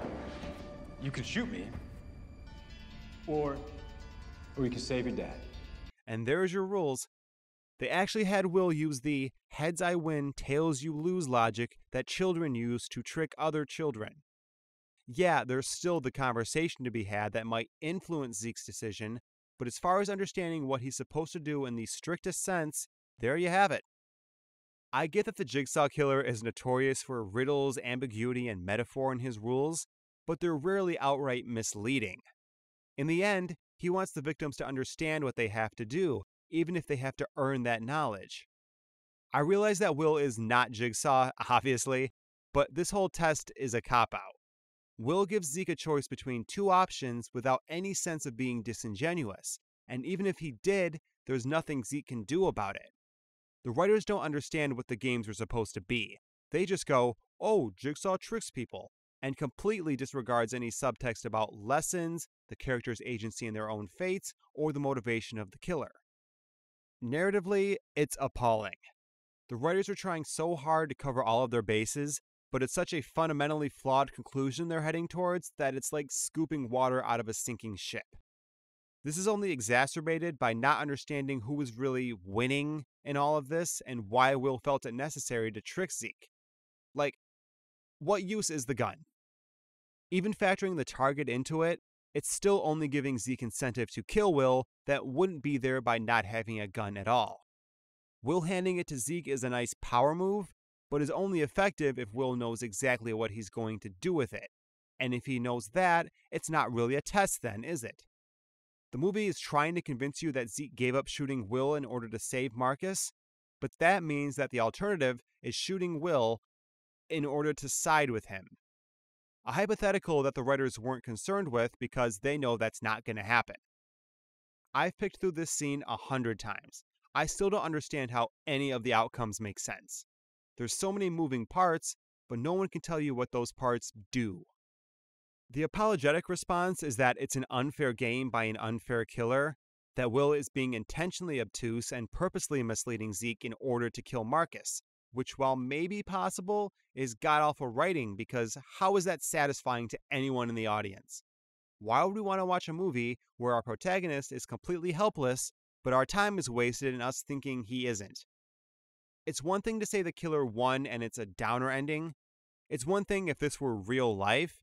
It's another to sacrifice the integrity of just basic movie conflict and our understanding of what the stakes are just to have a resolution that technically works. This is the same slippery slope I've mentioned before. If Will is just habitually insincere, then what can we definitively know about him? When are we allowed to actually trust what he's saying? Or is it just a crapshoot until the movie decides to confirm either way?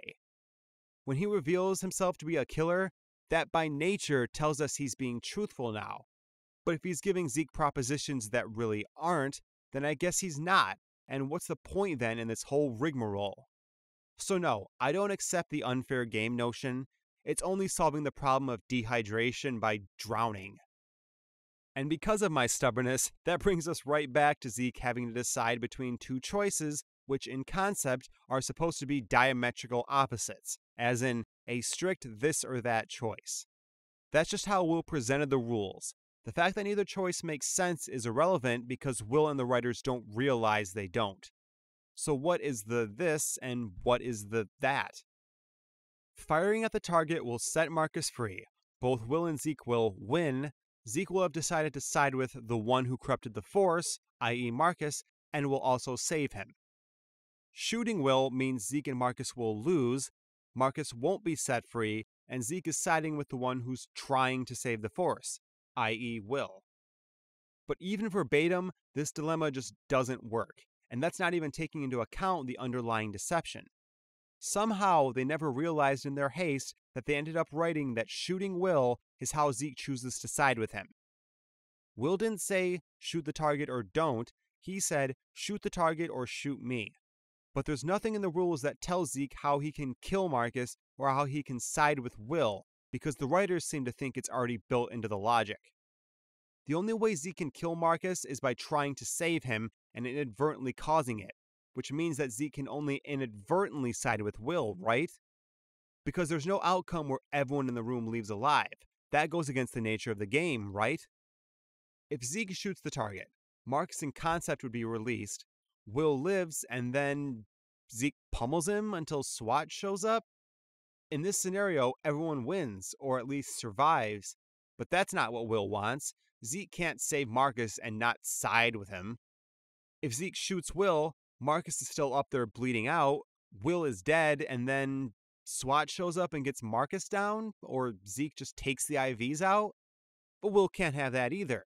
Zeke can't side with Will yet kill him and give Marcus a chance to survive. So the writers try to salvage this and get their twist in by having Will lie. You see, shooting the target will cause a chain reaction that kills Marcus. We were tricked.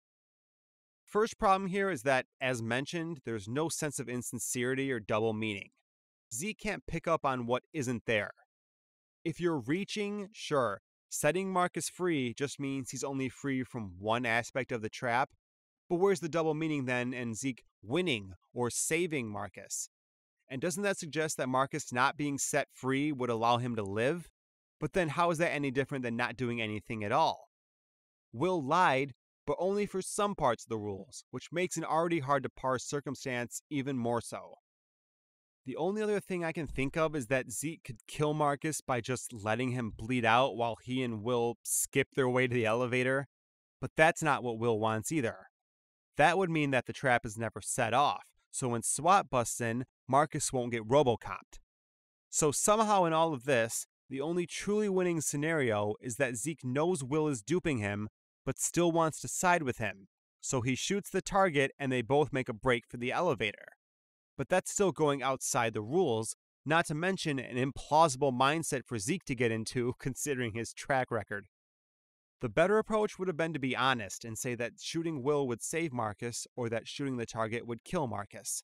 then Zeke's choice would depend on the arguments Will made and not sheer manipulation. Oh, but then you can't have the all important twist, can you?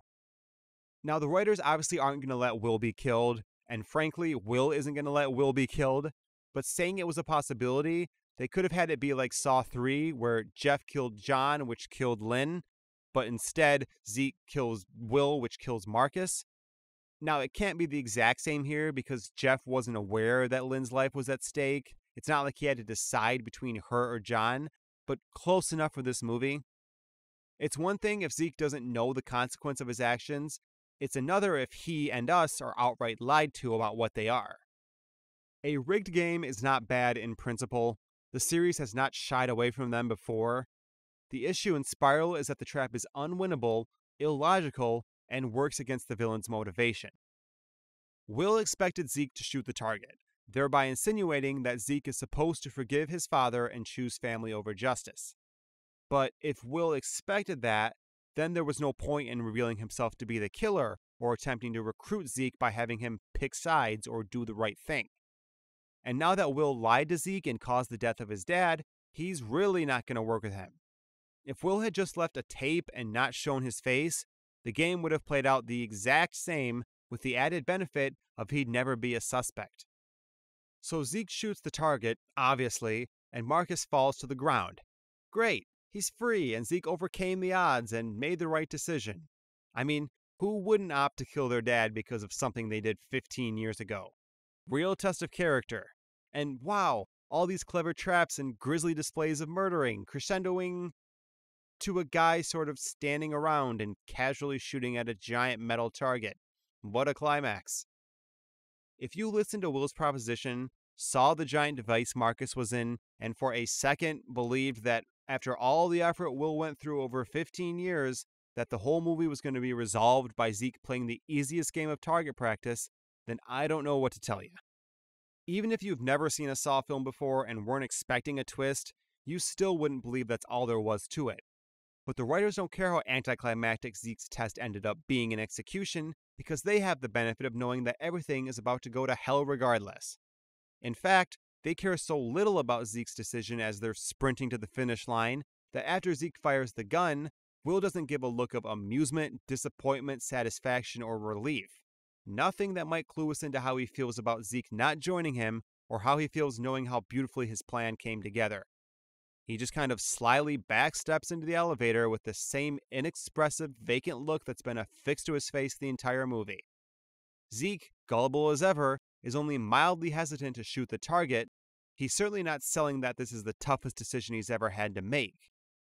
Since we're never in his head, we can't be sure if it ever crossed his mind that just maybe the guy who's done nothing but lie and kill everyone he knows might be deceiving him again. That at least should have been the real dilemma how Zeke can avoid getting outsmarted and duped, but all we can assume is that Zeke genuinely believes Will's proposition is sincere. Ultimately, Will's plan is just to kill Marcus in front of Zeke. It's not to get away since Will was being pummeled most of the time, risked being shot, and only managed to just slip out. It's not to frame Zeke since it would take all of five seconds to convince someone otherwise. It's not really even to test Zeke since Marcus was dying no matter what. It's just poetic justice. Zeke's not going to feel guilty for choosing wrong since he was deceived, nor would he feel guilty for Will being right under his nose, because besides some lazy foreshadowing, there was no reason for Zeke to suspect Will. The reason Will wants Zeke to be there is to parallel Charlie's death, which I get, but it's also a bit too predestined. Like, the only other cop on the scene of Charlie's killing just happened to be the son of the police chief who enacted the plan. Would Will have bothered then if Pete was the only one there? What if Marcus had no relation to Zeke? Unfortunately, Will's priorities are perpetually flip flopping, and it's hard to keep them straight. You have to wonder just what Will wanted, because what he asked for, how he went about getting it, what he ended up with, and where he seems to be going at the film's end don't align. But the movie ends, and Will is completely content with everything that happened. All those smatterings of conflict they sort of set up between Marcus and Zeke, like Zeke living in Marcus's shadow, Marcus not believing in Zeke as a cop, them not spending enough time together. Well, never mind that garbage because it's all been reduced to save your dad or don't, but even that's misleading. If we pretend that there was some sort of arc to follow with them, then what is the movie implying at the end? That Zeke discovered family is more important than his job? Which is touching, but the movie also spent literally two sentences on that trait. Or maybe Zeke was finally able to overcome his selfishness and recklessness that he'd been chastised for by Angie Marcus and his wife. But choosing not to let your dad die isn't really a selfless choice, especially since he didn't have to sacrifice anything to do it besides a bullet and possibly letting the killer get away. But he already knows who he is, so it's not a complete loss. The final decision hinges on Zeke discovering that his dad was a crooked cop, but then why did they waste time severing their relationship? The movie teeters with distant enough to make for good banter, yet close enough to have that banter in the first place. There's no intrigue. The movie just materialized a relationship solely to lead to the payoff of Zeke being fatherless and coasted until then. Marcus and Zeke's tumultuous relationship isn't a clear motivator or character defining trait. If Marcus had taken up interest in the case because he wants to right his wrongs to Zeke, that would be one way. Or if Marcus were explicitly called out and Zeke needed information about Jigsaw from him but struggled with trusting his father, that would be another. But as it stands, their relationship strengths aren't relevant, the weaknesses aren't established, and neither play any part in Zeke's decision because it's low stakes, at least as far as we were led to believe. They're clearly on good enough terms that Zeke isn't actually going to be tempted to let him die, and there isn't a crime they could logically pin on Marcus that could tempt him. As SWAT is opening fire on Marcus, the movie is hitting you upside the head with puppet imagery because, get it? The killer alluded to what was going to happen in that one video, and Marcus got killed by the police, and the puppet master has become the puppet, do you get it? It's a metaphor, and more importantly, foreshadowing. Yay! But it's not very good foreshadowing. It's not rewarding or eye opening, it's just there. Yes, you had the puppet pig do the gun thing just like Marcus would eventually do, but that's it. There was no connection to Marcus in the video. It didn't allude to him or look like him. It's not like Zeke remembering it would help him see the impending doom of the final trap. It's not even foreshadowing in a metaphorical sense because it's so damn literal to what happens to Marcus. There's not a deeper meaning, it doesn't speak to the mindsets of any characters. Again, it's just what happens. If this was a novel and the foreshadowing was some scene setting by the writer, that would be one thing, but this is foreshadowing explicitly made by a character in the movie to foreshadow. So we have to understand why Will is telling anyone this in the first place. Zeke sure as hell isn't going to remember it, and it wouldn't matter if he did, so I guess Will is just playing to the audience. Which wouldn't be surprising because this whole movie is dependent on winks and nods and twists and turns that only exist for us. Like everyone is aware they're in a Saw movie. It's the same with Will's line earlier about somebody's out there pulling all the strings, which would be a lazy metaphor on its own, but made even worse by the fact that there is someone literally out there pulling the strings because we saw the puppet. And it doesn't tell us why Will is so desperate to show his hand, to prove that Zeke is too stupid to pick up on it. It's cheap foreshadowing that has no narrative consequence. Contrast that with possibly the only good example in the movie when Pete says, the glass and bottle can kill, because it's coming from Pete, who isn't aware of the irony of his words.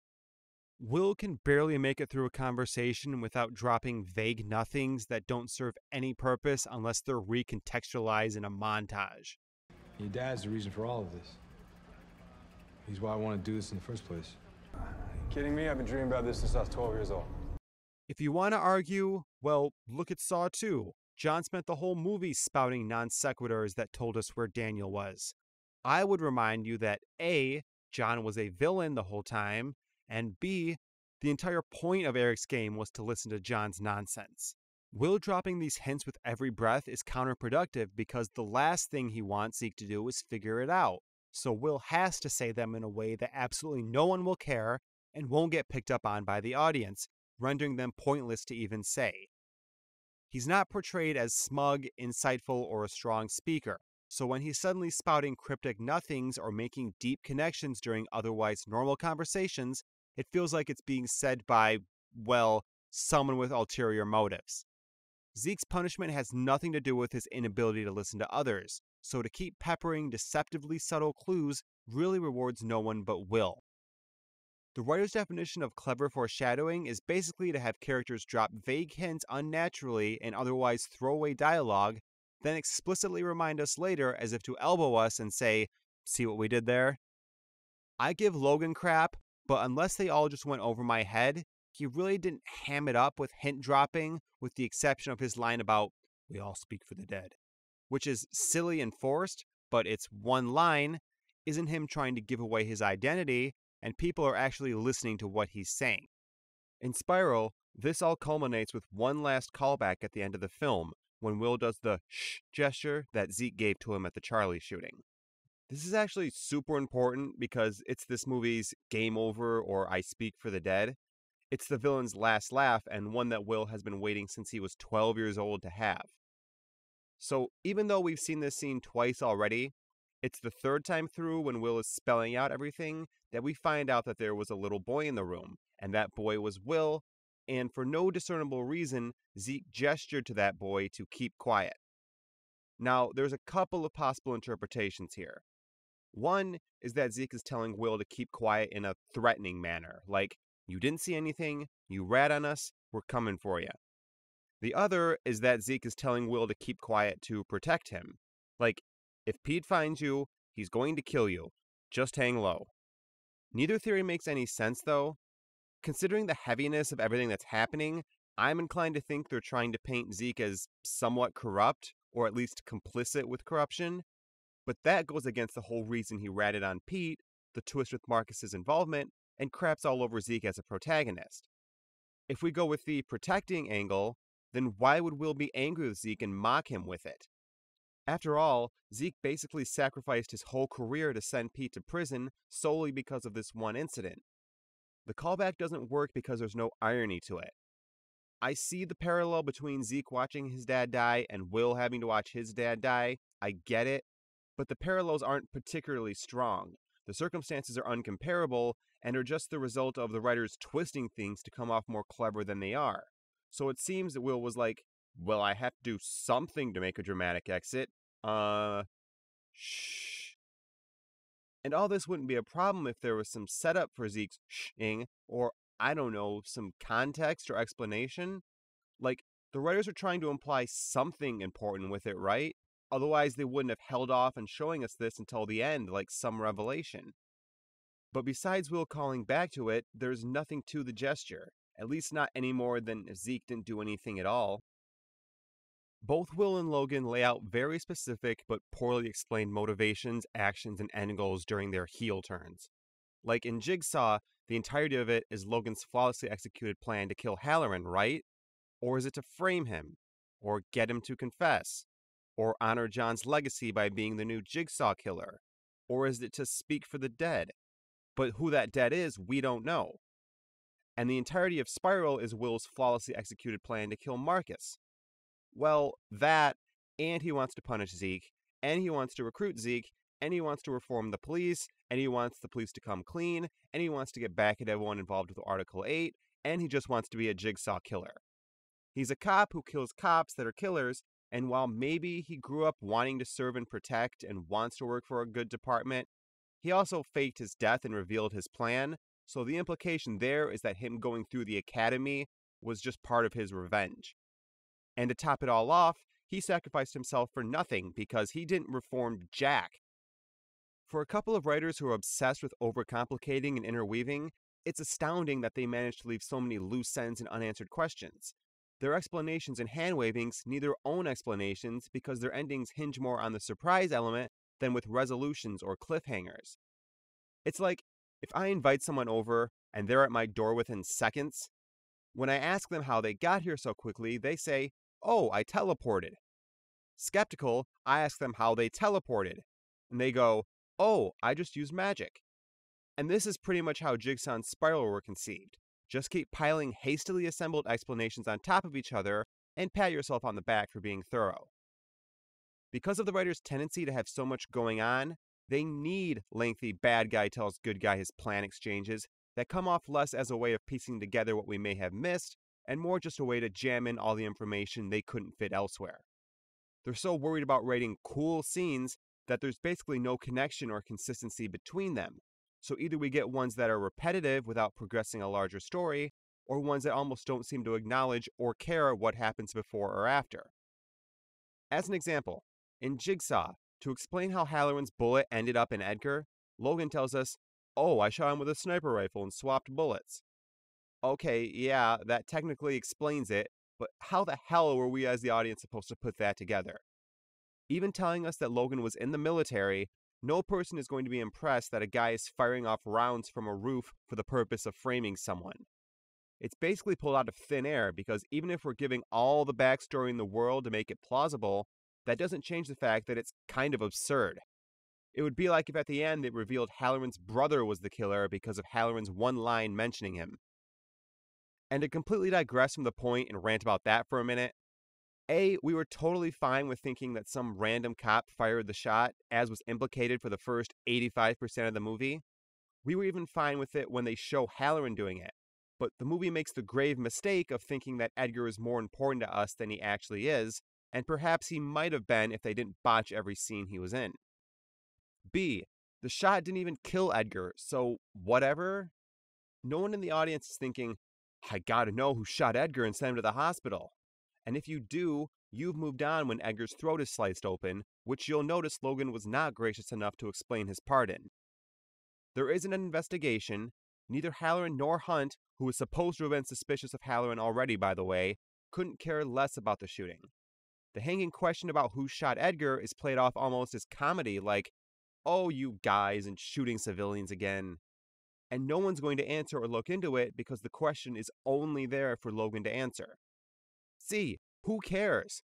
Obviously me, but even if Halloran had intentionally just fired one into Edgar's chest, Edgar was holding a potential bomb trigger, threatening people's lives and growing increasingly erratic. Killing him might be appropriate given the circumstances. How about you explain to us how Halloran allegedly managed to take Edgar's comatose body, slit his neck, and dig up and rebury a coffin? Or how Logan actually did? I realize Logan is playing the long game by framing Halloran bit by bit, but if Logan had just shot Edgar in the head, he could still pull the bullet switch. He just needs to know that the medical staff won't remove the bullet themselves, that nobody will do ballistics, and that Edgar won't wake up from his coma. Logan's whole plan depends on Edgar being killed so that he'll be transferred to the morgue so he can pull the bullet swap so he can frame Halloran.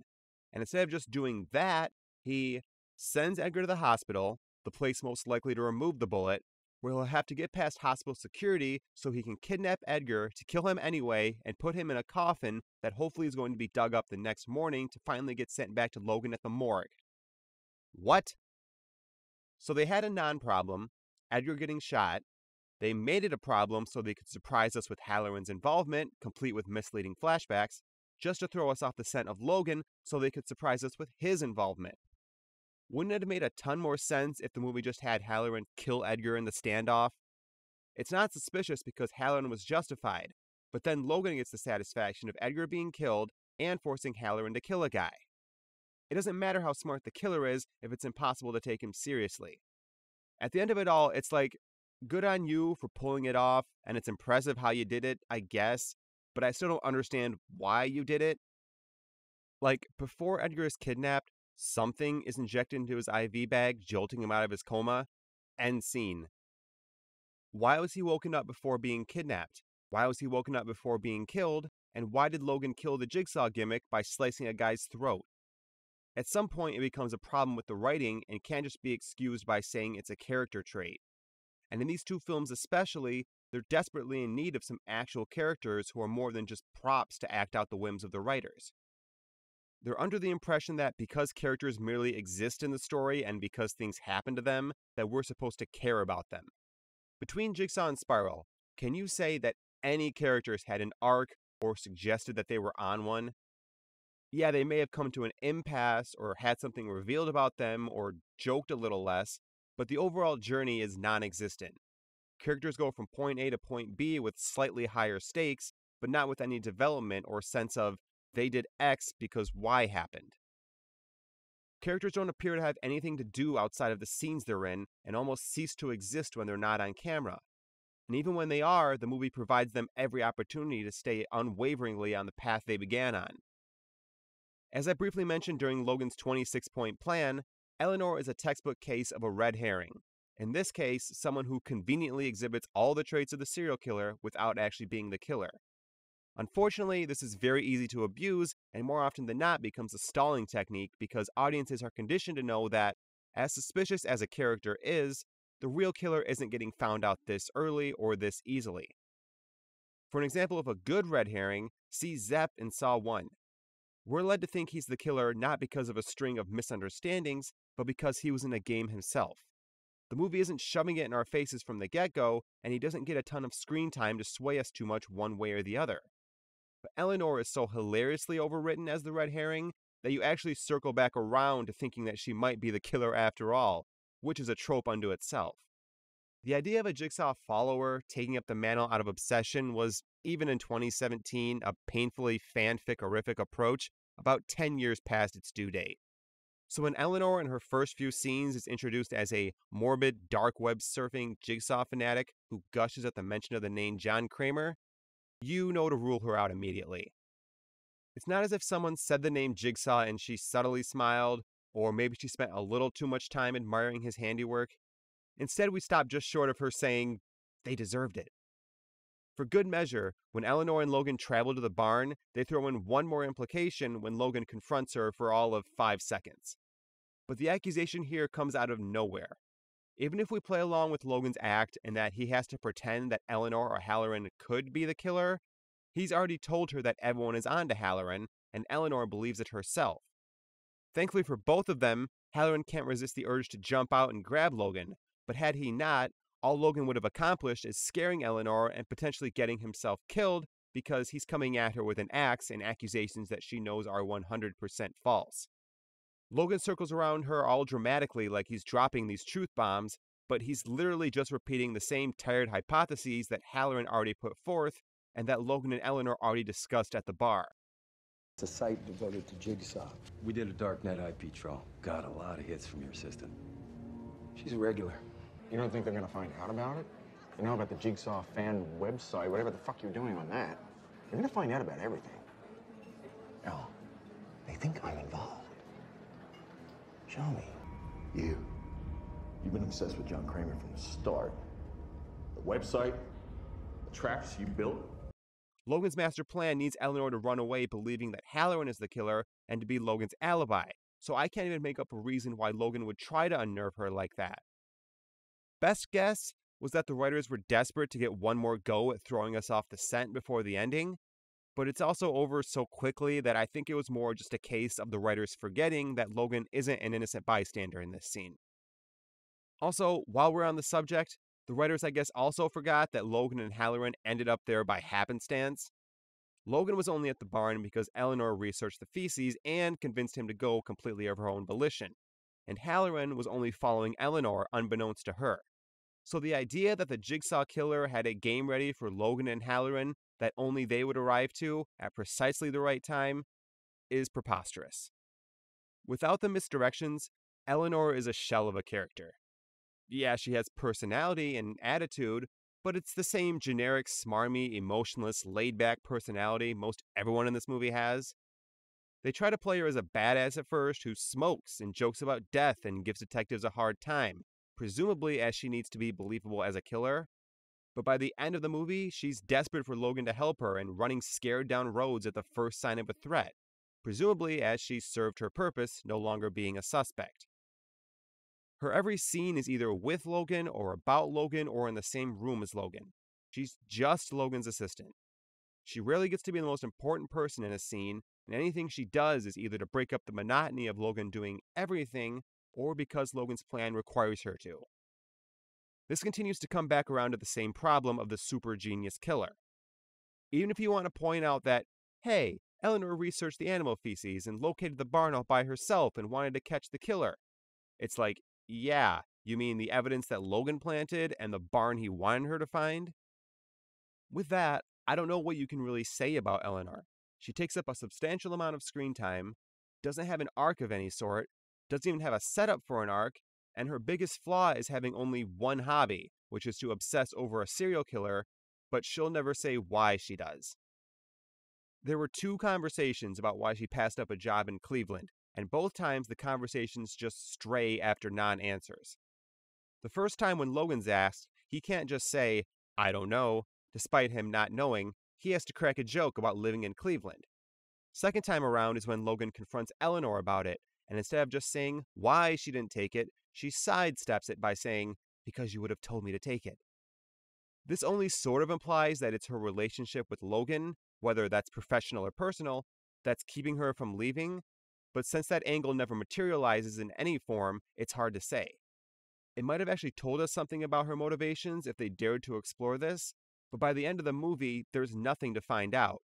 It was just something the writers dangled out there hoping we'd find suspicious enough to think Eleanor is the killer. Now, I don't think Eleanor is entirely useless or even uninteresting. It's just that the movie gave her nothing to show for it other than being a red herring. Logan is atrocious as a character, but I at least understand his importance and function to the story. Halloran is better, but that's not saying much. He's a douche and one note in that regard, but he was also the voice of reason and the only one trying to get something done. But Hunt is probably worse than Eleanor. Like, he's supposed to be the good cop to Halloran's bad cop, but they're joined at the hip and never seem to disagree or play off each other. Like Eleanor to Logan, Hunt seems to exist just to keep Halloran from being the only detective in the movie, so most of his contributions boil down to things like finishing Halloran's sentences. He's also the guy who needs to believe Logan, but he could have been literally anyone else because Logan is doing the hard work for them and can convince anyone of anything. It doesn't matter if Hunt is the good cop or the bad cop, he's just Halloran's partner, whose big motivation is to do his job and solve a case, just like everyone else. But unlike them, he doesn't bring anything to it. Halloran is already interrogating, giving out orders, and aggressively pursuing the case. Logan and Eleanor already have Hunt's good guy, take no crap, chill demeanor, but they also offer forensic and medical expertise that's invaluable. Much like the Zeke conundrum, for all the detective work that is done, none of it is at the expense of the killer's plan, so we can't even say that Hunt is a good detective who just happens to be on the sidelines because no one is a demonstrably good detective in these movies. What I will say about him is that while he has 10% of the screen presence of already badly written characters like Eleanor, he's also not meant to have much presence as far as I can tell, and at least he is what he is, even if that's not much. He doesn't have skeletons in his closet, he doesn't pull a heel turn three quarters of the way through the movie, his character isn't wildly different scene to scene. He's underwhelming, but he's consistently underwhelming. And honorable mention here to Edgar, who I refuse to even call a character beyond him having a name and a few lines of dialogue. So when Spiral comes along and tries to be this brooding, character driven, dramatic thriller, you'd think it would right the wrongs and consider arcs and obstacles and purpose. But being character driven here only serves to amplify just how underwritten the characters are, gives them more time to contradict themselves, and relies on the effectiveness of Zeke as he's the character doing the driving. If Spiral improved the writing here, it's only marginally so, as ultimately the same problems exist, they're just masked by the natural charisma that you're going to get anytime you have Chris Rock or Samuel L. Jackson involved. Zeke begins the movie as a wisecracking, unconventional detective who isn't afraid to cross a line in order to get results. He's frequently berated by his superior for his recklessness, doesn't see eye to eye with his fellow detectives, has an increasingly distant relationship with his father, and struggles with the breaking up of his family as he copes with his divorce. But over the course of a couple of days, after being called out by a sadistic serial killer, Zeke is forced to confront these obstacles, make amends, learn to trust others, and see the ways in which his selfishness has trickled down to his friends, coworkers, and loved ones in order to bring the killer to justice. I'm just kidding. His superior, coworkers, and dad are all killed for reasons beyond his control. There's half a scene with his wife after which he stops mentioning his family. The killer gets away after gloating for 15 minutes, and Zeke is coerced into inadvertently killing his dad in spectacular fashion. Oh, but he does dial back on the wisecracking, so I guess that's progress. Zeke is constantly reminding us that the whole department can't be trusted and that he's watching his back and that's why he has to work alone.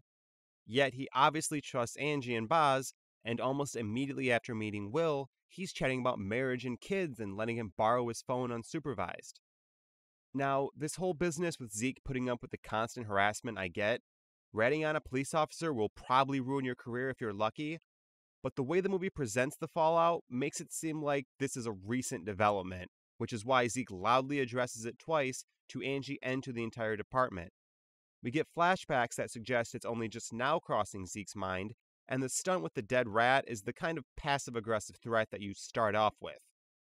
The reality is that this has been going on for 12 years. Are we really to believe that Fitch has been leaving dead rats on Zeke's desk for over a decade? Or that it just now hit him to leave one?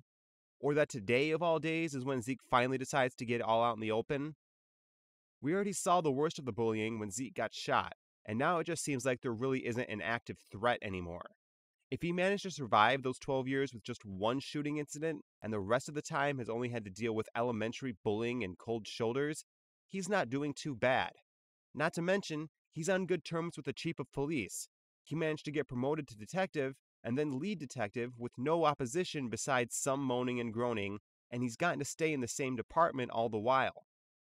The whole my career got ruined angle is good on paper, but the movie wouldn't work at all if Zeke's career was actually ruined, so they just dipped their toes in it for quick and easy conflict. If his career was actually ruined, he wouldn't be in law enforcement, or he'd be transferred, or his life would be constantly in danger. But the movie obviously can't tackle those, so it's a watered down career ruining, more like any regular job where you don't get on with your coworkers. They could have had all this be a recent development but the Pete incident needed to happen when Will was an unrecognizable boy for the twist, which means that it had to occur well over a decade prior. But they also needed to pretend like it's fresh enough that it's still a problem for everyone and can be explained at us. Despite spelling out all this corruption and animosity, Zeke doesn't struggle with or acknowledge that the guys he's wanted to see punished are being killed off for the exact reasons he despises them for. Now, this isn't just a fan theory or an attempt at digging too deep into psyche. This seems to be where the movie wants Zeke heading towards, as it gives the whole join me proposition by Will some substance. Or at least it tries, because despite the save your dad or save the system predicament, up to that point, Zeke hadn't shown much interest in his dad or the system, he's just trying to solve a case. There are five traps in Spiral Boz, Fitch, Angie, Pete, and Marcus. I'm not counting Will's for obvious reasons. Only one of those people, Fitch, is complicit in the day to day harassment of Zeke. The rest are only linked by Article 8. But again, that's not even an issue to Zeke until the final scene of the film, and by which point he's got more important things to worry about. Even if the movie wants us to take it for granted that Zeke has been conflicted about the killer's sense of justice, it doesn't pay off the abuse that he's been putting up with, it just runs parallel to it. There's no observable result for all these cops being killed that would make Zeke question what is or isn't working about the killer's methods. Part of this is because no one survives their games, so there's no method to observe, just murder. Another is that nothing happens after someone is killed. Sure, the remaining detectives are concerned and frustrated, but there's no insinuation that Fitch, Boz, or Angie's deaths have made the department better. Like, if Fitch was a dick to Zeke, then is scared straight after Boz is killed, that's something we can observe. But three out of the five deaths are of people that Zeke was already friends with or close to. One was Pete, who never actually wronged him. Like, he didn't shoot Charlie knowing it would ruin Zeke's career. So that leaves Fitch as the one who has to sell Zeke on this, as he's the only one of the five that Zeke has a problem with. Not to mention, Pete and Marcus aren't cops anymore, so how are their deaths going to fix the department? The conflict is supposed to be centered around Zeke's willingness to help hunt down the dirty cops, but his main problem during the movie wasn't with rampant corruption and being unable to stop it, it was with the people who had been harassing him all these years. He doesn't distrust all cops, he distrusts a handful of cops in his department that have specifically wronged him, and we don't know if Zeke knew or cared about the crimes they were ultimately tested for. It comes across like the people that Zeke despises just happen to be part of the same pool that Will was pulling his victims from, so the movie doesn't recognize the distinction when it comes time to resolve them. Zeke's first scene is all about establishing him as the impulsive, high risk type of cop who can and will talk his way into and out of any dangerous situation to get his guy. This transitions directly into him and Angie arguing about his trust issues and her straight up telling him, You're going to learn to be a team player. This is a textbook setup for a character arc, Either Zeke is going to prove that his way is the only way to get things done, or his refusal to heed Angie's warning will prove to be his fatal flaw. The movie then proceeds to reveal that everyone that Zeke did trust, Boz, Angie, and Marcus, were all corrupt. The guy that Zeke learns to trust is a serial killer who has lied to him about damn near everything, and nothing changes with the people he didn't trust, with the exception of Fitch. But nothing changed, Fitch was just killed. In the end, Zeke set up a transformation, he starts to undergo one, is promptly screwed over for it, and ends up objectively worse off. But there isn't a sense that Zeke was right in not trusting anyone at the onset of the movie, or that he failed to do something that could have changed the outcome of events. Rather, it just seems like he can't catch a break and is just wrong about everything. We get the interrogation scene where, much like the opening, Zeke risks his life by going undercover to gain access to a bunch of dangerous gun toting criminals. All the setup in that first scene in regards to his selfishness and recklessness is completely disregarded when he pulls the same stunt again. Angie doesn't chastise him again, nothing bad comes from it, nothing good comes from it. Despite Zeke being even more reckless now that he's risking the lives of others, all anyone has to say about it is, well, that was a waste of time. The writers should have had Will disappear during this scene because then there would be a direct consequence to Zeke's continued behavior. He got lucky the first time, was warned, and then when he tried it again, he got someone killed. Will doesn't bring this incident up during his villain speech either. He's not mad at Zeke for nearly getting him killed in a drug house shootout, probably because he technically orchestrated it. In the end, we don't know if Zeke's selfishness and impulsivity was supposed to be a trait or a flaw, or if a lesson was supposed to be learned from it, or if it even mattered to bring up in the first place. I'm inclined to think it didn't, I think that the writers really didn't have much of a character for Zeke and then tried to punch it up by turning him into Axel Foley because, hey, a comedian playing a detective. So we get hilarious hijinks and loudmouth rants and a chief of police who's not putting up with it anymore. But at least the police chiefs in those movies are meant to act as a foil to the hero. But in Spiral, Angie makes a case for not only being underdeveloped, but utterly unnecessary. And considering she's probably the third or fourth most important character in the movie, is pretty telling about how good the characters are. On the surface, she's a no nonsense, reliable, experienced authority figure to play off the short tempered, joke telling, loose cannon Zeke. But that yin and yang approach never plays out to provide either tension or funny banter, nor do they overcome their differences to work together. It just stops becoming an issue as the movie prefers them to be friends at some arbitrary point. They only have one conflict the team player argument, which crops up again later when she doesn't want Zeke leading the case. Besides his little undercover sting, there's not much evidence that Zeke's lone wolf mentality is a problem that needs addressing, certainly not at this stage of his career. If the movie has made anything clear, it's that Zeke's been forced into this way of thinking because of a decade of abuse, not because he enjoys it or is just selfish. This comes back around to the problem where the movie needs a long time problem to suddenly have a sense of urgency, and so it has to act like the bullying is new, that this is the first time Zeke has pulled a stunt like this, that the idea of him getting a partner who doesn't already hate him hadn't occurred until now, and that this is the first time Zeke has wanted to take lead on a case. It also makes Angie's role in all of this confusing. On one hand, she's not putting up with Zeke's crap and understands her position of power. But on the other hand, she seems to have a closer relationship to Zeke than with anyone and is easily convinced to give him the lead detective role. Underlying all of this, though, is her knowledge of what Zeke did and why everyone on the force hates him. But she herself seems to be powerless to do anything, or is at least indifferent. If she's on Zeke's side, it's not clear why she's treating him as if he's in the wrong and pretending that giving him a partner somehow fixes the bigger harassment problem. If she's not on his side, it's not clear why she bothers with him at all and doesn't just do everyone a favor by firing him or transferring him. All we appear to learn from their two conversations is that Angie is stern but reasonable, and that Zeke is determined but stubborn. But those are traits that are almost exclusive to those scenes, existing only to be resolved then and there.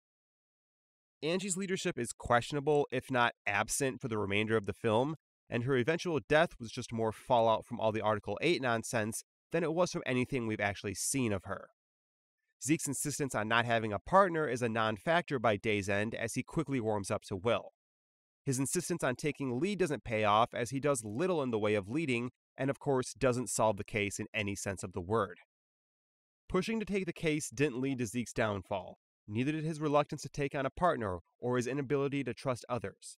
His too cool for the rules shtick petered out after like a scene because Angie is the only person for him to rebel against, but she spends the movie basically following his lead, making her role redundant. Likewise, Angie's peacekeeping and insistence that everyone be on the same page is irrelevant because only a few people seem to be working on the case, and they're either killed or don't have much more input than, I recognize that place. And that's all Angie does. She gets on Zeke's case about things that don't matter, agrees to do things that are already going to happen, and demands things like hard evidence for which no one gives any evidence and mostly just goes off of hunches. Like Eleanor, Angie rarely gets to be the focus of a scene. Rather, she's just there because you gotta have a chief of police. The idea that she's the head of a mostly corrupt department who is losing men daily might have made for some interesting discussions on her leadership ability or personal struggles, but that's wasted when the movie shamefully casts her aside as just another cog in the Article 8 wheel. All this to build up to her big, emotional, raise the stakes death, which is so little about Angie that it's actually kind of heartbreaking. Her entire trap happens at such, forgive the pun, breakneck speed and is so focused on whether Zeke is going to save her or not that the movie makes zero effort to empower her and give the appearance that she might be able to save herself. Because of that, Angie's trap ends up being quite possibly the lamest trap in the entire movie. It feels forced at best and a half assed afterthought at worst. You can almost hear the writers cheering about how they managed to work a neck pun into this as some sort of metaphorical triumph. You have covered up corruption in your department, never sticking your neck out for the innocent. So the writers had an idea. We want Angie to be in a trap where she has to sever her spine, which is fine. But then they also wanted it to be in the police station so it's relevant to her crime, which is already kind of muddled because the killer was only leaving badges before, like at the courthouse and bridge, but this time it's the trap itself at the location. And the clue about take your head led to Will and a location with no relevance to him and where no crime was committed. All that is to say that everything's already inconsistent, so there's no point in hurting yourself trying to make this police station thing happen. So the logic ends up being that Will, the day after he faked his death, walks into work, sets up a trap in the basement, sends Angie a text from Marcus telling her to go to the evidence room, puts her in a trap, and uses the login of a cop who hasn't worked there in 12 years to access the security footage. Thankfully for us, the writers have such an attention to detail that this evidence room is unmanned except for a desk a couple of flights of stairs away, has only one camera down the hall watching it, locks from the outside with a large tumble dial, yet not so locked down that a resourceful killer can't escape from, is soundproof to the point you can't hear screaming or gunshots, can be rigged to close behind someone, for which smoke canisters won't set off a sprinkler or alarm system, and uses a single corded landline telephone as the only form of communication to the outside. If you're writing your character to be such a mastermind that for the scene to work, he has to slip past an entire police station, all of its cameras, and still has to cover their tracks, maybe just find somewhere else to have this thing. Then you wouldn't have to ask such nitpicky, deep probing questions such as how the killer got in and how the killer got out. Oh, and there's still the needing to clear out the whole police station. A plan that can be summed up by send someone in with a slightly larger gift box than before. Hope everyone thinks it's a bomb and just mass evacuates the building. But I'm really hesitant to even mention it because the whole clearing out of the station, officer getting cut, Angie's trap is such an astonishingly incomprehensible sequence of events held together by the convenience of nobody answering their phone that I still don't understand what exactly is happening or why. This to me is the equivalent of the Logan Hunt Let's Get Him scene from Jigsaw. The writers are approaching the climax that they've already committed to, and they're so desperate to finish this movie that they've completely given up on any semblance of nuance. So we get assaulted with oceanic leaps of logic, gullible characters, and no time to take in what's happening. The best reason they can come up with to explain why no one is answering their phone is that a cop got his arm cut up across town by someone in a pig mask. And that's it. This meticulous killer, who can capture police, kill them in elaborate death traps, stage clues and videos completely undetected and without leaving any evidence, is now running around in broad daylight on a public street and non lethally slicing up a random cop just to run distraction. Let this sink in. The entire goddamn police station is tied up because one officer got cut up. An officer who, by the way, is fine. He's upright and talking and alert. Half a dozen officers were already at the scene before Zeke had even arrived, to no one's surprise, and he had been there long enough to get a statement and question the victim before he tried to contact anyone back at the station. So, what are people still so overwhelmed with? Not one person there looked at their caller ID and thought, hey, the lead detective is calling. This might be important. When Zeke finally gets back to the station, O'Brien goes, The killer just attacked a cop. And then Zeke responds, That was all a diversion to get us out of the building. So, this diversion, I guarantee, will not make any sense to you, and that is not by design. I can barely manage to describe what's happening on a linear, factual level, never mind understand the logic underpinning the events. To back up, Zeke is looking for Angie because he knows, based on the clue, that she's the next target. O'Brien, unmoved by this threat and Zeke's panic, reasons that a cop was just attacked by the killer, therefore he can't be in two places at once, therefore Angie is fine. Zeke then snaps back that the cop attack was a diversion to clear the building. First things first, they are not going to explain how the killer was, in fact, in two places at once, nor will they explain why a single non life threatening stabbing requires the attention of literally everyone. To Zeke's point, the cop attack wasn't to clear the building, the bomb threat was. The building was already cleared and back to normal long before the attack. The attack only really served to stall Zeke for an extra few minutes and make everyone too busy with answering calls to notice Angie is missing.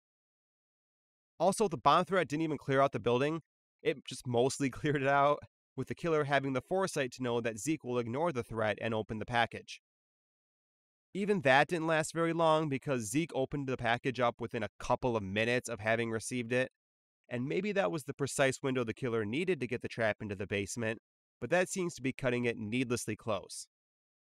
Now, maybe if everyone had gone outside and after some time Zeke said, screw it, I'm not waiting any longer, and then ran in to open the package, that would give Will plenty of time to set things up, and it would play into Zeke's reckless character. So, to summarize this part of Will's plan, Deliver a clue disguised as a potential bomb. When everyone clears out, set up the trap in the basement. Stab a cop so that Zeke will respond to it, preventing him from being at the station. Lure, trap, and kill Angie in the basement. But that's oversimplified to the point of being disingenuous. It doesn't begin to explain the wild rationales or arbitrary obstacles. It doesn't give you a sense of the implausible timing needed or the mind numbing redundancies and that's ignoring the things we've already talked about. It doesn't mention Will's trap, which sort of happens as part of the diversion, but only ends up indirectly diverting Zeke. That itself is confusing because you don't know where to place the stabbing then. It obviously didn't happen before Angie was captured, otherwise, she would have been preoccupied like everyone else. So it must have happened after she was already placed in the trap. But the trap isn't set it and forget it. Somebody or something triggered it to start. The obvious question then of how Will is getting across town so quickly is unfortunately overshadowed by the terrifying theory that he may have had someone helping him, in case the entourage of Benny and the two mail couriers wasn't enough. Which is honestly worse than just having a plot hole, so I'm reluctant to even mention it. It also means that no one thought it important to try and contact Angie about the cop stabbing, despite all the chaos it's causing. Will knowing that Angie and O'Brien would go back to the station while Zeke would go straight to telling Emma isn't a crazy stretch, but if Zeke was already going to be busy, as in not at the station, then that means the cop stabbing was a diversion within a diversion to keep him from realizing Emma doesn't really exist, which is a problem that Will brought on entirely himself. He also has no way of knowing when Zeke is going to have a sudden epiphany about the take your head off clue and gun it back to Angie. You want to think that Zeke didn't have to pick up on it at all, but he did get a clue, so that implies that Will intended for him to figure it out and or do something about it. Had he not, then Angie would have died all the same and been discovered probably not too long after Zeke arrived anyway. Also, let's not overlook that the killer was waiting for Zeke at the church, which I guess means he did know just how long it would take Zeke to go from the stabbed cop to Angie's game to getting Pete's name from the logs to the church. What Will's contingency was had Zeke not had his epiphany or didn't plan to talk to Emma is anyone's guess. I suppose just wait all day at the church? All because they had to kill Angie in the police station. Even more annoying is that Angie was not on her phone when Zeke called. She just straight up ignores him, completely killing the all the phones are tied up gimmick. In fact, she doesn't even check it and makes no attempt to use it in the basement. I don't know where the phone went or why she didn't try to use it or what Will had planned should she have had it on her. The writers went through all that trouble to explain why Zeke couldn't get a hold of anyone and yet couldn't explain why he couldn't get a hold of the first and most important person he tried. The biggest reason for this is obvious Angie needs to be killed. So, if common sense might save her, then just ignore common sense, I guess. But there's also a less obvious reason, and that's Marcus. To backtrack a little, when Angie receives the text from Marcus, we're like, yeah, sure, they're close, I guess. They had that one scene after all, and sure, police chiefs talk to each other. But all they literally had was the one scene in Marcus's apartment, and that was a flashback from 12 years ago. And maybe that's enough to establish the relationship there. It's not out of the realm of possibility that they would still be in close contact, but it's not a matter of plausibility, it's one of substance, because this is going to be the primary factor in leading Angie to her death. So maybe they could have had one scene in the present day. The relationship isn't exactly clear during the movie, it's written intentionally vague so the writers have some flashback ammunition for the bullet storm of twists later. They don't talk about each other at all, except when Angie berates Zeke for being the son of Chief fucking Marcus Banks, which doesn't sound like a very positive connotation, certainly not of someone she's supposed to still get on well with. So Marcus's text is basically like, hey, check out some evidence, might be useful.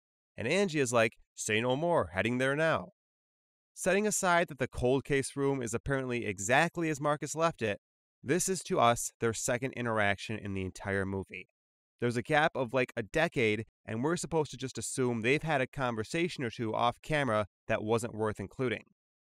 As far as we know, Zeke never told Angie about Marcus helping with the case, and there couldn't have been much time, if any, for Marcus to tell her. So it comes across like he's out of the blue texting her to go places and her being so trusting she blindly acts on it. Like, if they've been keeping in contact, then Angie would have noticed that he's been missing too, right? If Zeke and Angie had at any point discussed Marcus disappearing, then receiving a text from him would be very suspicious.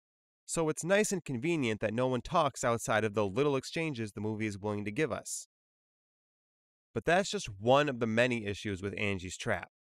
On just a fundamental level, you still have to understand how a wax dispensing unit was set up, what started it, and how realistically someone could efficiently sever their own spine without killing themselves. Like, that's the game right there, right? But no, everything must have a timer because that's the only way to make a game dramatic, right? So we're going to add boiling hot wax. Even if it was lukewarm water, she wouldn't have much time before suffocating. But this is boiling hot wax, which means she's also undergoing serious burn related shock, and that's not even considering the blade driving into her neck. It's a logical nightmare because there's just too much happening way too quickly for us to believe that Angie has a realistic chance at this. So you either accept the inevitable death and stop caring, or you just figure the writers will hack their way out of it and you prepare for disappointment. The trap goes on, and there's not much they can do with it to keep our interest. Without a concrete will she, won't she, there is mostly just flailing, a seemingly endless amount of wax, and Angie's neck rocking back and forth because that's all she physically can do. There's no sense she's making progress because the blade is at an indeterminate depth and the wax has been flowing full crank since the start, so every shot looks the same. All you can make out is an ugly, quickly cut mess of wax, steam, sheets, and blood. So the movie tries to break this up with Zeke's rescue, which only shifts the focus to him because you know he's Angie's only chance at living. You may as well foregone the whole net cutting part of the trap because it's not Angie's game. It's Zeke's at this point. But it can't actually be Zeke's game either because Will would have no way to coordinate the timing on that. If it was Angie's game, we'd understand how it's actually won because there's no way the trap knows to stop once she's accomplished her task, and the killer certainly isn't waiting around to double check if she did. So to get around this, they just kill her. She's not fighting for her life. She didn't succeed with the severing. She's just dead, which means we of course get gratuitous face pilling, as that's the only reason the writers added the wax in the first place, for a cheap gross out moment. If Angie had still been breathing when Zeke did that, it would have been brutal. It would have shown she had the survival instinct, done wonders for her character, and we'd be happy someone won or at least survived their game. And they can still write her out of the movie because she's obviously not going to be in any condition to help with anything, and you might be able to use her for a sequel. But hey, what's long term planning? This is only made all the more confounding when you learn of Angie's involvement in Article 8.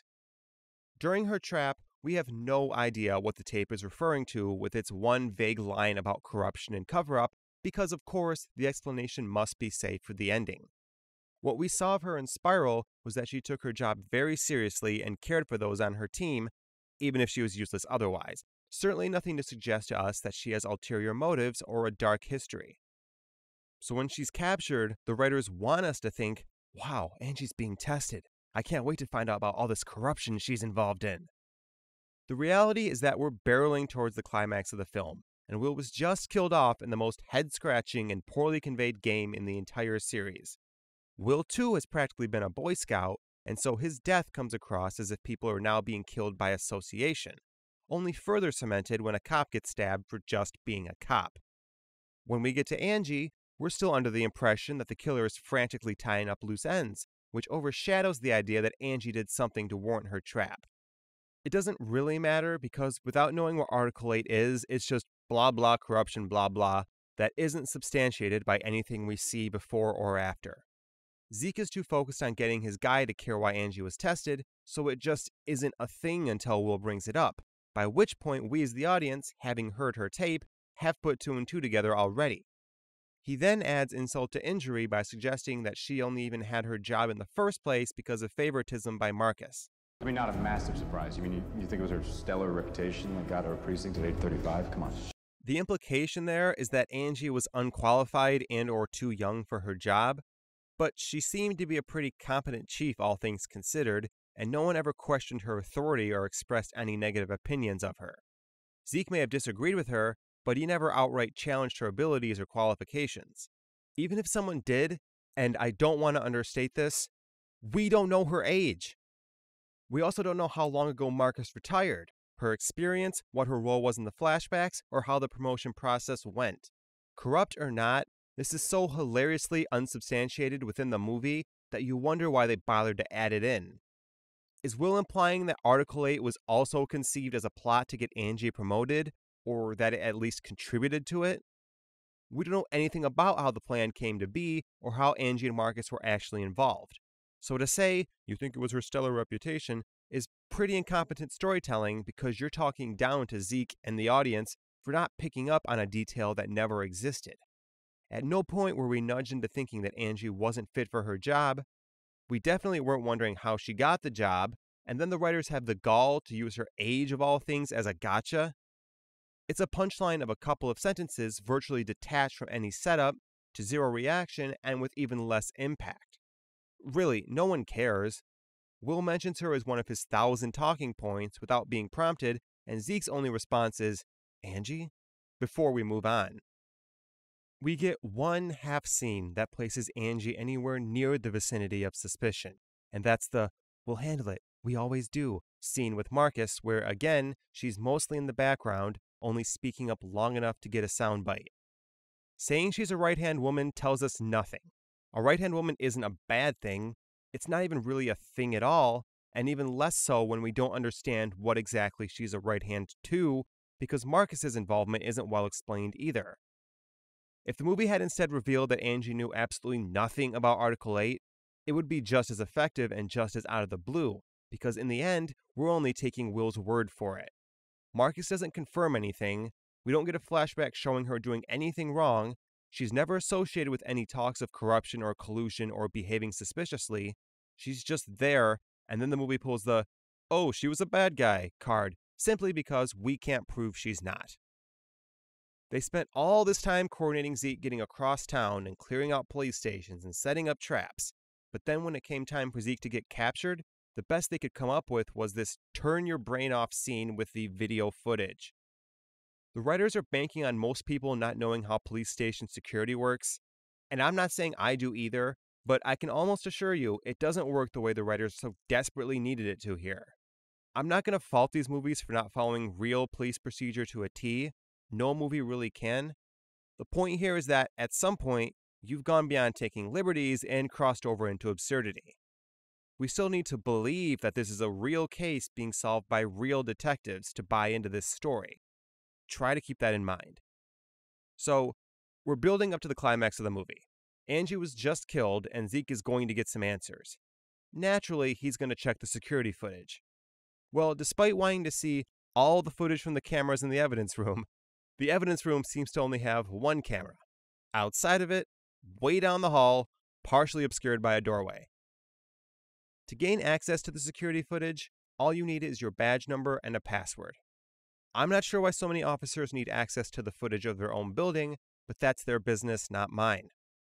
Now, even though the computer keeps logs of everyone who has accessed the footage, the system isn't advanced enough to be able to list names, just badge numbers. It doesn't say if any files were modified or even which ones were accessed. It really can't do much more than just show the time that someone logged in, but only if it's in the past 24 hours. Just need a badge number and password. I can't tell you who deleted the video, but I can access who logged into the server over the past day. What it can do, though, is allow users to effortlessly splice large chunks of footage out of a video and seamlessly save over the original file. Because of this, the system has only the best security measures in place, where retired personnel and officers who were fired over a decade ago still have valid login credentials, which can be used remotely and without raising any flags. For what it's worth, O'Brien tries to salvage this by logically pointing out that Pete shouldn't have access, and the writers, now mad at O'Brien for bringing attention to their oversight, just have everyone pretend like they didn't hear him and go about their business. Dunleavy.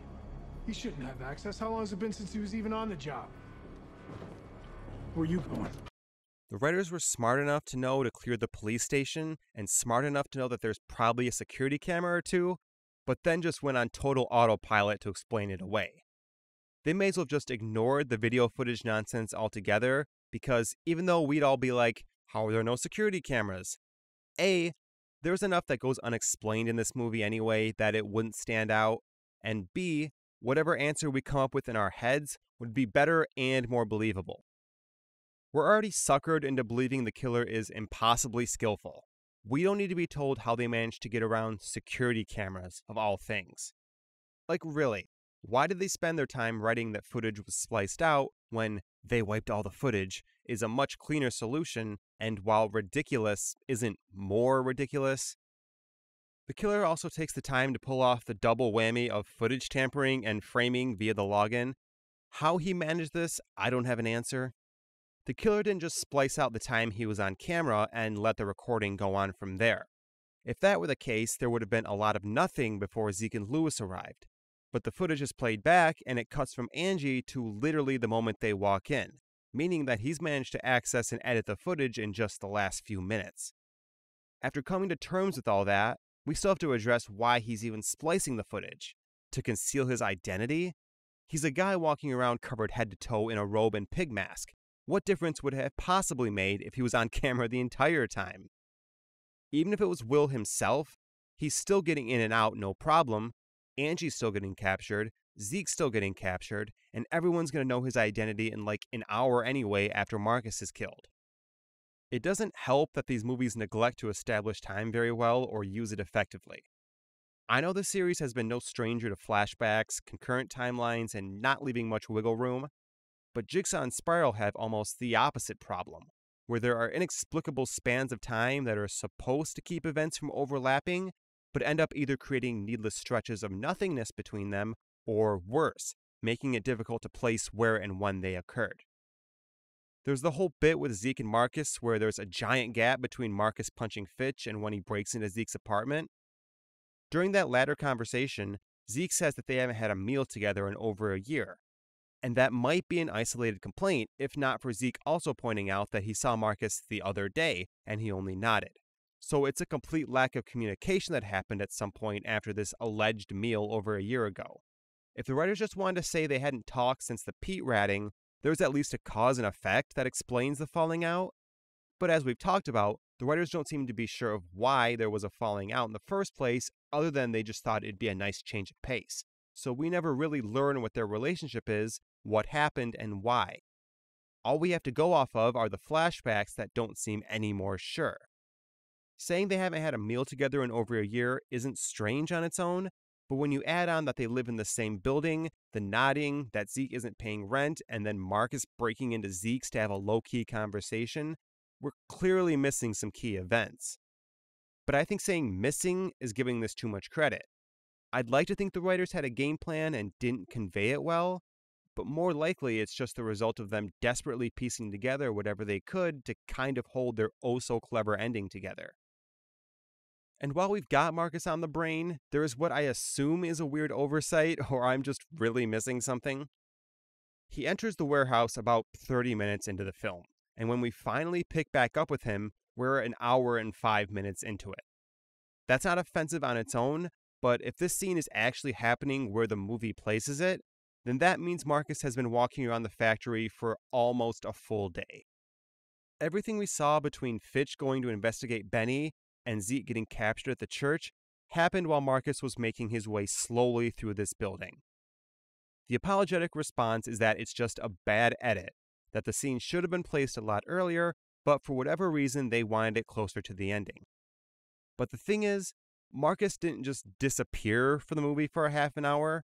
There was an entire plot point centered around the fact that he's been missing, and that results in the other sub subplot of him potentially being the killer. If Marcus is missing, that's fine. We saw him go into a warehouse. We don't quite know why, and then when we see him in his trap, we'll know he's been captured this whole time. But instead of that, we pick up as if he just entered the warehouse. So the other apologetic reaction is that this is a flashback. Marcus was captured a long time ago, and we're finally getting brought up to speed now that it's relevant. And I'm willing to buy that, but the only indication that this is a flashback is just the notion that it would be really dumb for it not to be. It cuts immediately from Zeke being captured to the scene where Marcus is captured in the exact same manner. It reads like the killer has gone from one victim to another, and there's no frame of reference to tell us this isn't happening right now. Yeah, saying it's a flashback might solve the potential plot hole, but you're still left with a very confusing, very poorly done flashback that seems to forget it is one. Will says his father was killed 15 years ago when he was 12. 15 years ago. The day your partner killed my father.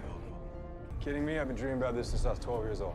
Which, sure, that makes sense that it's going to take time for a preteen to enact a revenge plan, but the writers again stumble over their own timeline. Even though Will explicitly says 15 years, Zeke mentions on multiple occasions that he got his medal for reporting Pete 12 years ago. 12 fucking years. 12 years ago, I turn in a dirty cop, I get a medal for it. A medal which is never clarified. I guess it's just something this city gives out for best snitch or something.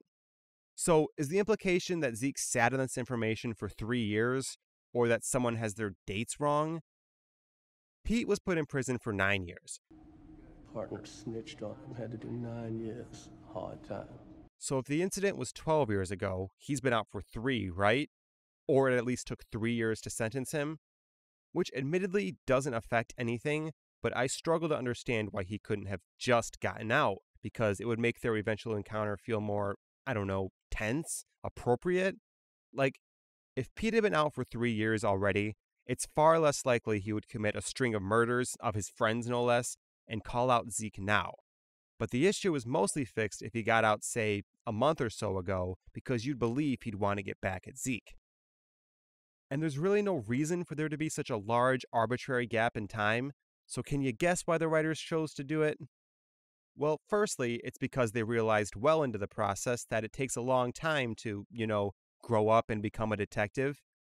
But more importantly, it's because they need to have a reason for Zeke to see and gesture to Will at the shooting but not have the audience question how he nor anyone else is unable to recognize him later. So I guess Will would have needed an entirely different plan if anyone had remembered his face, left the city, been transferred, or died in the meantime. And fair enough if the movie wants to say that Will has only been planning this for a brief time and finally enacted it when all the pieces came together. But we don't know what that final piece was, so it just comes off as if Will woke up one morning and said, It's time. The closest we get to an explanation is this passing line. Do you have any idea how hard it was to get placed in this department, to get assigned to be your partner? No, Zeke doesn't. And more importantly, we don't either, and Will isn't going to go into any more detail. Absolutely nothing about Will's plan seemed to be hard for him, and when we finally get something resembling a speed bump, it's glossed over. It would have been nice for Will to clue us in a little on the process, especially the part that was hard.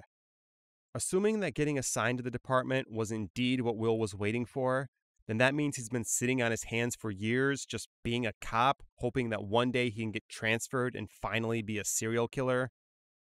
As a side, I think the writers are under the impression that the Academy is just a four year detective college that you go to right out of high school, and then afterwards you do an internship and hope you get hired.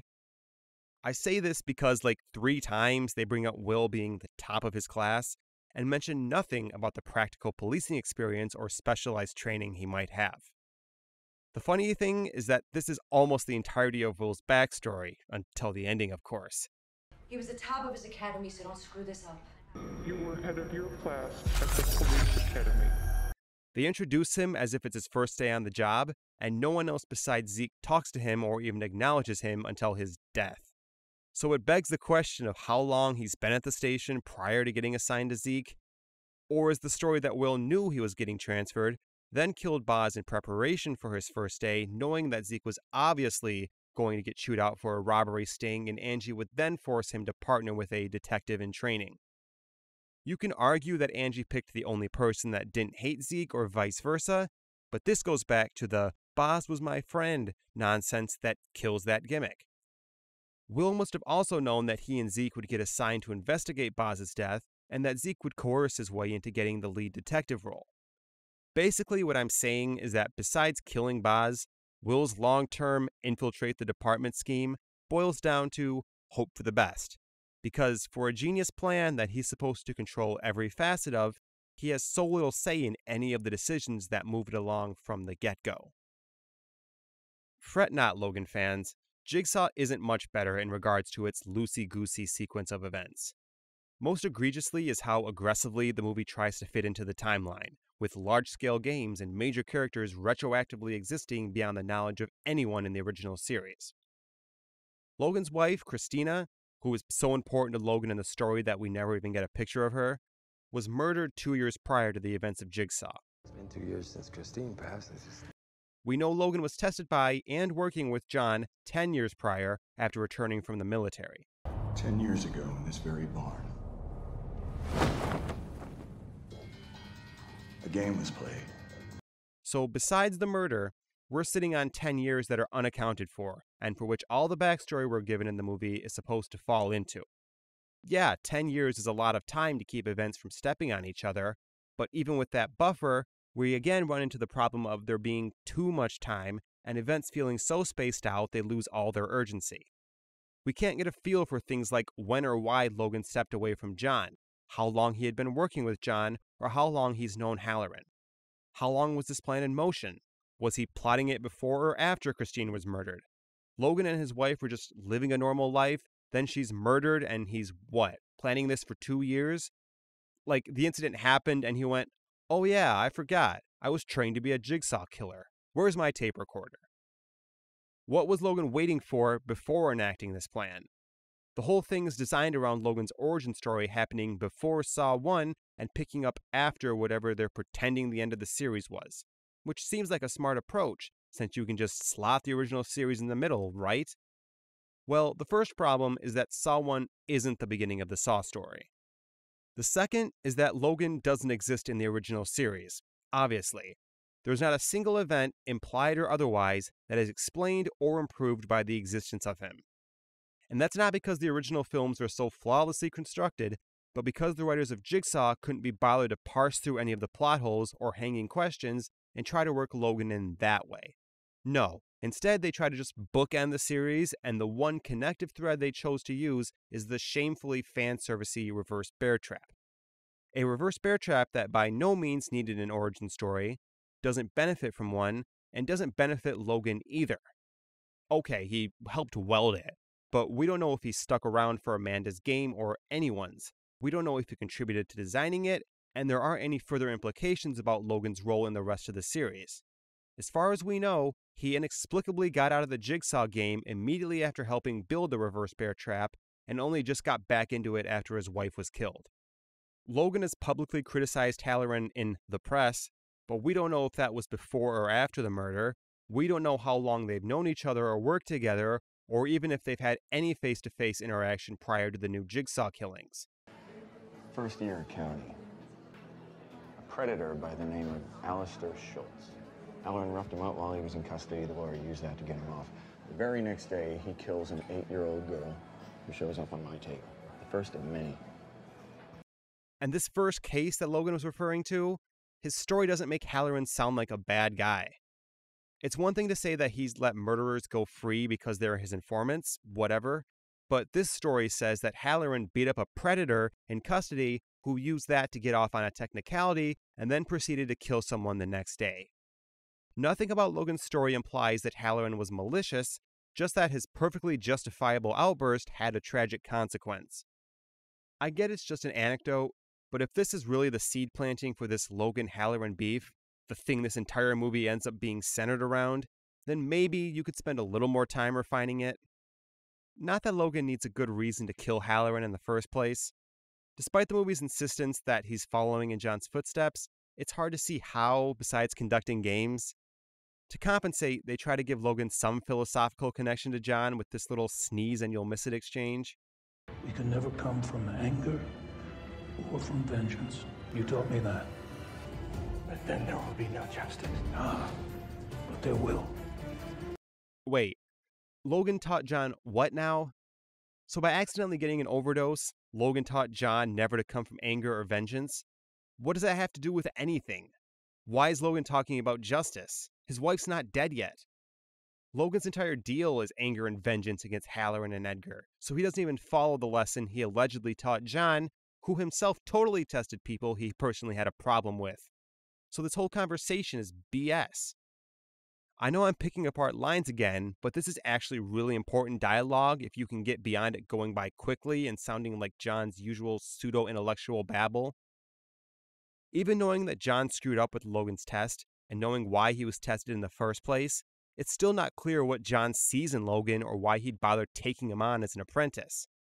Actually, nothing about it is explained, leaving the only decent theory to be the whole Stockholm Syndrome thing, which might be okay if not for that being Dr. Gordon's stick in 3D, which itself is just a fan theory, not to mention terrible. I guess we're supposed to just buy into the idea that everyone who has ever survived a Jigsaw game is immediately recruited, so look out for that in any future films. But to say that Logan survived his game isn't entirely accurate. He was literally pulled out of his game because John made an error, and I'm not sure the writers really considered the ramifications of that. The entire story of Saw is that John believed that people needed to be tested, and by winning his games, they would be rehabilitated and more appreciative of life. That's the idea in theory, but the reality is that John was delusional, and even when it worked, it didn't work.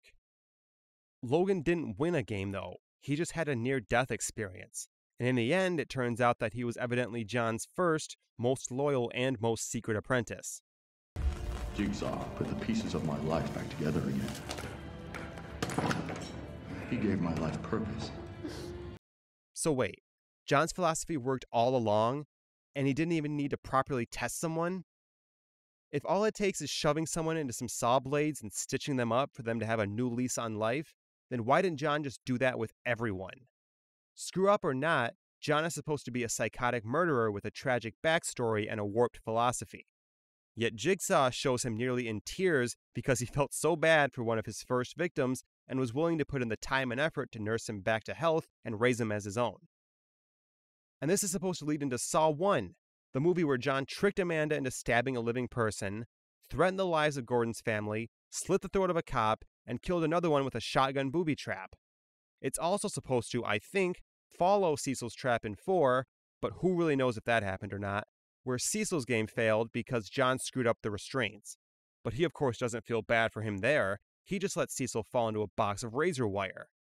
This makes Logan look like a dunce because he didn't do a damn thing in his game that might speak to his character, only managing to get lifelessly dragged, getting accidentally cut up, and then tended to while he again lays there lifeless. His big contribution to Jigsaw's legacy was apparently welding, but he can't do that either, and John had to pep talk him into it. And his teachings about vengeance weren't really taught so much as John just inferred himself. And oh, yeah, Logan used to be a broken, troubled war veteran who was once held captive and tortured. This sounds revealing and serious, but considering we made it this far, only occasionally saying he was in the military probably tells you how important it is to the story. It's actually brought up quite a few times, but you'd be hard pressed to retain that by film's end, and it's not clear what purpose it serves other than to justify his awesome sniping skills and be a red herring. Hunt mentions their military history, how Logan was in the hospital for months, and Halloran looks at his military record, but this is about halfway through the movie, and it stops being brought up after that point. The worst part of this is that the screen that Halloran looks at actually has a lot of really interesting backstory on Logan's post military struggles.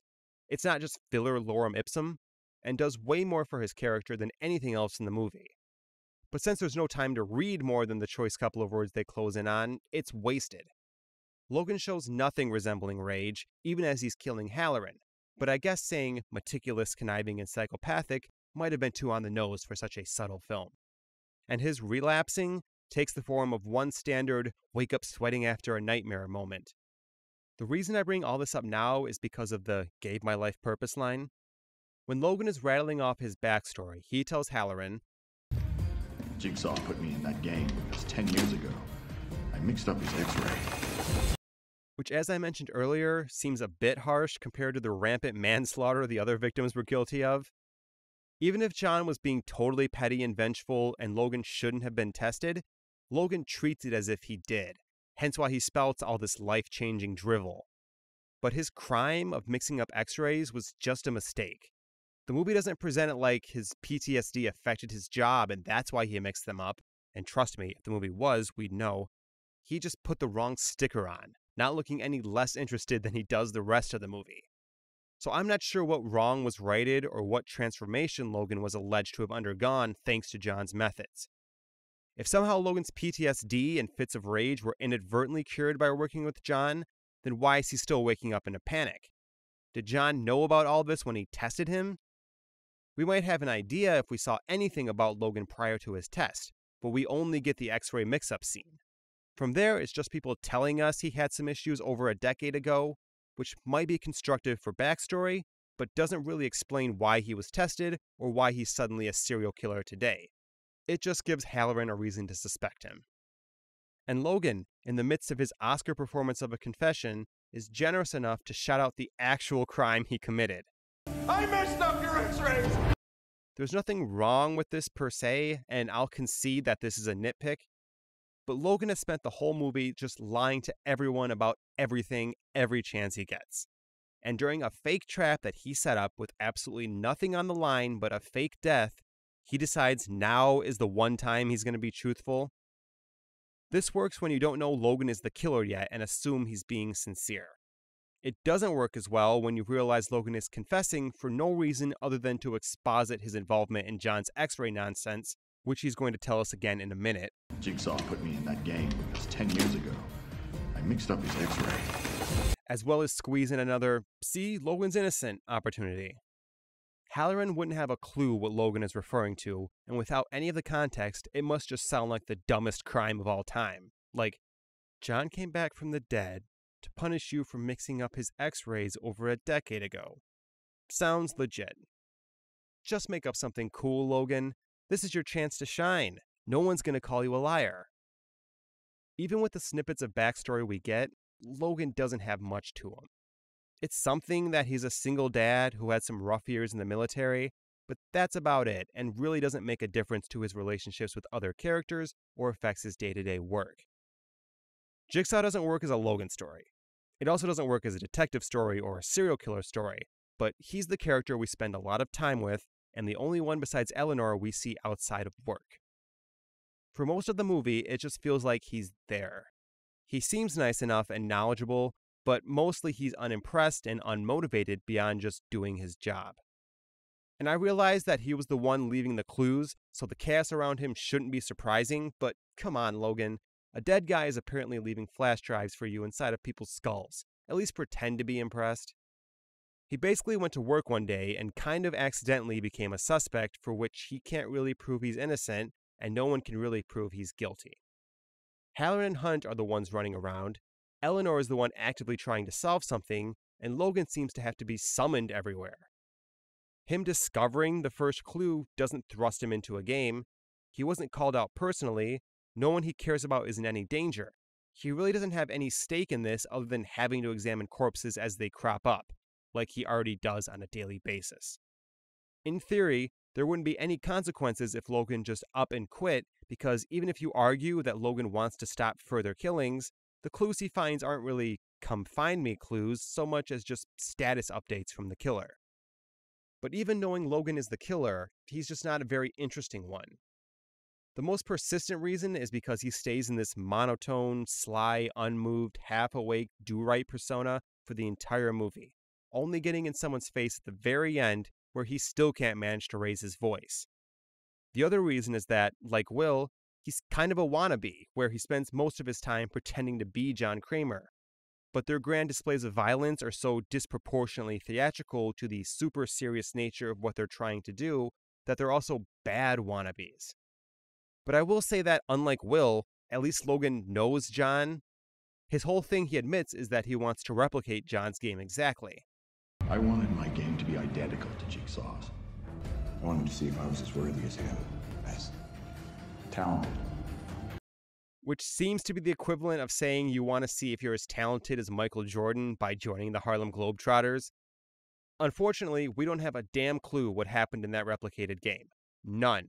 And even when he goes on to explain how he pulled it off, you find out that he took a bunch of creative liberties, not only defeating the purpose of copying the barn game, but oh my gosh, we haven't even talked about the barn game yet. Well, let's put a cork in our chat about Logan and switch gears for a while, because there is a lot to say especially considering it takes up half the movie. Full disclosure, I do not hate the barn game. While it's bad, I certainly think it's the better half of Jigsaw. I like Anna's character and backstory a lot, and Ryan is likable enough even if his shtick gets old quickly.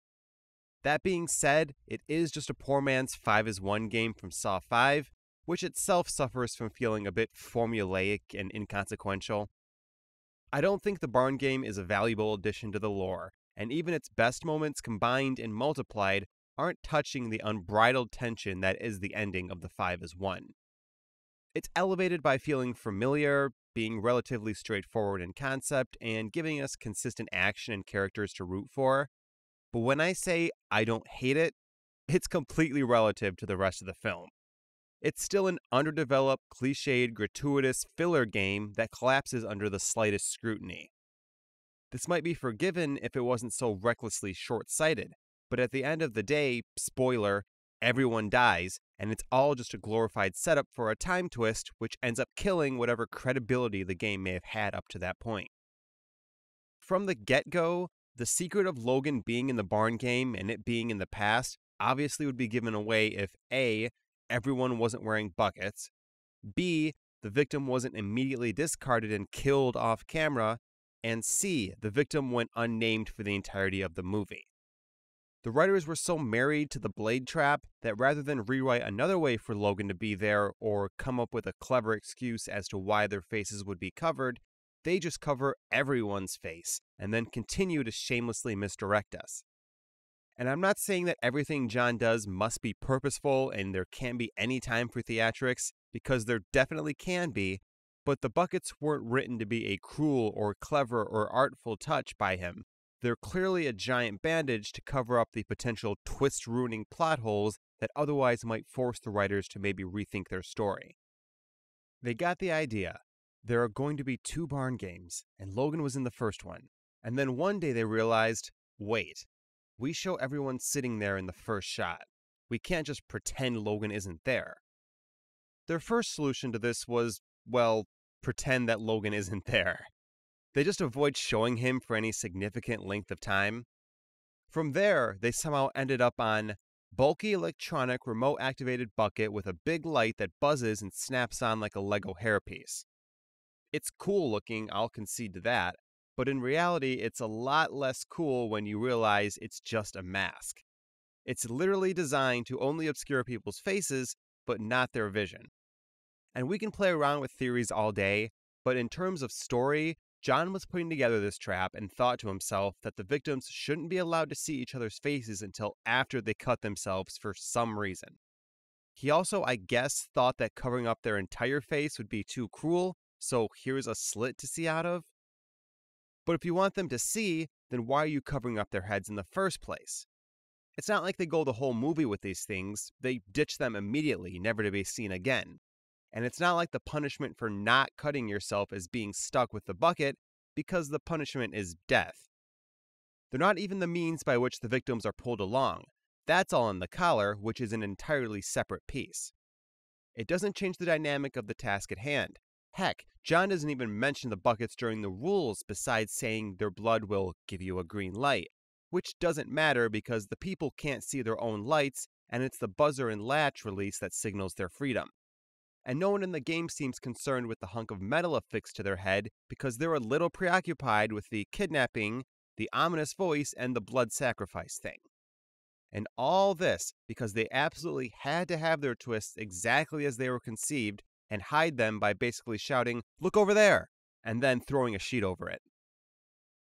On a large scale, the game is effectively rigged, and the writers made little effort in considering any decision making from one action to the next merely relying on the jigsaw knows the future trope to solve all their problems. Logan's recreation for sure is rigged due to factors we'll talk about, but even John's original ends up becoming this gauntlet of convenience and foresight, not an evolving game of survival. For example, say Carly doesn't survive the buckethead trap. Well, everyone is still hooked up to her game, so would John just have to awkwardly release everyone from the collars? Based on what little we saw of Carly, it's a miracle she survived because she didn't actually do anything. She just got yanked into the blades and reluctantly got cut. She was also the only one who had to do her trap. Both Mitch and Ryan were just wrong place, wrong time. So, in theory, after Carly's game, everyone could just be standing around forever with nothing happening. Unlike, say, the Nerve Gas House, where they had incentive to explore, or the 5 is 1, where they were on a timer, the barn game doesn't seem to have a clear, pardon the pun, end game. John drones on about secrets and confessing, but he doesn't instruct or incentivize action, and the game never appears to be building up to anything as we don't know what's ultimately going to get them out of the barn. The only reason we believe things are progressing is that people are being killed off, but that's not a requirement to the game. It's not as if one person dying improves the odds of the others living everyone just as easily could have survived, and from that point, it would just be a lot of standing around, trying to find a trap, surviving it to no gain, and then going right back to standing around. We're not sure if we're trying to find a common link between these people, if they're supposed to be working together, if they need to figure something out, if they're being timed, if they have a reason to do their traps beyond just surviving, if they can even survive, or if it's just a one can leave situation. It's completely directionless and even in the final moments of the game doesn't add up to anything. In one game, you have Carly being forced into a scenario where failure on her part would kill everyone. And then you have another game that Mitch has to willingly approach and for which the only casualty is him. And the unfortunate thing is that with Carly's trap, the writers, by happenstance, made it so that Carly needs to come to terms with what she did and remember the incident in order to not only save her life, but everyone else's, which thematically could have been something. But then you get to a trap like Mitch's that just sort of happens to him. He has no knowledge or skill that could benefit him, and there's no reason for anyone to care what he did or if he lives or dies. Really, there's no reason for anyone to care about anyone in this game other than just out of basic human decency, because no one takes the time to get to know each other or develop relationships, which of course means that we never get to know them either. The characters in the barn game aren't sharing anything that isn't coerced out of them by John, aside of maybe their name and a couple of vague half truths about their crimes, which doesn't matter because John is going to share all of that anyway. And if the movie is generous enough to fill in the gaps with flashbacks, It's just before a said character is about to be killed, giving us only enough information to care, which we don't, because heaven forbid we have time to understand a character or their story before the movie discards them. It feels like a Saw greatest hits by the end, where there is no discernible theme or continuity between traps, just a collection of vaguely familiar moments thrown at us one after the other in an attempt to pack in a little bit of everything. I mean, why build up to someone severing a limb when you can just casually drop it in halfway through the movie? This not only makes the barn game feel watered down and unmotivated, but it's frustrating as even when they do chance upon an idea maybe worth expanding on, they don't because it's time to move on to the next one. That's why we get five characters, if we're being generous about Logan, who have absolutely nothing in common. And I don't mean that they don't share hobbies, but that as far as we can tell, John just pulled some names out of a hat and said, Well, I lucked out that my one and only test so far didn't kill me after his trap of wood and knives broke. So rather than keep it simple and hone my craft, obviously the next logical step is to repurpose my ex wife's giant barn house into an elaborate, technologically advanced series of booby traps. But capturing only one person would be a waste, so I better capture five people all by myself since I don't have any apprentices yet. But who? Well, I'm pretty sure my neighbor killed her baby and drove her husband to suicide, so that's an easy one. Uh, well, my nephew got killed after his brakes failed, so let's just assume that it was malicious and get the guy who sold the bike to him. Uh, I heard about some girl who stole a purse from an asthmatic woman. I mean, I wasn't there for it, but how many low level purse snatchers could there be? Think, think. Oh, yeah, like 15 years ago, some teenagers crashed their bike on a drunken joyride, and only one guy survived. He was probably at fault, though, and is totally unrepentant, I bet. One more, and it's gotta be vicious. Think. Well, I thought I had cancer, then suddenly I didn't, then I did again. And since honest mistakes don't happen, and now I'm going to die, better punish the intern at the hospital. The most glaring issue with these victims is that John is punishing all of them for one very specific event, none of which he witnessed or can prove. So we've gone beyond him having a strong understanding of human behaviors to him just being able to instinctively piece together unsolved crimes because he's that resourceful and perceptive. Anna is probably the most reasonable case out of the five, since even though John didn't see the killing, he did overhear the lead up to it and presumably knew Anna and her husband well enough to suspect foul play. But even then, while it's grounds for a strong hypothesis, and even though it's a correct one in the end, he still can't actually prove Anna did it. And if he can, it's not through any evidence we're privy to. Same with Mitch. Even though it might be reasonable to assume that when a moped fails 30 seconds after driving it away, that maybe the seller was dishonest, John wasn't there for the exchange. He didn't see Mitch cover up the leak. He doesn't know what they discussed. He even says that Mitch admitted that he sold a boy a motorcycle. Fair enough that Mitch isn't going to say he knowingly sold a faulty bike that immediately killed someone, but saying he sold it at all implies that at some point an investigation came around to him. But yet, all knowing John is the only person who can put two and two together. I do find it funny that the bike is in such bad shape and Mitch is such a bad con artist that it's literally leaking fluid during the exchange, and all he can do is casually cover it up with his foot and pray the buyer doesn't do an inspection. I assume the writers took this route because they need a quick shot of Mitch doing something blatantly devious to prove to us that John isn't lying. But the sequence of events comes off kind of hammy because it's a crime centered around a Craigslist transaction after all, and it ends with an over the top wobbly bike before a guy gets pulverized by a Mack truck which isn't actually funny, but comes off that way. But at least John knows Anna, and the guy that Mitch sold the bike to was his nephew.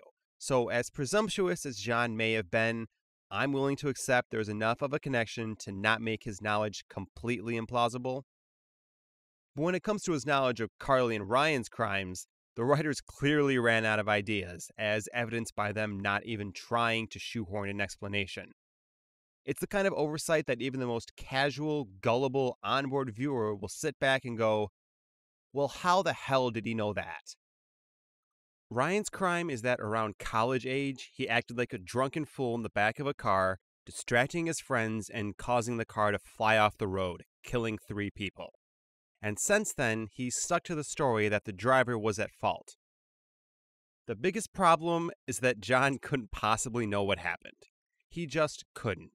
He either had to have been there, which he wasn't, or he, for reasons independent of any logic, didn't believe the only side of the story that existed, felt the need to look into it himself, and based on the zero evidence that would be available, somehow deduced that the one survivor must have been the one responsible.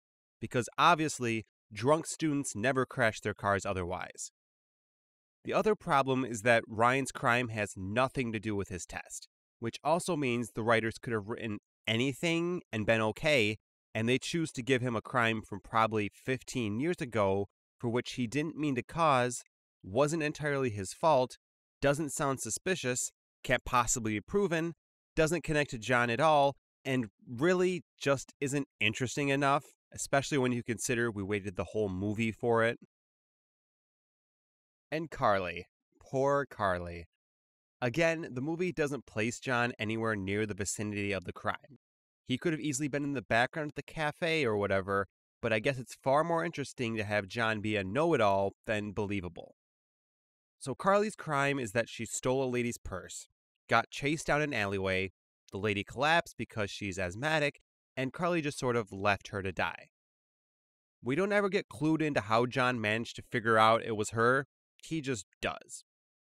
At best, he might have heard an eyewitness account of events, but Carly was dressed like every low level thief ever. And John has nothing else to go off of and no way to prove that she's in fact the one who committed the crime, even if he does find her. But this alone isn't dramatic enough for the writers, so they absolutely go off the deep end with John's omnipotence. So, as part of Carly's trap, she has to recall the amount of money she stole, meaning that not only did John know that Carly took out the change, counted it, and committed it to memory, but he also knows how much change there was himself. Even if the lady had lived, it's a handful of loose change. She wouldn't know the amount either. I get that the connection between the group is supposed to be that they all committed crimes and never came forward about them. Well, except for Logan, who was the conveniently undisclosed outlier during all this. But John's heavy emphasis on confessing Confess. The truth will set you free.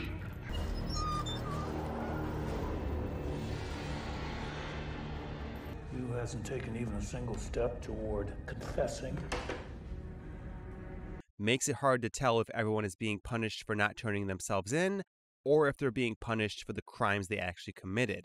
And therefore, we're not sure what lesson John is trying to get across or why the game is set up the way it is. Repentance is more or less the theme of the movie.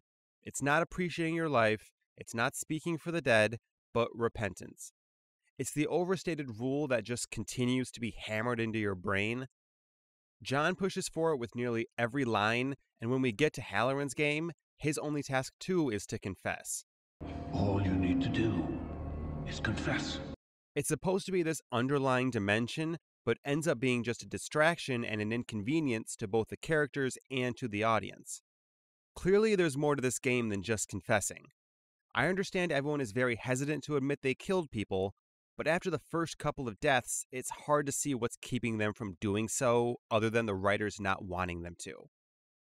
Pretty much up through Mitch's death, all of the tension not directly stemming from a trap revolves around small talk discussions of confessing and atonement, boiled down to, What did you do? or What's your sin? Characters have enough awareness to judge the effectiveness of others' efforts, No, no, no, that's not the repentant attitude this guy's looking for, okay?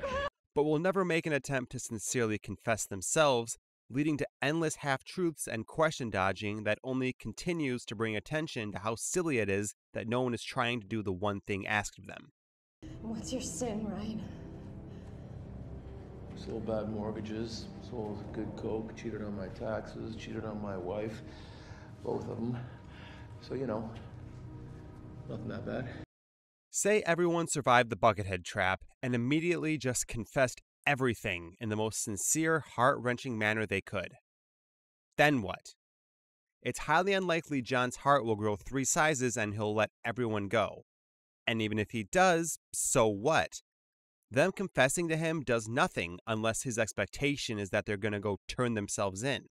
But potentially spending years in prison isn't the sort of appreciate your life mantra we've come to expect from John either.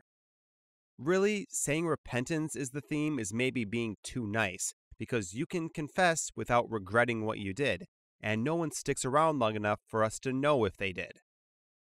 Maybe if these crimes were less specific, we could assume that, should anyone survive, they would appreciate their lives and that would be enough. But besides Carly maybe not stealing anymore, it's not like Anna needs to learn to not murder children or Ryan shouldn't stand up in the backs of trucks. So you have to wonder just what is supposed to change about these characters coming out of the game. Like, on a thematic level, what does Mitch selling faulty bikes have to do with holding very still while slowly descending into a blender, other than being bike themed? Rather than test his ability to con people, the writers just go, well, he sold a bike with bad brakes, so what if he has to pull a brake to live? Let's be real. Mitch is useless. He's at best just a dude who might be cool to talk to and probably won't stab you in the back, but there's little that's undeniably Mitch about any of his actions. Even Carly was scared and indecisive, which kind of explains her crime and her death. But Mitch doesn't come off as the underhanded, smooth talking type who swindles people regularly. He's just a teenager who shows no personality and goes along with everything. Even being seconds from death, Mitch can only kinda sorta apologize for what happened, but it's also frantic and drowned out, you can barely tell it's happening. Look, you're, you're right. Look, I'm sorry. Stop, please. Look, I'm sorry. I'm looking at you. This raises more questions about John's demands to the group, as even if somebody made the effort to confess, like Mitch did, it's always going to come with the caveat of being coerced out of them due to the circumstances. There doesn't seem to be an objective way for John to make the determination between a forced confession and a sincere one, which is a dangerous oversight considering how important these rules are supposed to be. So, yeah, Mitch's trap is bad, and that's putting aside everything wrong with him as a character. I appreciate the relative simplicity of the task at hand, but the way it was executed is so over the top that you can almost feel the writer's childlike desperation in trying to give us something iconic and awe inspiring. First of all, this trap seemed to have been written completely independent of the barn game. I can't prove this, but when you consider that all the other traps were mostly makeshift, utilizing teched up farm equipment, to have this 10 foot glowing mechanical behemoth whirring away sticks out like a sore thumb in this movie. Never mind that it's supposed to be one of John's first games ever. And I don't want to hear anything about John going overboard with Mitch's punishment because his newly existent nephew died. Cecil killed John's unborn baby and only had to put up with a set of steak knives. Not only is the he was my nephew a very lame attempt at trying to give this some gravitas, but the writers doubled down on their everything must be connected mantra by saying that the bike in the trap is the one that Mitch sold. I'm not sure if the ridiculousness of this has properly come across. John, after hearing that his nephew died in a bike accident, instantly suspected it was because the seller had intentionally lied about the condition of the bike. After doing his own investigating to get Mitch's information and cross reference the original listing, he then went and recovered the presumably destroyed and bloody engine that his nephew died on in order to rig it up for a game and connect it to a giant blender. Like, come on. John also risks blowing his cover by uncharacteristically mentioning his family. Actually, he's really eager to give away his identity in the game in general. I realize that he showed his face to Cecil, but there are many reasons why he would either want to or that he at least wouldn't be worried. Here in the barn game, though, eek, he's all over the place. Now, we can try and fan theory John's reasoning here, or we can just call it what it is. A very forced, we want Tobin Bell in this movie doing jigsaw things, so we'll take it for granted everyone finds out who he is moment. And in order to do that, he needs to show up in the barn game. So he pretty much gives away who he is in Mitch's tape. He was my nephew. Actually, does give himself away in the shotgun trap. Anna says his full name out loud.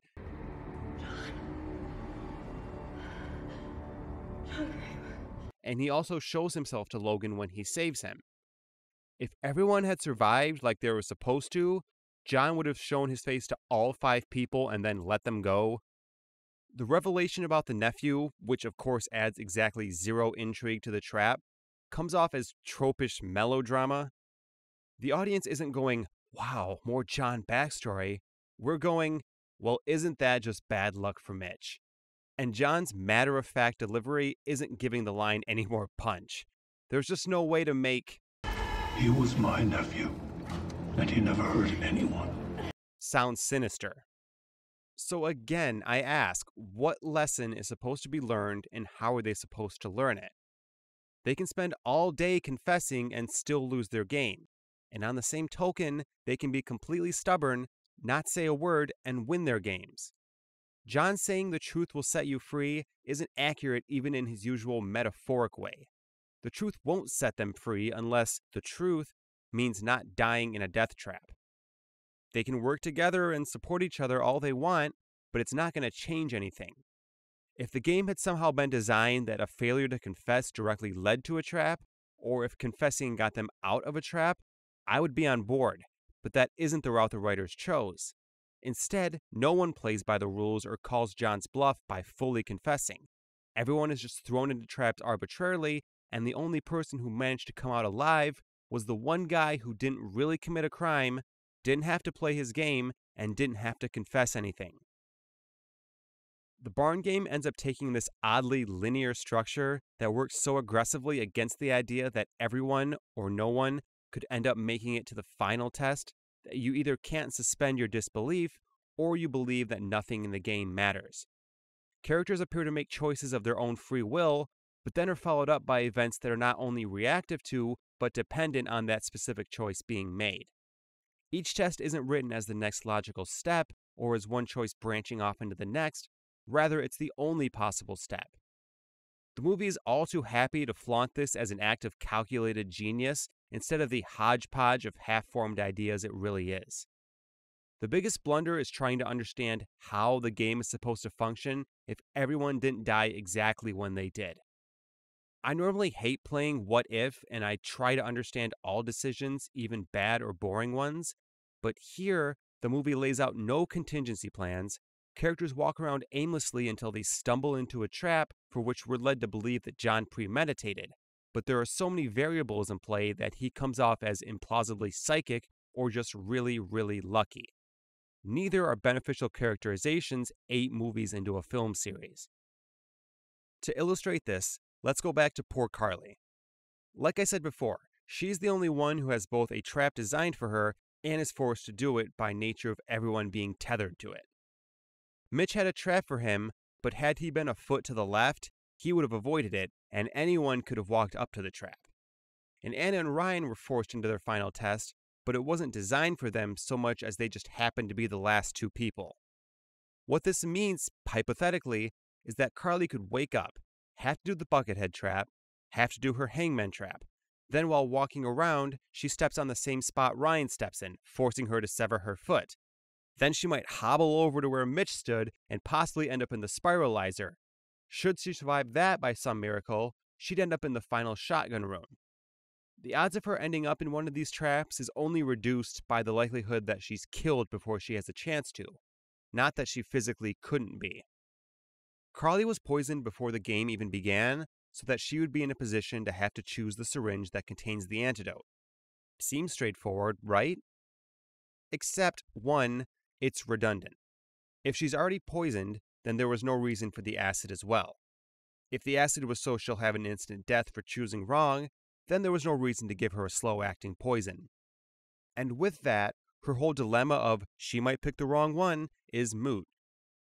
This game isn't automatic, by the way, and by that I mean there's not some mechanism that releases everyone should she pick the correct antidote, and the syringes aren't attached to anything. It's just John watching over the whole thing, and I guess following the syringe like a three shell game, ready to push the release button. Well, I say that, but another droning problem with the barn game as a whole is just what is moving it along. I think the idea is supposed to be that John is watching over the entire thing and just manually triggering everything that happens, as if to lend credence to the idea that this is one of his earliest games and he doesn't have the capability to automate everything yet. But by giving John all this control, you inadvertently bring attention to his rationale for doing what he does when he does it, making events feel arbitrary. We can never be sure whether a character is causing something to happen, or if John is, or if it was automated, or some combination of the three, which is an important distinction to make in games of life or death where character decisions are supposed to matter. And frankly, it's less believable that he has some centralized evil control room that he's manning 24 7 than it is that he would have set up a series of complex triggers throughout. John uses speaker systems, a Billy doll on a tricycle, tape recorders, flat screen televisions with the Billy doll on them. Then, after all that, reveals his face in the final trap. It's like if he's watching over every second, pushing buttons and flipping levers in real time, then why would he use all these other methods if not to give us the impression that this was done in advance and somewhat automated? But I'm going to try and parse through what I think was John's doing and what wasn't but I can't be sure on a lot of them, so I'm curious to hear your thoughts. Releasing the buckets and opening the doors afterwards was definitely John's doing, as the blades have no way to sense a blood sacrifice. But that's funny because he had no problem starting the buckethead trap while Logan was obviously out cold, and he continued to let it happen as he was being dragged along, only interjecting when everyone else was safely out of the room. If he was in control of every aspect of the game, he could have just stopped Logan's blades and started them back up once he was conscious, but whatever.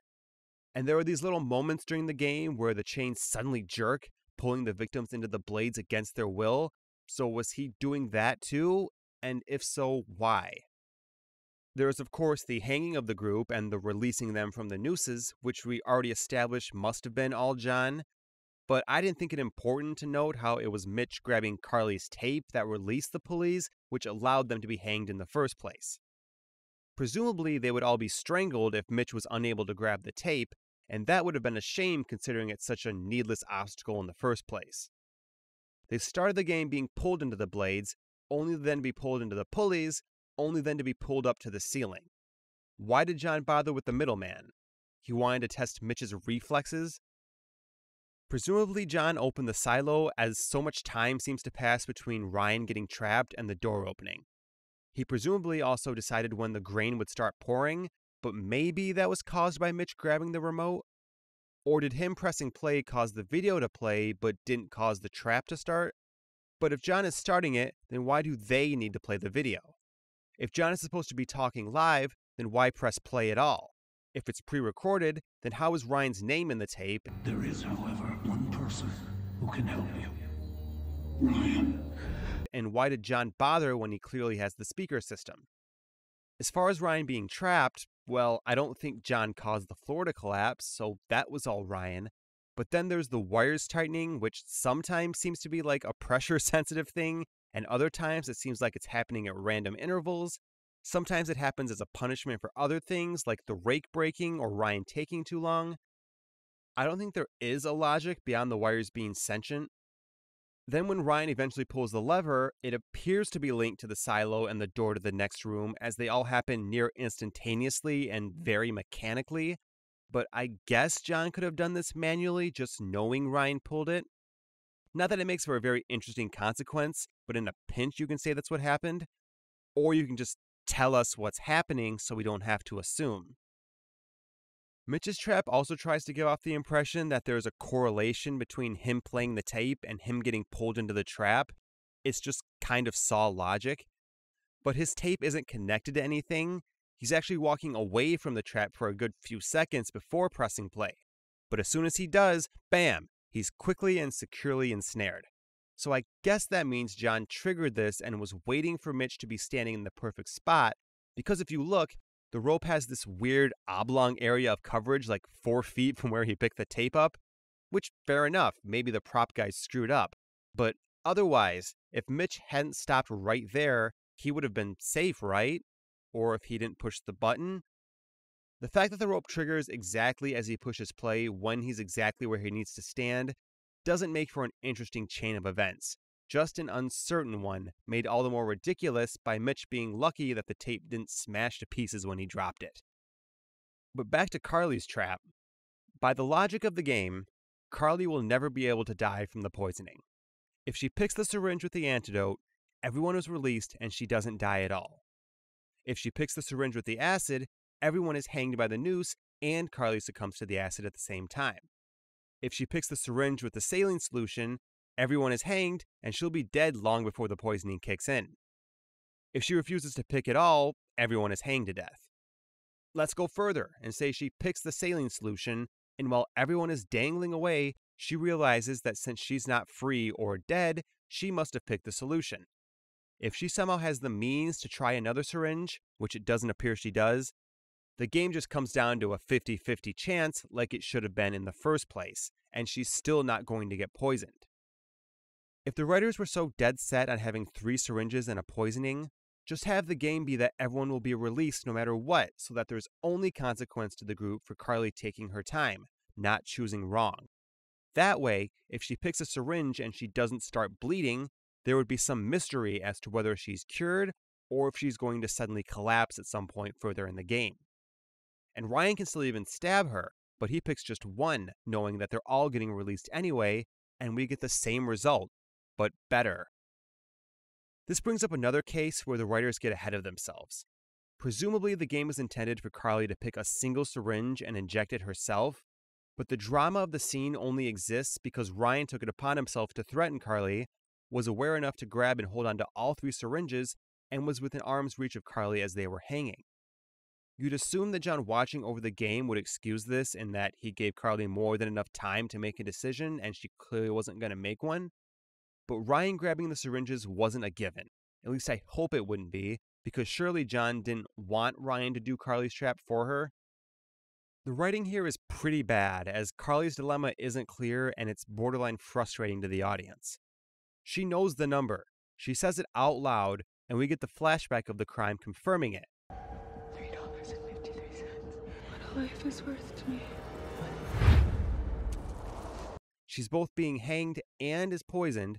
She's going to die if she doesn't pick a syringe and has no incentive to not just pick that one. Yet after she says $3.53, she then can't decide. And this drags on, even when it's obvious that by not picking, Ryan is going to stab her with all three, which gives her literally 0% chance of surviving. I'm not even upset at Carly making a bad decision or indecision, but the fact that the writers went completely overboard with the drama and went so far out of their way to make things play out the way they wanted that the scene falls apart. It doesn't need to be this convoluted. Just cut the poisoning part, and to give her a tough decision, make the numbers different by a matter of cents, not tens of thousands, so she actually has to question her memory. Was it 353 or was it 363? And through that indecision, Ryan stabs her. And maybe they started with that and then thought, oh, but we got to put everyone's life in Carly's hands to make it more dramatic. And then shoehorned in some poisoning nonsense. And after that's all put behind us, for good measure, Anna, completely out of the blue, has an epiphany regarding John's line about, What is a life worth to you?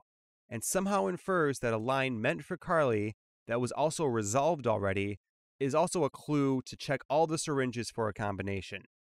I like a good puzzle as much as anyone, but you can't even see the wheels turning here. Everyone's pissed off over Carly's death, and then after half a second's thought, Anna's thinking on John's wavelength and connecting dots we didn't even know existed. But hey, we gotta progress the story somehow. Until, of course, the story comes to a screeching halt with the silo. Yay.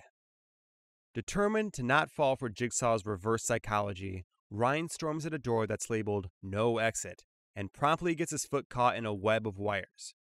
Okay, booby traps are cool, it was unexpected, and adds some urgency. We can work with this. Well, let's slow our rolls. Before that, we have to understand why John felt it necessary to entrap someone in the first place. He blabbers on about punishment for not following the rules, which you're not really taking in because it's just generic John filler dialogue. You go along with it because you assume that he probably gave the rules before and you just forgot. But if you go back, you'll find that he hasn't given any rules so far. Yeah, he gives instructions on a trap by trap basis, but in terms of things that the group should be keeping in mind, he only has the nonsense about confessing to set themselves free which isn't really a rule so much as the task at hand. Oh, and there's this zinger. But any attempt to violate my rules will kill you. And, you know, not surviving a gauntlet of death traps. So it would seem his only rule up to this point is don't break the rules, which helps no one. Even if no exit is a rule, did Ryan really violate it?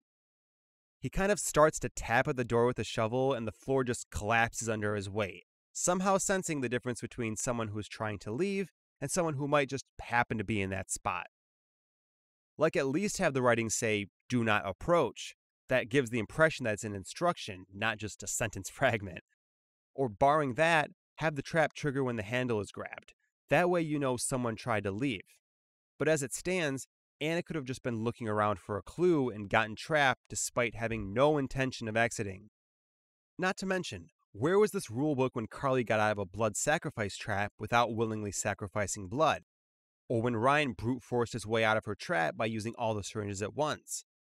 I don't recall Anna having to lose a leg for trying to break the spiralizer.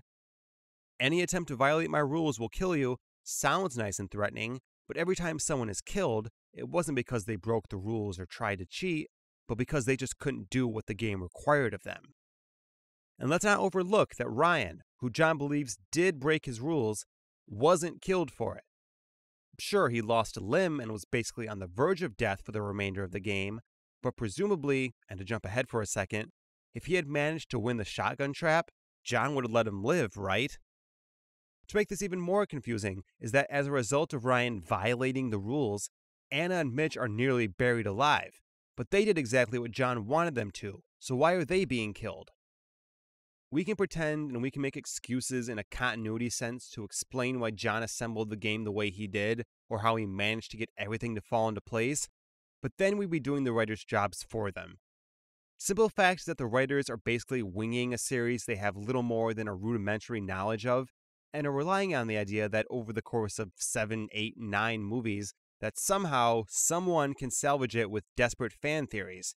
Or if they're lucky, that maybe no one will notice in the first place because it's Saw. Who gives a crap, right? But you know what?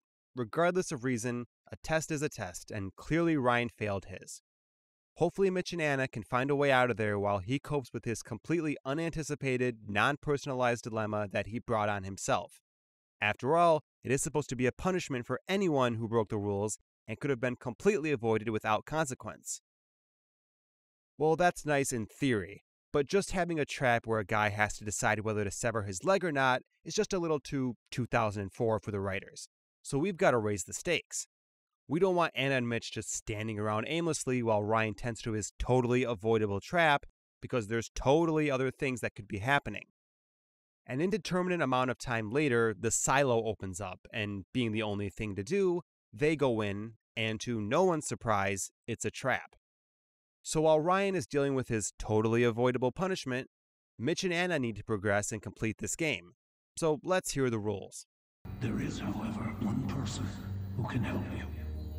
Ryan. If he pulls the lever before you are buried alive, you will live. Yep.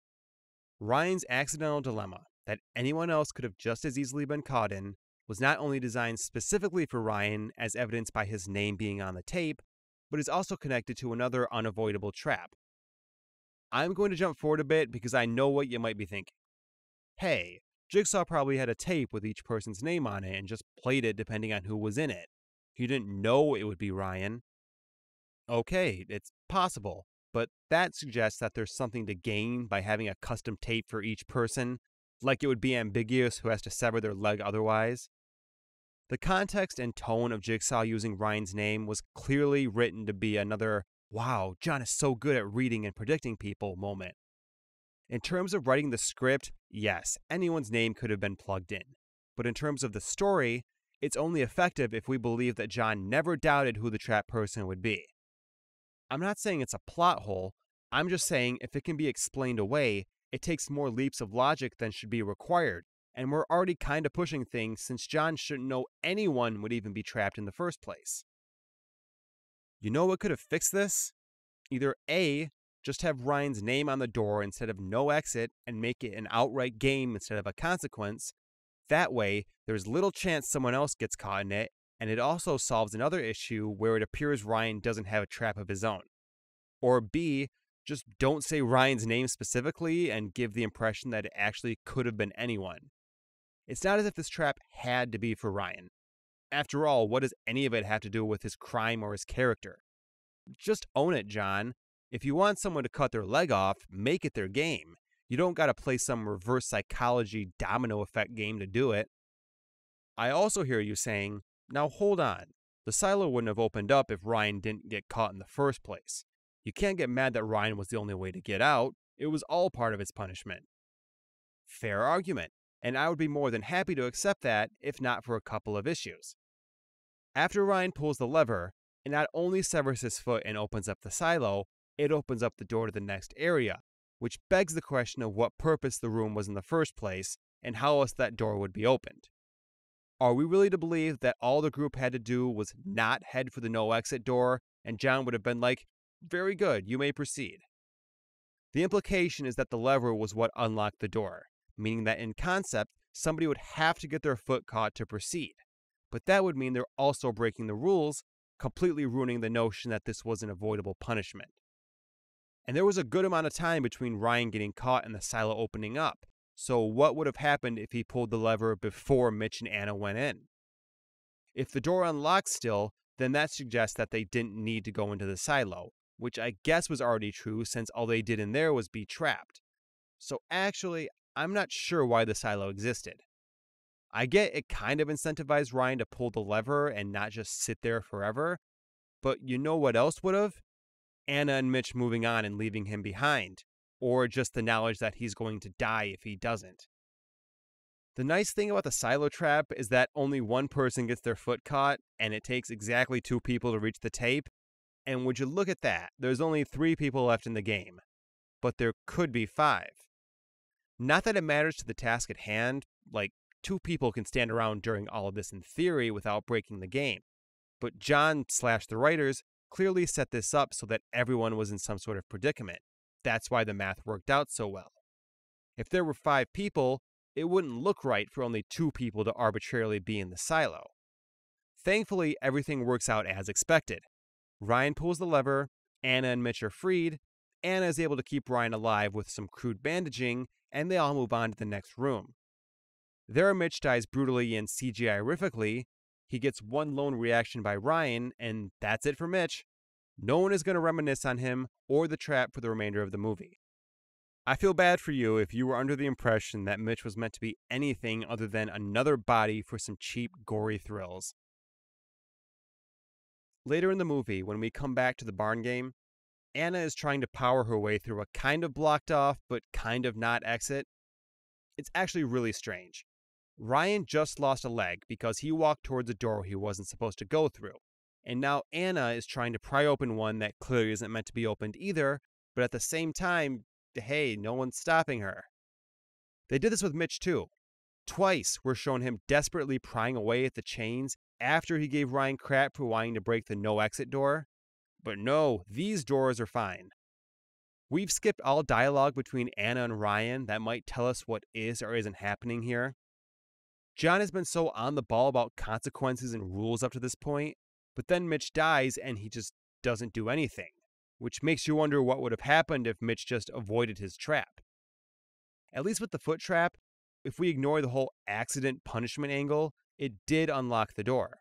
But Mitch doing his trap won't lead to anything unless he's killed, just like going into the silo. I realize the group doesn't know this and Mitch would do his trap anyway, assuming that it would progress the game, but that doesn't excuse that John didn't seem to have a plan for it. He doesn't make any announcements or open any doors afterwards, so I'm not sure at all what John is wanting, needing, expecting to happen. His next course of action is capturing whoever is remaining to chain them up. And by capture, I mean he's just going to walk up to them and drug them when they least expect it. Again, we run into this huge convenience that there are only two people in the room one who is preoccupied and another who is barely conscious as it is.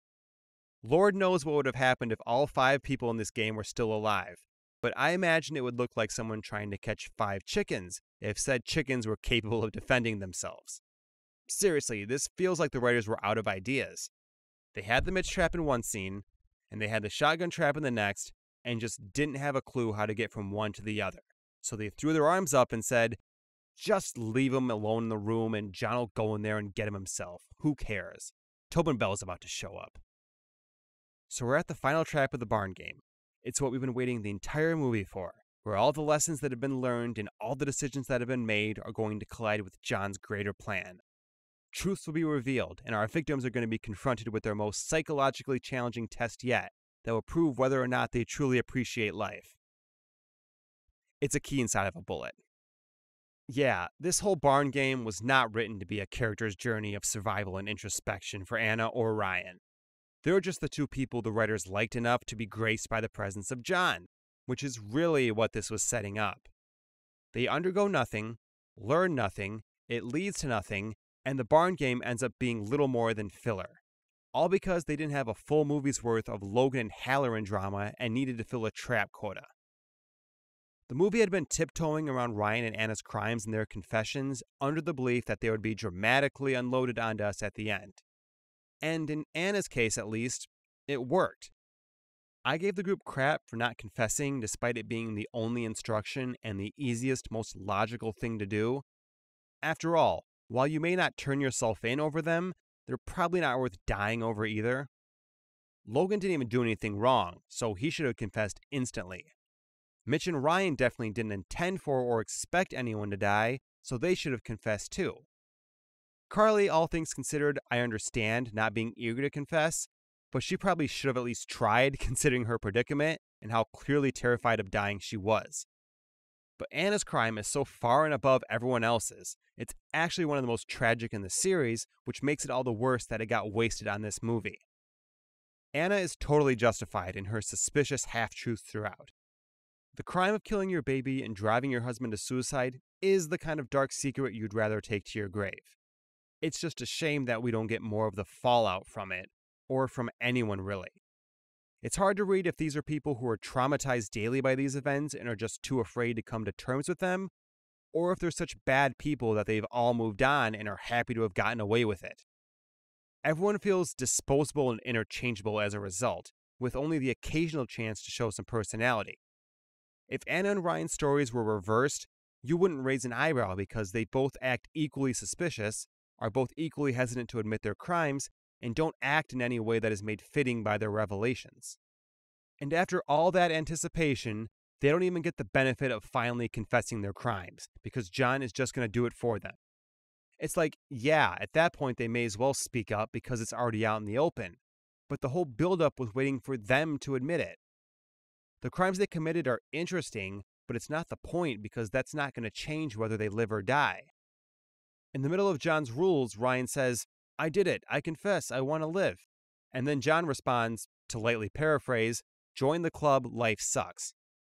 So, did Ryan already lose the game by not confessing, or did John just not give a damn in the first place? Or is this just another arbitrary test that you could slot anyone into as it doesn't acknowledge what comes before or after it? On the other side of the coin, when given the chance, and even after John has already outed her, Anna still doesn't confess.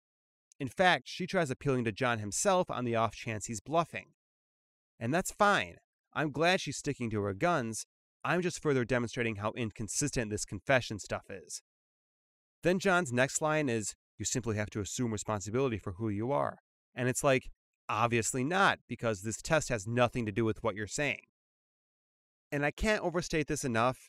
It really doesn't suit John at this point of his story. He went from telling Cecil to press his face into knives to telling Amanda to dig in a guy's stomach, and yet we're supposed to believe that somewhere between those is this indirect, backwards, rambling, cryptic nothingness. Now, this is obviously not the only time he's done this. In a way, it's kind of his thing, but usually that goes along with actual instructions, and the clues are usually the kind that challenge precisely the kind of thinking the victim is being tested for. John doesn't even say anything like, I want you to listen to my words carefully. He's just like, something, something backwards, something, something freedom, something, something key. Perhaps the biggest reason that I think this final test falls flat is the giant audience disconnect. I understand this was John's second game, and I wouldn't expect Ryan or Anna to be as privy to the methods of Jigsaw as others later on, But to the audience, this is the eighth film in the series, and one that is already a crude conglomeration of everything before it, meaning that we've seen this all before. We know how John talks, and we know how his games operate. So when you see him hold up a shotgun shell and say, This is your key, you've just given us the most obvious metaphor in the entire series and given away what was supposed to be a twist. And by seeing it through and playing it completely straight, you're basically telling us that we need to be gullible or incredibly generous. It takes all the wind out of what this movie is built up to because it's just more of the same, but more predictable and therefore more unsatisfying than ever. You can have a twist, you can have a hundred of them, but you can't throw out a couple of elementary metaphors, kill off a character with some irony, and pat yourself on the back for making a Saw movie. And I know what you're saying. You just told us how the Saw 4 ending worked because we knew what was going to happen. Now you're complaining that this didn't work because it was too predictable. And that's fair.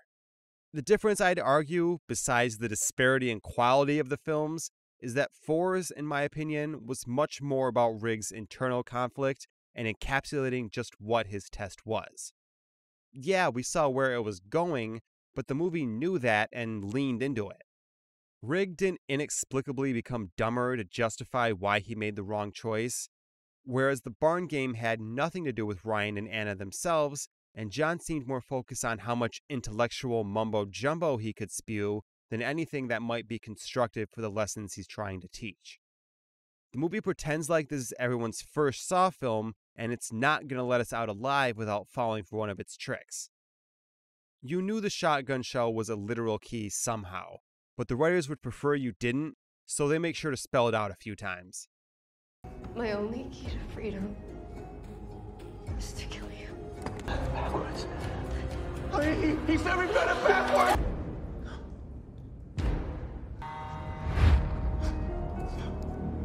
Is your key to freedom. Another reason for the failure of this scene is that it doesn't bring the game to a resolution. Okay, it does in the sense that everyone is dead, but what I mean is that whatever story was supposed to be underlying the barn game, you don't get the feeling that it paid off with the shotgun trap. For all intents and purposes, the barn game was four or so traps that were loosely connected by a couple of characters being lucky enough to live through each one. You never knew if someone dying was a detriment to the group or a tragic consequence, or if a lesson was supposed to be learned along the way. You don't really need to understand Anna and Ryan's backstories heading into it because it's going to be told to you. And other than Ryan missing a foot, there isn't much about what happened in the barn game prior that's going to be valuable knowledge moving forward. For example, remember when Anna knew to check the syringes or was resourceful enough to nearly break the spiralizer? How about when she took the time to bandage up Ryan? Well, it only makes sense then to make her an impulsive, murderous, when presented with John's easiest riddle yet, and then kill her off for it. That's a character arc, right? I'm just not sure where this is supposed to stem from. This is arguably the most low pressure test for Anna, especially considering that it's nearly impossible for Ryan to do anything. There's no urgency, which you'd think would be beneficial for someone as perceptive and strong as her, but it's like the movie decided that now that our savior John is here, we need a villain to get some comeuppance. So let's get the audience to turn on Anna by making her a baby killer, and to give them something to cheer for, we'll just have her shoot herself in the face. Anna is nice enough to verbalize her thought process during this, which makes our knowledge of what's going to happen all the worse. It's not that she isn't recognizing John's hints, it's just that she's so confidently wrong for no reason other than somebody has to be. Ryan instead takes the role of the level headed strategist, which I don't fault. After all, he did lose a leg for being impulsive, though it was a lesson that he wasn't supposed to have learned according to the rules. But much like his confession, it doesn't change anything. Anna fires the gun despite Ryan's better judgment and blows her face off. But ultimately, Ryan is forced to suffer the same fate, albeit a less abrupt one. It isn't as if he tried to grab the gun, failed, and then Anna shot herself, where you could argue that he made a mistake too. He figured out John's clue right away, made as good of an attempt as a dying one footed man could to stop Anna, and ended up just as dead as if he'd shot the gun himself. At this point, who knows if what Ryan did was right or wrong or what he could have done differently? Anna failed her test, not because she's a psychotic child killer who couldn't admit her wrongdoings, but because she grossly but reasonably misunderstood a bunch of cryptic riddles. And on the flip side, Ryan failed his test, not because he still can't take responsibility for causing the death of his friends, but because he wasn't fast enough or persuasive enough to stop someone who's being uncharacteristically dense. Say Ryan had been able to get to the gun first and took the keys out after however long of prying at it with his bare hands. That doesn't change the fact that Anna was dead wrong and learned nothing, but I guess she'll survive just the same. And that's pretty much how the barn game ends. Anna is killed off. There's a dramatic reveal of the key just in case we didn't pick up on John's clues in Ryan's epiphany, and for good measure, they give us a flashback of John's clues again. Just in case you thought they were going to leave Ryan's fate open, nah. The last we see of the barn game is during Logan's rambling, when he proudly pulls the cover off Anna and Ryan's neatly laid out decayed corpses. This is supposed to justify why we spent half the movie watching their game, but Halloran doesn't have a clue who these people are, and really doesn't care to learn at this point. Logan has presumably seen these bodies before, and really doesn't have any reason to dramatically uncover them. So add that to the list of things characters do solely to play for the audience. I just want to note how, yet again, the numbers work greatly in John's favor. Even if he managed to wrangle all five people up for the final test, there's no understanding how he could pull the shotgun test off with all of them. And that's ignoring the matter of space, since it seems pretty well set up for only two people. John can put five keys inside of the shells, I guess, but even if someone like Anna believes that they have to kill the others as their test, they'd realize pretty quickly that they can't do it with one shell, so something must be awry. The best hand wave would be to say that this whole game was a test only for Anna and Ryan, and that Carly and Mitch were pawns to hopefully scare them into confessing. It's the only way to explain how John seemed to know who was going to die, when, and how many people would be in a room at a given time. The elephant in the room is, of course, Logan, who was obviously not meant to die in the first room, and we never get the possibility even suggested that he had a trap of his own somewhere in the barn. Actually, Mitch and Carly are the only ones with a personalized trap, and the fact that it took until the shotgun game for Anna and Ryan's crimes to be acknowledged further suggests that, again, John somehow knew that they would not only be in the final test, but the only two in it. If we want to pretend that the this was only Anna and Ryan's game theory holds some water, then so be it, but that's just a desperate fan theory. I sincerely doubt this was the writer's intention. It doesn't come across at all to a casual viewer, and it's not like it's a very interesting or satisfying theory to say that most of the barn game was a ruse. Not to mention, it's still pretty flawed unless John also knew that Ryan wouldn't bleed out after losing a leg, or that Anna wouldn't die in the silo either by suffocation or impalement. The funniest part of all of this is that the writers had the gall to have John utter the line, Now the game's simple. The best ones are. Meanwhile, we're on like step 23 of Logan's plan. Now that is how you do irony. So, to finally get back to the point I started to make many moons ago, and one that we managed to get through the entire barn game without needing to seriously address, that this game occurred 10 years in the past. Not only that, but 10 years ago in this movie puts the barn game before the events of Saw 1. And not only that, but Logan had also conducted a secret duplicate barn game in the present that I guess is virtually indistinguishable from the old one. Are you with me so far? It's actually a lot messier than it sounds, because unlike Saw 2, where we were watching a past game through a video feed, or Saw 4, where the past game is actually running concurrent with another, there was no discernible reason for us as the audience to be seeing the old barn game. I realize the writers are setting up a twist, which what else do they do? But it's a very cheap way of going about it because it comes across as if Logan knows that we're watching it and is running his game purposely alongside it. No one knows what happened in the original barn game except for John and Logan. One of those characters is dead, and the other isn't doing anything at that moment that warrants such a thorough flashback. Even if he was, that doesn't motivate the movie to bounce between present and past for its entire duration. If the movie is going to be so self aware as to cleverly edit and manipulate events in order to trick us, you may as well bust out the dream sequences. It really makes you wonder if the movie would have been better off just being forward that the barn game is in the past. Sure, you lose the John is back moment, but that's just audience pandering. Not a single person or event in the film could feasibly be impacted by it. But these nonsensical flashbacks, which is more or less what the barn game is, are not exclusive to Jigsaw. In Spiral, they're constructive enough, but haphazardly placed and never seem to quite justify why they're flashbacks. The first one happens after Marcus leaves Zeke's apartment. For some reason, Marcus walking away triggers Zeke to remember the I'm not my father line, which kind of relates in the sense that it's about Marcus, but it's not clear what Zeke is actually thinking or why because it doesn't apply to what was just discussed. This then transitions poorly into another flashback this time of Charlie's shooting, which has nothing to do with anything at this point in the movie. And even that ends with a line from the Angie conversation again about him having no one that he can trust. I have no idea if this is still Zeke's flashback, if the writers are trying to give us a teaser of things to come, or if they felt this was the best place to remind us of lines from 20 minutes ago. This actually happens quite a bit in the movie, where you'll suddenly hear lines of echoey dialogue, or we'll cut away to flashbacks that seem to pop in like an apparition. It feels like it's a creative decision where there's a third party narrative element that can tell us things independent of the characters. There's also the scene where Zeke walks around for five minutes in Marcus's living room. The movie cuts from him glancing around blankly at nothing in particular to him as a rookie cop getting chastised in, like, the dining room. He doesn't look at an object that would remind him of the argument, and his expression doesn't read as anything. But the really strange part of this flashback is that after Zeke goes off screen, it continues on as if to suggest he remembers the private conversation between Marcus and Angie, or saw Marcus bash the reporter's nose in.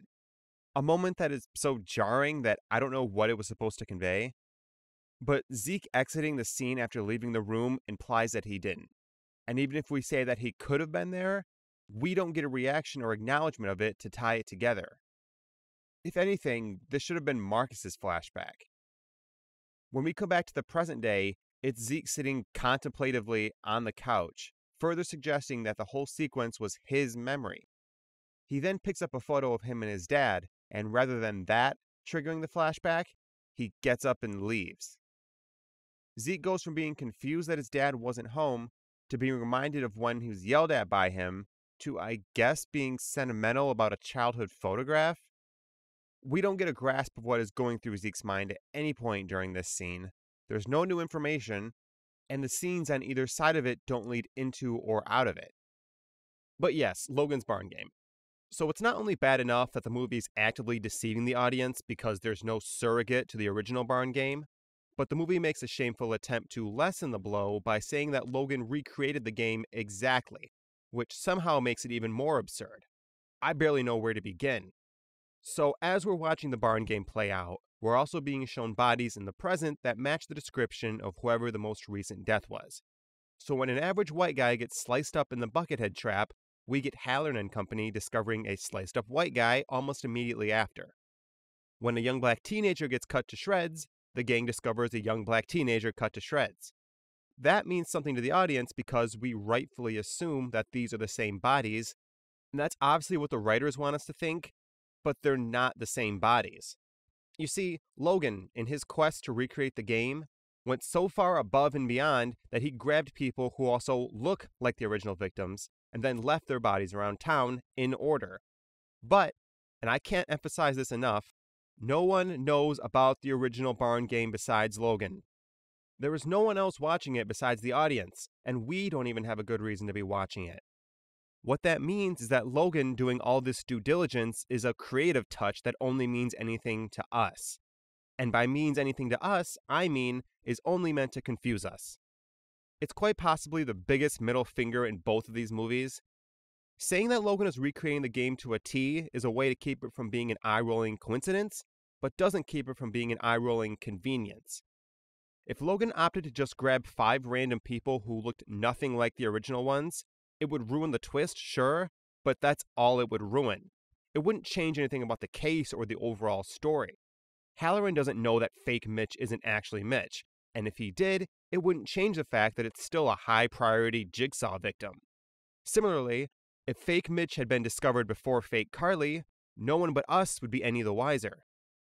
So the movie goes to great lengths to hide things from us that it's only introducing for the sake of hiding from us. We already talked about how during the only game we would have seen Logan in, everyone has their faces obscured. But also, being the first game and happening before anyone introduces themselves, the writers also relish the opportunity to name the Buckethead victim. Dental ID's Buckethead as Malcolm Neal. This isn't so bad on its own. The problem comes when the movie sidesteps naming the other two victims, you know, the ones whose doppelgangers we do know. If they give us the names of the other two, then that's an instant giveaway when their name isn't Carly or Mitch. This is marginally better than not naming any of the victims, but it's obvious that the characters not discussing them has nothing to do with the story at hand and everything to do with keeping us in the dark. It's also the reason why the three victims had mangled, mostly unrecognizable faces, because if the second victim doesn't quite look like Carly, it's a huge tell.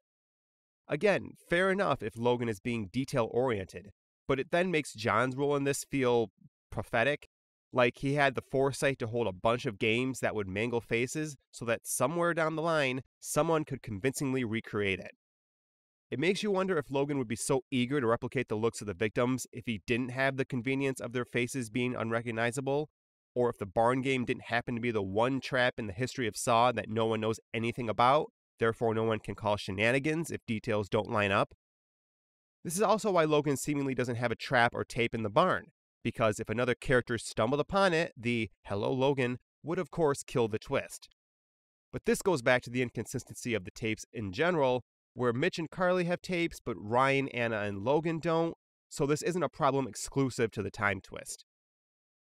As the cherry on top, Logan is decent enough to strip the new victims down to their underwear because, had he not, the odds of them wearing the same clothes as the OGs borders on impossible. Even if we live in a world where Logan replicating the game makes perfect sense from a motivational standpoint and isn't just a big bandage for dumb coincidences, it doesn't explain what actually happened in his game. You might be thinking, he grabbed five lookalikes and just had them do the same game as before. What else do you need to know? Well, despite his assertion that I wanted my game to be identical to Jigsaw's. What little he tells us about it shows that his game couldn't have functioned even close to the original. But I guess saying, I wanted my game to kind of resemble Jigsaw's if you're willfully ignorant, doesn't have the same ring to it. Logan didn't just grab five lookalikes. As he reveals, he only grabbed three the doppelgangers for Carly, Mitch, and himself, respectively. The remaining two were not doppelgangers at all, but were in fact going to be Logan and Halloran themselves. If this already feels contrived, well, settle in. You see, Logan's second game isn't really a game in that he's choosing to genuinely test individuals and wants them to learn a lesson. Logan's number one priority is framing and killing Halloran, and everything he does in the movie in some way is designed to do just that. The recreated barn game is no exception. One of Logan's 200 ways he chose to frame Halloran was by leaving a string of bodies that were associated with his failed cases. But in order to pull that off, well, he needs bodies. It's pretty difficult to frame someone as a killer if no one is killed, after all. The implication is therefore that Logan knew that his three victims wouldn't survive. Whether this is because he rigged it to be, which kind of craps all over it being a test, or that he inherited John's impossible foresight, we may never know. If you thought that John lucked out by having everyone die according to plan, imagine how difficult it must be for the exact same thing to happen to three different people. But that's what the movie tells us happened. Logan's new victims, as far as we know, didn't die in a similar method as the originals. They died in the exact same manner, meaning that both Carlys were injected with the acid, both Mitches got spiralized, and both Logans died in the Buckethead trap. I hope you see the issue with fake Logan dying already.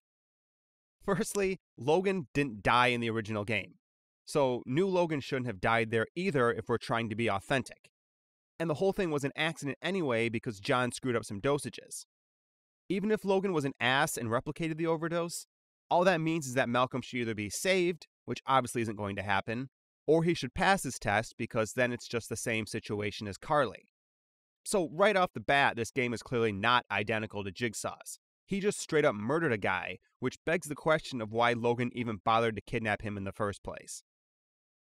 This means that all that's left are fake Carly and fake Mitch to presumably go through the entire barn game themselves, That means that Logan must have found and poisoned a fake Carly that also committed a crime involving a number that she could recall that he would have had to have fashioned new syringes for and change the combination to the next room.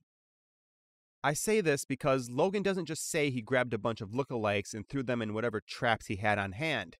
That would have made a much better plan. He says, So I went through your cases, found players just like the ones in the original game. I gave them the same choices that Jigsaw did a decade ago. Fake Carly has a funny little anomaly, and you do have to pause the movie to even notice this, so maybe it's not on the writers. But when they show her death, she has one syringe jammed into her neck. This suggests that, unlike original Carly, she didn't recognize the number, managed to guess wrong in the worst way, and chose her neck of all places. But besides that, she should be hanging because she obviously didn't pick the antidote, which is what releases her according to the rules, further killing the credibility of this game. But I digress. Now, I'm sure Halloran is a very corrupt, scummy guy with an extensive history, but I'm not sure I'm buying that his pool of failed cases is so large that Logan is able to grab near lookalikes that have committed similar crimes and that are just as incapable of survival. I know it sounds like I'm nitpicking, and I only kind of am, but it's really annoying that the writers just pretend that Logan replicating is a quick fix and that all he had to do was turn on the power and push start. Believe it or not, despite John's penchant for automating a lot of the barn game, he still is very much involved in overseeing it. And that's funny in itself because he's also supposed to be tending to Logan's injuries at the same time. That means one of three things. A. John is exceptionally fast at treating lethal wounds. B. He's treating Logan while simultaneously watching over the barn game. Or C. He's just leaving Logan there to bleed out profusely and hopefully can save him after the game is over. I'm not convinced the writers want any of the above to be the case, though. And Logan is obviously not watching over his entire game. Even if he has the ability to do this remotely from the comfort of his own home, he doesn't have the time or convenience to do it from beginning to end. Who knows how these people are getting through the game or how they'd escape should they manage to survive their traps, or at what point Logan is making the trek to bring the bodies back into town. So after fake Carly dies, this totally identical burn game is just down to fake Mitch. This is all speculation, by the way, because again, we are shown nothing about the second game, which I guess means that the silo game, foot trap, door unlocking business never happens, so he can move straight through to the spiralizer, having apparently committed some break related crime and dies just the same as our pal original Mitch. And that's new barn game. I just love how the writers are like, yeah, let's throw a giant game into the past timeline and then throw another giant game into the current one, and neither of them will have any survivors or consequences, and no one except for one guy will care that they happened. It's one thing to say that everyone died in Logan's test, but it's another to then tell us that these victims were all picked to fulfill a very specific purpose, and that purpose necessitated their deaths. Either this is a game or it's just the illusion of one. Either Logan is trying to copy John's game exactly, or he's twisted it to fit his own agenda. But the movie tries to say that it's all of the above based on whatever it thinks is more interesting at the moment. The biggest deviation from John's original game is with, well, the entire ending. So, in addition to just investigating bodies, Halloran and company also receive updates from the killer in the form of body counts. In his initial message, he mentions that there are four victims remaining. I'm not sure why Logan is doing this besides him thinking that we're the final two players line was going to be way cooler than it was. The writers didn't want the killer to just straight up call out Halloran, test him, and have him lose his game. That would be too easy. Instead, we get a slogging mystery where everyone is business as usual with only slightly piqued interest due to the novelty of the killer's MO. It's the kind of plot construction that works, using that term loosely, the first time through when you don't know exactly what to expect, and so you end up making assumptions based on how the movie conducts itself, but not in what it's actually giving you. Logan's scheme works primarily because we assume this is all a game, and when we get to the end, we take it for granted that Halloran and the police in general had been playing one and that wrong decisions were made along the way. The body count updates are beneficial if you believe that the detectives are racing to find the barn game in order to save lives, but as it would turn out, they're not. The killer here isn't leaving clues that might lead to a location, a game, or to the killer himself. Each note is a dead end, barely gets acknowledged, and there's no more at stake between finding the first body and finding the last. Halloran can only be like, there's another victim and that sucks and I wish I could stop it, but there's nothing I can really do besides try to solve it like any other case. Halloran ends up in the barn not because he was pursuing the two remaining victims, and this is where the clues led him to, but because he was tailing Eleanor.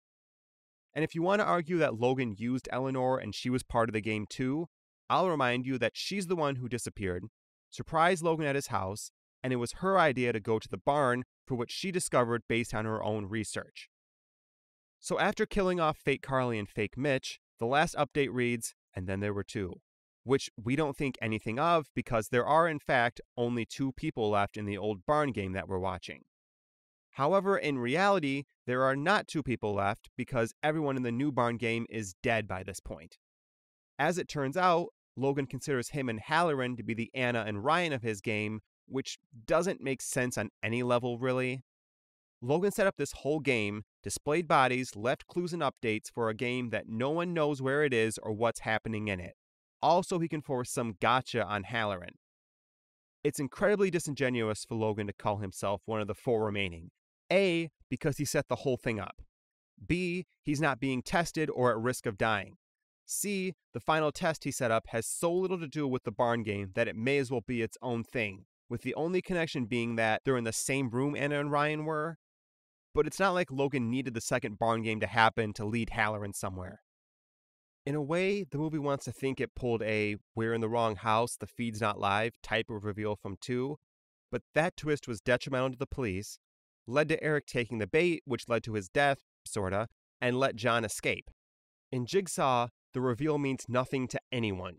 The police weren't tricked, they followed a game that was actually happening, and when all this is dumped on Halloran, he doesn't give a crap because A, the reveal that a game was replicated isn't impressive if you didn't know there was an original in the first place.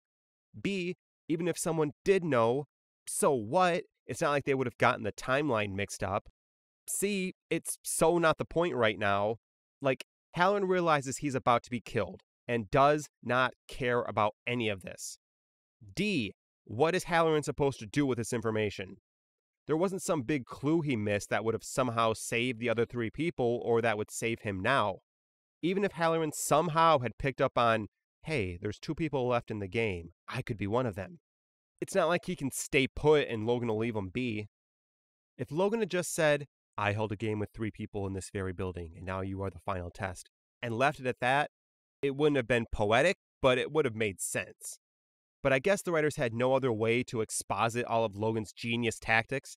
After all, it's not like there's another character in the movie who's already on Logan's side and has a macabre interest in Jigsaw and death. So let's just have him ramble on to basically himself, since the only other person in the room is confused, doesn't care, and is going to be killed anyway. And if you were wowed by Logan's lengthy, droning, condescending, self indulgent unloading of underexplained and poorly established plot points, well, you're in luck because you're getting the exact same speech in the next movie, too. Now, Will's plot unloading is marginally better than Logan's simply because there's at least something happening during it, unlike Jigsaw, where any and all suspense stops for six minutes solely so Logan can explain the plot twist. That being said, I think the actual information Will reveals to Zeke is clumsier and maybe even less comprehensible because it doesn't have a clue what to focus on. And yes, we're going back to talking about Spiral's ending. But instead of discussing lessons, relationships, and character arcs, we're going to focus on whatever nonsense Will is spewing. And in order to do that, we need to talk about Will's family. No, not his dad. That's a secret, don't you know? But his son Charlie and his wife Emma. Will spends the first quarter of the film, possibly more, talking about his wife and newborn at length. He shows Zeke the picture of his family, and they chat about the struggles of being a married cop, his wife's hobbies, his baby's sleeping habits, etc. There are at least three separate scenes that contribute to making sure we know that Will is such a family man. If you haven't seen the movie, and even if you have, pretend like you haven't, go ahead and guess what function the family serves to the story. Maybe they're going to be threatened by the killer and cause Will to make a fatal mistake. Maybe they're going to keep Will from focusing on his job, leading to a confrontation between him and Zeke. Well, if your guess was anything besides Will lied about having a family so he could trick Zeke and give us yet another twist at the end, then congratulations, you put more time into this question than the writers did. Follow up Besides having a wife and kid and being top of his class, what else do you know about Will? Backstory, hobbies? Can't think of anything? Then you'd be correct, because there is nothing else. The point I'm making here is that his wife and kid are basically his entire character and the closest thing to opening up that he manages to do. And the movie throws it all away, or rather wastes our time with it, because Will's a killer and killers have to lie about everything, otherwise, how else will we know how cunning and manipulative they are? After the scene where Will is on the phone and Charlie is crying in the background, we don't hear about his family until after Will's death. Now, you can't see my script, but there are quotations around pretty much every noun in that sentence. When Zeke receives the potential bomb and sees the skin graft with the Charlie name tattooed on it, that's how we know that Will was captured. Besides just the pure thrill of keeping up a lie, this is from what I can tell the entire point of Will making up his family. The scene comes across as if the tattoo was irrefutable proof that Will was the victim, but we're mostly thinking, wait, did Will really have this crappy tattoo? And it turns out he did. And if you weren't blinking and are good at noticing details, you'd see it once in the car scene. Not that it matters because the movie will hold your hand as it flashes back to it. Don't feel bad if you didn't notice it though, because the movie purposely avoided bringing attention to it, and I'm not really sure why. I get that the flashback was meant to put us in Zeke's head, I think, but that means he's either remembering a tattoo that we never actually saw him see, or he's having difficulty remembering where he's heard the name Charlie, which seems unlikely since Will has said it three times, once after Zeke directly asks him. What's your boy's name? Charlie. Charlie. A flashback should either fill in blanks, flesh out a scene, provide new context, or remind us of details we may have overlooked. And while, yes, we did overlook the tattoo, the whole thing is made redundant by us knowing the name Charlie, and even more so by Zeke knowing the name and making the connection right away. If the killer had just left a piece of paper that said Charlie, we'd still go, well, we only know one Charlie. If we're supposed to think, oh wow, he's got Will's skin, he must be dead, well, that's made redundant by the fact that Will has a tape with his name on it at the crime scene. Hello, Detective Schenk. So, considering the movie set this up with Zeke not being able to get a hold of Will no more than a minute before this, we already have everything we need to piece this mystery together. Maybe if the tattoo was something incredibly obscure, forcing Zeke to have a brain blast trying to think of where he's seen this before, then goes, oh crap, it's Will, we gotta move, then maybe I could see where the flashback might be constructive. But the sequence of events from our perspective is oh hey, Will is suspiciously late. The killer probably got him. Oh hey, a package. The killer has another victim. It's probably Will. And look, it's a Charlie tattoo. It's most certainly Will. And here's Zeke confirming our suspicions. So it's definitely Will. And then we go to the crime scene, and wouldn't you know it, it's Will. All of this is over the course of three and a half minutes, and even that's broken up with another pointless scene of Zeke in Marcus's apartment. And yet somehow there's no urgency during any of it. Zeke remembers the name and doesn't bother to tell the group. As far as we know, only he knows who Charlie is. Instead, he digs around for the clue and we cut to the crime scene.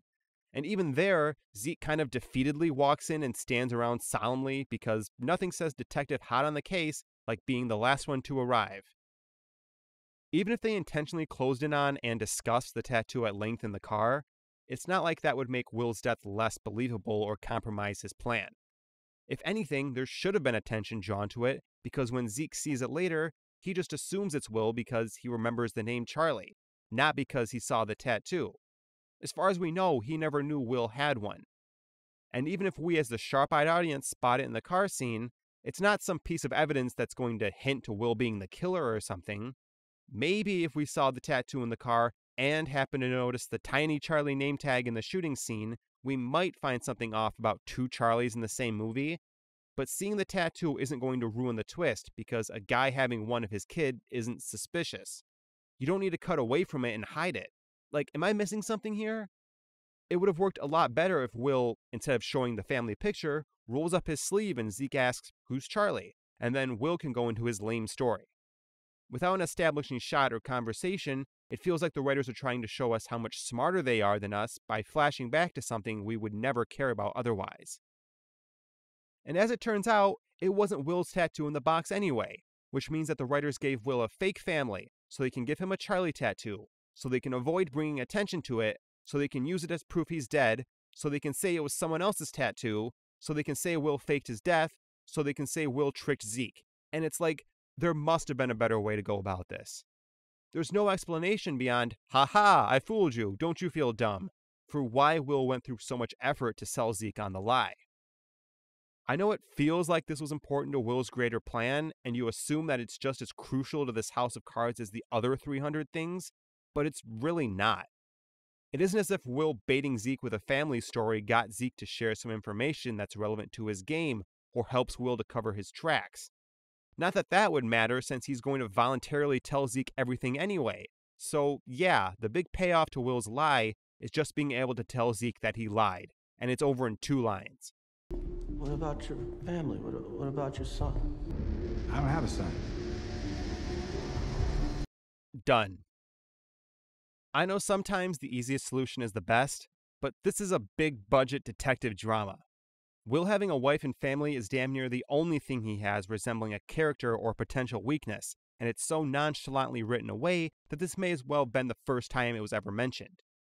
If nothing else, there could have been a scene or two in which Zeke tries to contact Will, and Will says he's dealing with the baby and might be late. But flashback later, and it's revealed he was using Charlie as an excuse while he's actually setting up a trap. As it stands, though, the only thing the imaginary family does in terms of the story or helping Will out is the tattoo clue, and I guess drum up some sympathy points with Zeke.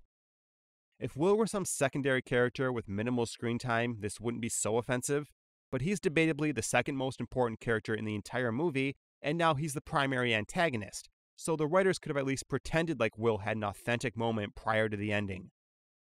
But the family payoff is even worse than I've let on, and that's because the writers gave us this gem of a line. We gotta try to keep his identity out of the press until I tell his wife. This is almost as bad as the black SUV, but at least that plot thread never gets rolling, no pun intended, unlike this one, which happens as the movie is barreling towards the climax. Of course, Zeke never tells Will's wife, and he can't even if he tried because the wife doesn't exist. And this is another reason there was no point in Will making up the lie in the first place, because the last thing he wants Zeke to do is, well, anything but keep it in the back of his mind. Besides coming up with some names, Will doesn't seem to have a well thought out backstory, and you have to figure that if anyone had asked him anything beyond softball questions about his family, he'd run the risk of blowing his cover.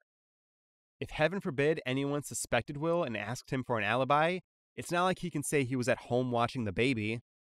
It's one thing to tell a white lie or one that you can explain away, but you're not getting out of lying about the existence of a wife and child, so he's just making things more difficult for himself by keeping up the charade and hoping that no one cares enough to endanger it. So I don't know why the writers called back to the Zeke wanting to tell the wife when they knew darn well they're not writing the scene in, that Zeke isn't going to do it off camera, nor is he going to say why he isn't doing it. The reason I presume that Zeke never got around to it was that he was way too busy with bodies and games to make courtesy visits, which is totally reasonable and would have come across just fine even if he didn't say anything at all. It's damned if you do, damned if you don't. Zeke can't actually pursue the wife because that blows open the whole twist. But if he doesn't do anything at all, then it begs the question of why she was brought up in the first place. Really, I don't know what Will hoped would happen or why this is all so important to his plan. In Will's mind, what action is Zeke supposed to take knowing about Emma and Charlie? What's supposed to happen if Zeke goes to Will's apartment and no one is there? And on the flip side, what difference does it make to Zeke, Will, or even the movie that he never got around to it? I'm fully aware I'm banging on about one insignificant line, but the problem is that it shouldn't be insignificant. If the movie wants to save the payoff until later, that's fine, but they just don't pay it off at all. And it's made worse because, intentionally or not, the writers set our expectations in the scene where Zeke and Fitch argue about calling Kara, and the following scene where Zeke goes to console her. Visiting the widow isn't some inferred detail of police work. It's an issue worth devoting multiple scenes to and important enough to the characters that it's a source of conflict. So when we get to Zeke saying, until I tell his wife, we immediately call back to those prior scenes and rightfully assume it's important, especially when coupled with the most impactful death of the film up to this point. Zeke wanting a name kept out of the press is an upstanding little gesture, but within the narrative of the story, it's just fluff. It's a quick bandage to justify why no one else besides Zeke seems to be doing any due diligence, and to prevent him from going straight to the station. Hiding Will's name is less about keeping it from the press, that only exists for this scene, and more so keeping it from any character who could figure it out before Zeke. This is then paired with the convenience that Zeke himself will be too preoccupied to figure it out either, so crisis averted. I'm sure I've already given out the biggest middle finger of the movie award, but in case I didn't, Will's Trap is probably it. After a couple of frantic but low stakes traps featuring expendable one note characters, it takes until a little over halfway through the movie to get to a death that's supposed to mean anything to us. And wouldn't you know it, it's not even a trap. Well, it is, but it isn't. So to back up, we sort of get thrust into a scene halfway through it when Zeke is trying to get a hold of Will. Not to leave this understated, but Spiral is basically no one answers their phone from the Book of Contrivances. Who needs actual attention when you've got the get out of jail free card in having a character not answer an urgent call? Besides the stupidly intricate scheme, the missed call is the writer's bread and butter. Fitch tries to call Cross, then O'Brien. Zeke tries to call Marcus three times. He tries to call Will. He tries to call Angie. He tries to call an entire police department. No one answers. Hell, even in the apartment flashback, Zeke says he couldn't get a hold of Marcus. While it's justified in some cases, for the most part, people are just inexplicably not answering. And even if it were justified every time, that doesn't excuse the writers from going to that well about six times too many. But back to Will. So, yeah, out of nowhere, Will is missing, and Zeke can't get a hold of him. And I mean out of nowhere, because we just saw Will and he was fine. There wasn't even a microsecond of a scene where maybe we would think that Will possibly could have been captured. We cut from Will and Zeke leaving the church in the day, to Zeke in the middle of Marcus's apartment at night, to Zeke in the middle of the police station at 9 a.m. And it's just like, slow down, because this takes up less than 30 seconds of movie time. Now, despite two detectives being kidnapped, tortured, and killed over the past couple of days, Zeke isn't in panic mode so much as he seems to be annoyed with Will for possibly sleeping in. But even if Zeke isn't too concerned yet, we are, because major characters don't just show up late without reason. 99% of us watching assume Will has been captured, which makes it all the more suspicious that we didn't get a capturing scene. But hey, at least we'll get an awesome trap to make up for it, right? Right? Zeke walks into the crime scene well after forensics and all other assorted personnel have finished up, and oh, Will is already dead when we get there. Well, they just did this with Fitch, sort of, so I guess it's not that strange. Let's just give it a minute and they'll flash back to it. Oh no. The movie is using extreme close ups and not showing Will's face at all, and it's being cut incredibly frantically so we can't tell at all what's going on. Maybe the tape will tell us something. No? Maybe the investigator will. He was obviously skinned. Guess not. We are beyond suspicious at this point, and the movie's middle finger is fully extended. Not only because they're so obviously pulling the it was the good guy the whole time twist, and not only because they're so creatively bankrupt that these are the hoops they're jumping through to pull it off, but because they have the gall to play this, forgive the pun, dead serious and think that we're gullible enough to believe there's nothing deceptively off about it. This was the whole reason Fitch's trap was edited so strangely, to cover up the unavoidably strange editing of Will's trap. But it's still strange regardless, so we're obviously going to notice. They also pulled a similar stunt in Jigsaw where Halloran is shown being captured, but not Logan, who was the main character of the damn movie. Not saying this is unique to these two films. Saw 4 did this with Hoffman, but at least there they led us to believe a capturing was happening, even if it really wasn't, and then later showed how it wasn't what we thought.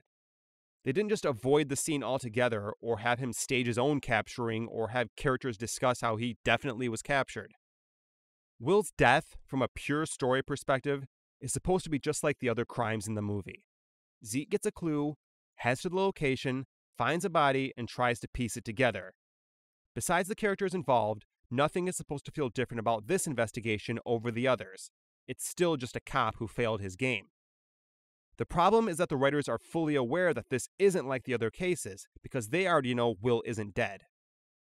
Now they put themselves in an unwinnable spot, where they obviously can't show his death, but they also can't pull back too much because they need us convinced he's dead all the same.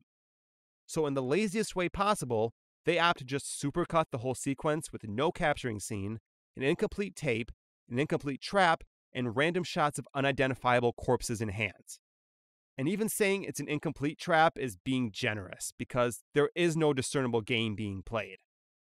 It looks like Will was just straight up murdered and skinned, which raises more questions if that's even possible. There is such a huge disconnect between what we know and what the characters know.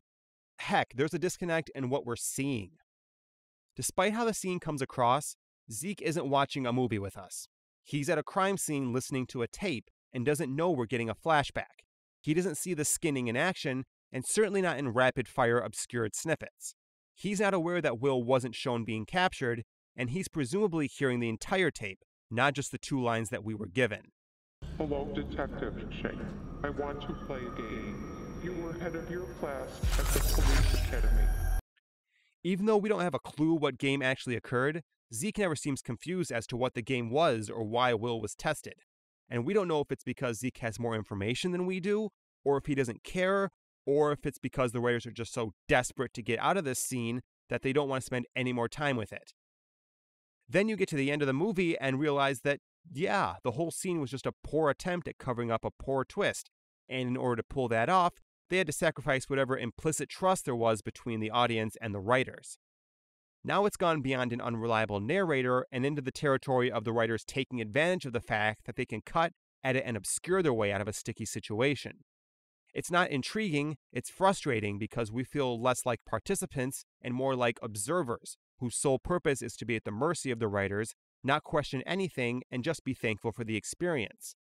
If the answer to your screenwriting problem is fake death, cut away, and hide their face, then perhaps it's time to reassess what you're trying to do.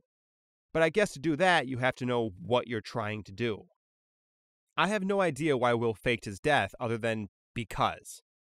You can try and argue that Will is just giving himself the greatest alibi that will make sure that no one ever suspects him of being the killer. But based on what we've seen and at the rate the investigation was going, Will was never going to be a suspect anyway. Especially when you consider that his plan hinges on enough time passing that Zeke wouldn't recognize him as the little boy, that the police wouldn't do a thorough background check, and that he has literally zero family or friends who would be impacted by his death. I'd understand if Zeke was in danger of uncovering information that would eventually implicate Will, so Will hit the kill switch. But Zeke uncovering anything on his own is nigh impossible, as we've discussed, and that's just not what happened. If anything, faking your death is only going to raise suspicions because, despite the movie's attempts to just cut away from any obvious tells, no matter what, someone is going to figure it out once they do any degree of DNA evidence or anything beyond just taking the crime scene at face value. Like, Will didn't fake his death by drowning or burning or going missing or anything that would have left no usable evidence. He left an entire body. Just because it's missing a face doesn't mean that no one can identify it. And what's Will's plan now? You want to tell me that he went through all this trouble and spent all these years masterminding a theatrical revenge plan? I couldn't say it's impossible. But this guy is a top of his class detective in his late 20s with a presumably decent income, an apartment, endless other commitments, and an entire lifetime ahead of him. And he's just going to fake his death, go into hiding for the rest of his life, and play nomad now? Will had no reason to fake his death other than for fun. And considering all the sacrifices he's going to have to make from now on, it doesn't sound like it's worth it, even if it is in his father's honor. I realize that Zeke probably isn't going to help Will keep up the charade, and within minutes there'll be, or at least should be, a manhunt for him. But that again begs the question what was the point then if he's going to be figured out that very day and nothing happens as a result of it in the meantime? Say Will doesn't fake his death. What happens? Besides maybe needing to come up with an excuse to step away from Zeke once in a while, from what I can tell, there's nothing about his plan that is compromised by him being alive or made easier by him being dead. Will didn't need to be out of the picture since he had no problem committing a string of murders while being a full time cop before. Zeke doesn't learn anything or take any action after finding Will's body. He gets distracted by the cut up cop before he has a chance to. Will can still pull off Angie's trap, distractions and all. He can still frame and capture Pete. He can still grab Zeke at the church, and he can still be standing there when Zeke walks in the room. Even if Zeke had managed to figure it all out, so what? Will can just capture him right then and there, or say, Don't try to kill me or turn me in because I have your dad. Will got his best case scenario with Marcus being killed, But no matter what, the jig is up for him as everyone knows who he is. In all the other movies, if a character tells another they're the killer, it's either because the victim is basically dead anyway, or because they're being recruited. Or in Hoffman's case, because he got figured out. Will, however, volunteered this information to Zeke, let him live, and gave him no incentive to not tell anyone. Like, congratulations, you just gave up the luxuries of civilian living to be a full time fugitive on the run. And no, you can't just change your name again to get out of this one, which was a thing. Pete killed Charlie Emerson. What, you thought I'd use my real name? There's not much to say about the line itself, which happens during Will's villain speech, but the writers combed through the entire script and thought, well, everything else is pretty watertight, but golly, the only thing that doesn't make sense is how no one managed to remember Will's name. Oh, just have him throw out that he changed his name like it's the most obvious thing in the world and not a cheap cop out. At that point, you may as well pull the I had my face surgically altered to be unrecognizable, or I have a twin twist. It's even funnier because Zeke isn't quite convinced that Will could be the killer, and so he's all Pete killed Charlie Emerson. without missing a beat. Like Will is gonna go, My gosh, you found the hole in my story. I guess I'm not really the killer. The very first question out of Zeke's mouth isn't, What are you doing here? or Why?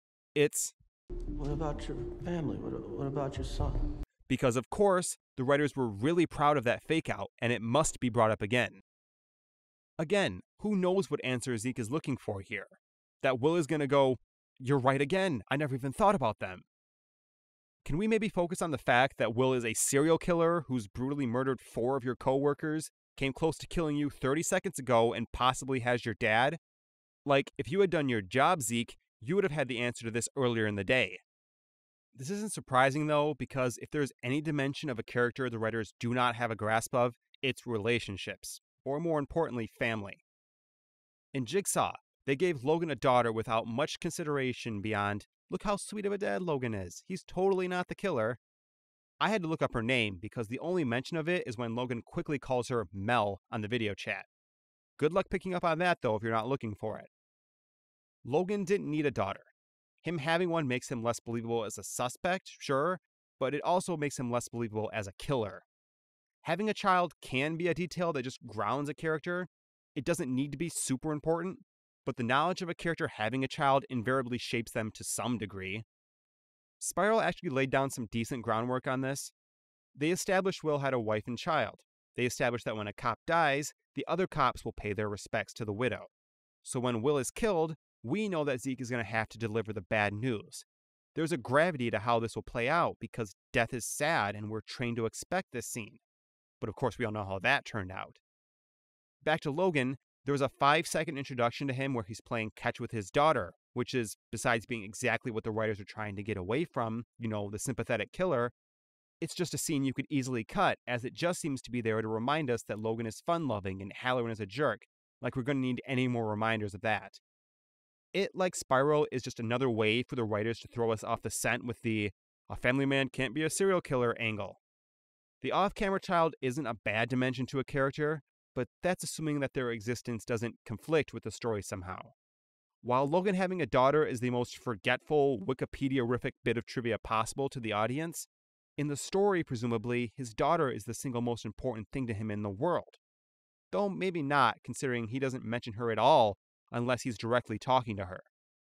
Not that his every decision has to be motivated by her, but the implications of him brutally killing five people with plans to kill more while he's presumably the sole guardian and only living parent of a 10 year old whose mother was murdered herself were apparently lost in the creative meetings. And then there's his wife, Christine, who is the proppiest of plot devices. It's very sweet that Logan was young and in love, but we know absolutely nothing about her besides her name and that she's dead. She's supposed to be the entire reason Logan is doing what he does. So, of course, we don't even get a picture of her, or give Logan a chance to say a few fond words about her, or get any perspective of their daughter. She's just Logan's dead wife, who could have just as easily been Logan's mom or Logan's dog. They don't even let us know how Christine died until the very end, with characters purposely being ambiguous about it whenever it comes up. I'm sorry to hear about Christine. Been two years since Christine passed. You blame him for what happened to Christine, don't you? Until the middle of Logan's speech. Edgar Munson killed my wife.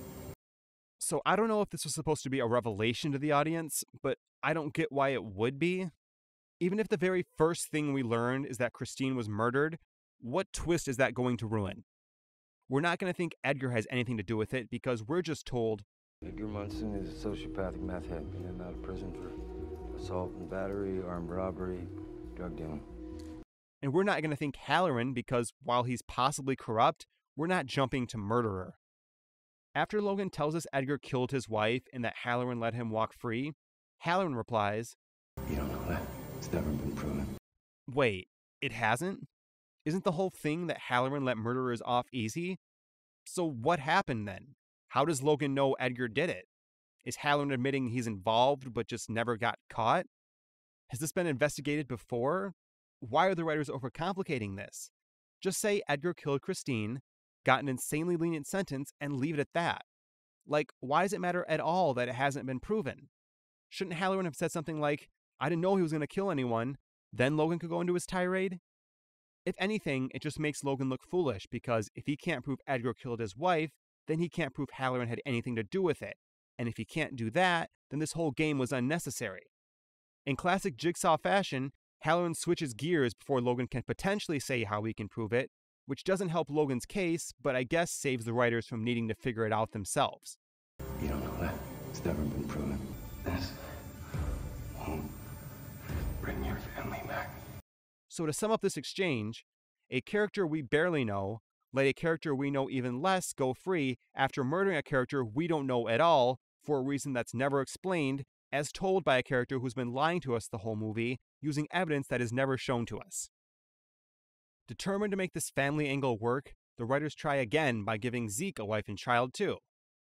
While on one hand, Zeke does bother to mention them, and they, well, the wife, get screen time, on the other hand, they're far more inconsequential, they stop existing no more than halfway through the movie, and debatably waste more of our time.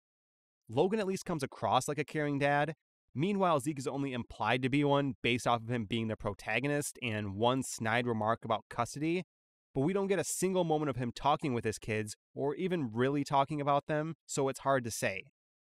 He's sure to emphasize he's in the middle of a divorce and he devotes a lot of time to cracking jokes about cheating wives and unhappy women, though perhaps too much time as this discussion, which encompasses an entire car ride and then some, lasts a solid two and a half minutes, which doesn't sound bad until you realize Zeke is repeating the same joke the whole time.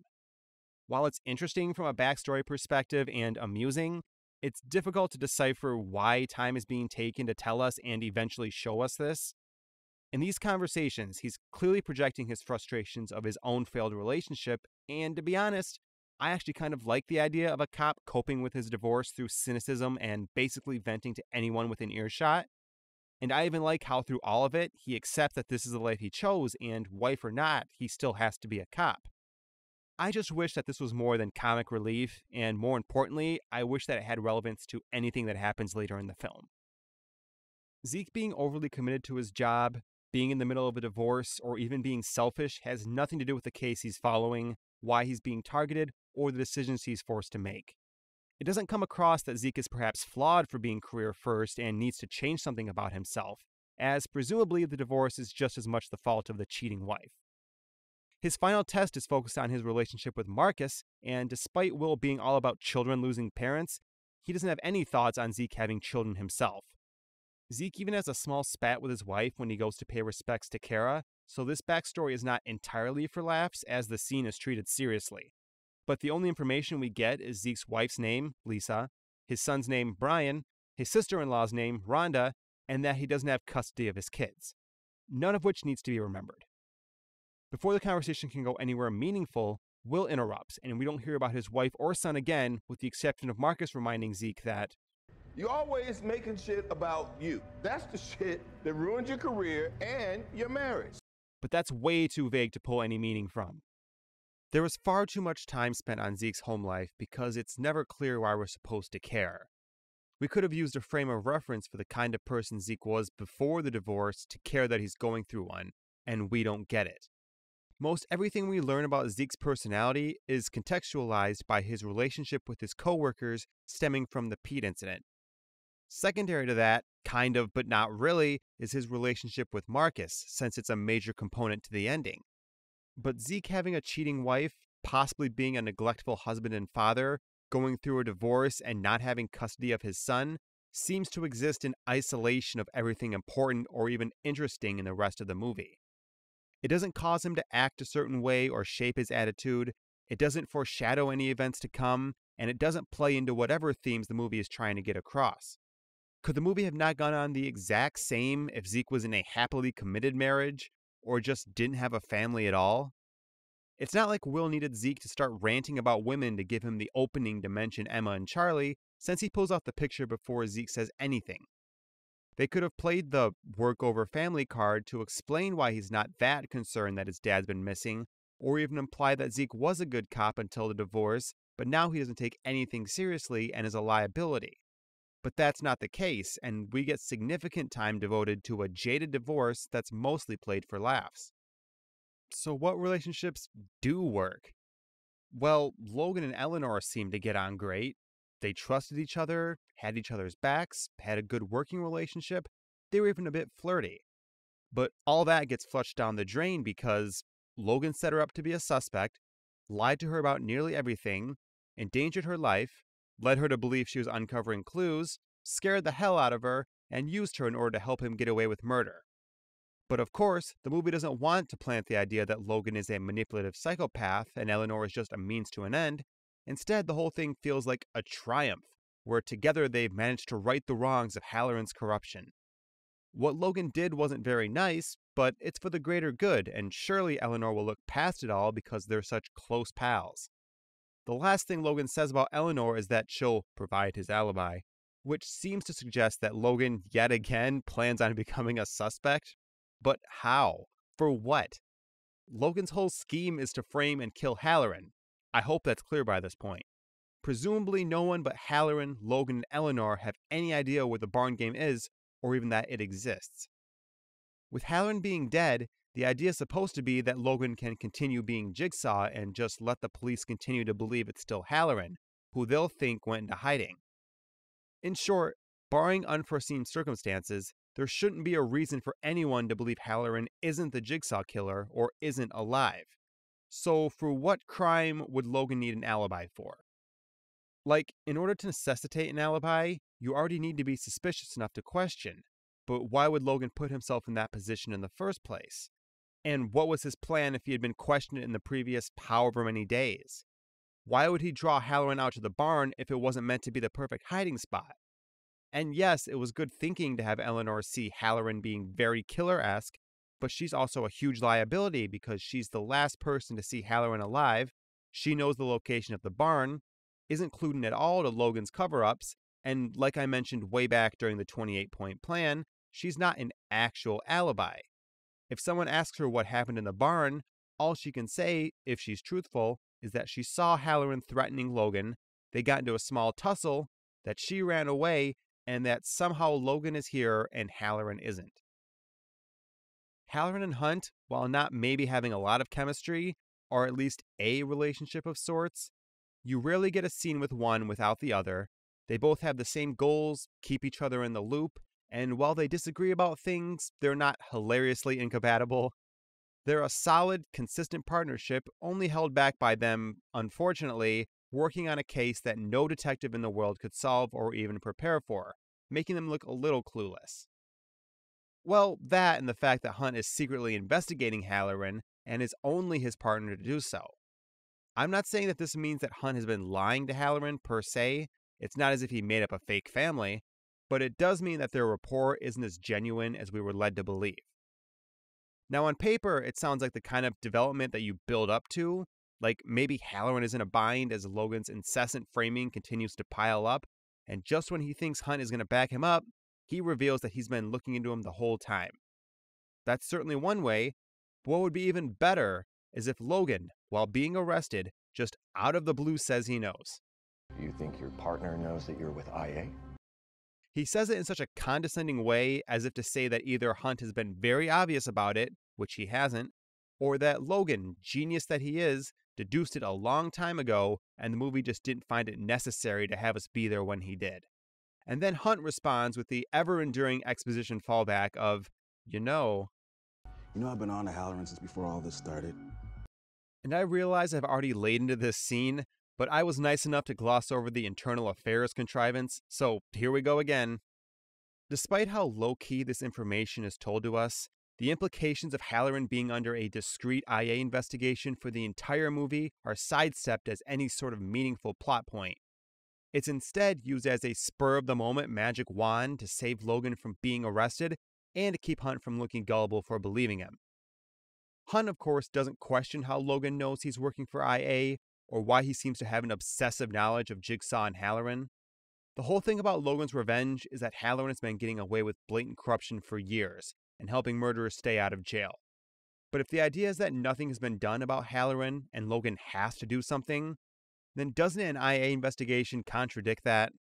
Something is being done that warranted an investigation in the first place.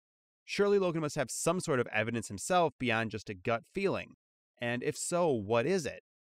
Because all we get is the evidence that he planted for the new Jigsaw killings and nothing about the corruption that necessitated this investigation or Logan's remark about Halloran prior.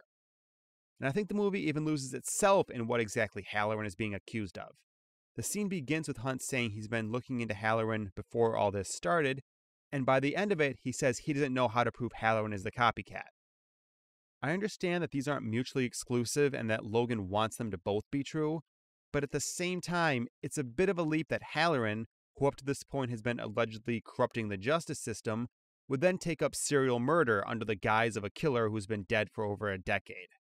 And that's not even taking into account the sheer amount of effort it takes to engineer, coordinate, and see through said killings and the citywide goose chase. All this while apparently under the eye of Hunt, who was supposed to be monitoring him for suspicious activity. Regardless, this investigation and Hunt's looking into Halloran does not change a thing about any of the prior events. Yeah, it explains away the problem of Hunt being too happy to go along with Logan's aggressive pursuit of Halloran, but that's a problem that was only introduced in this scene. Prior to that, there was nothing about Hunt's actions that logically hints at him essentially being an informant or having ulterior motives. There is no dialogue where Hunt tries to feel out Halloran for information or a moment where he appears suspicious of Halloran's actions.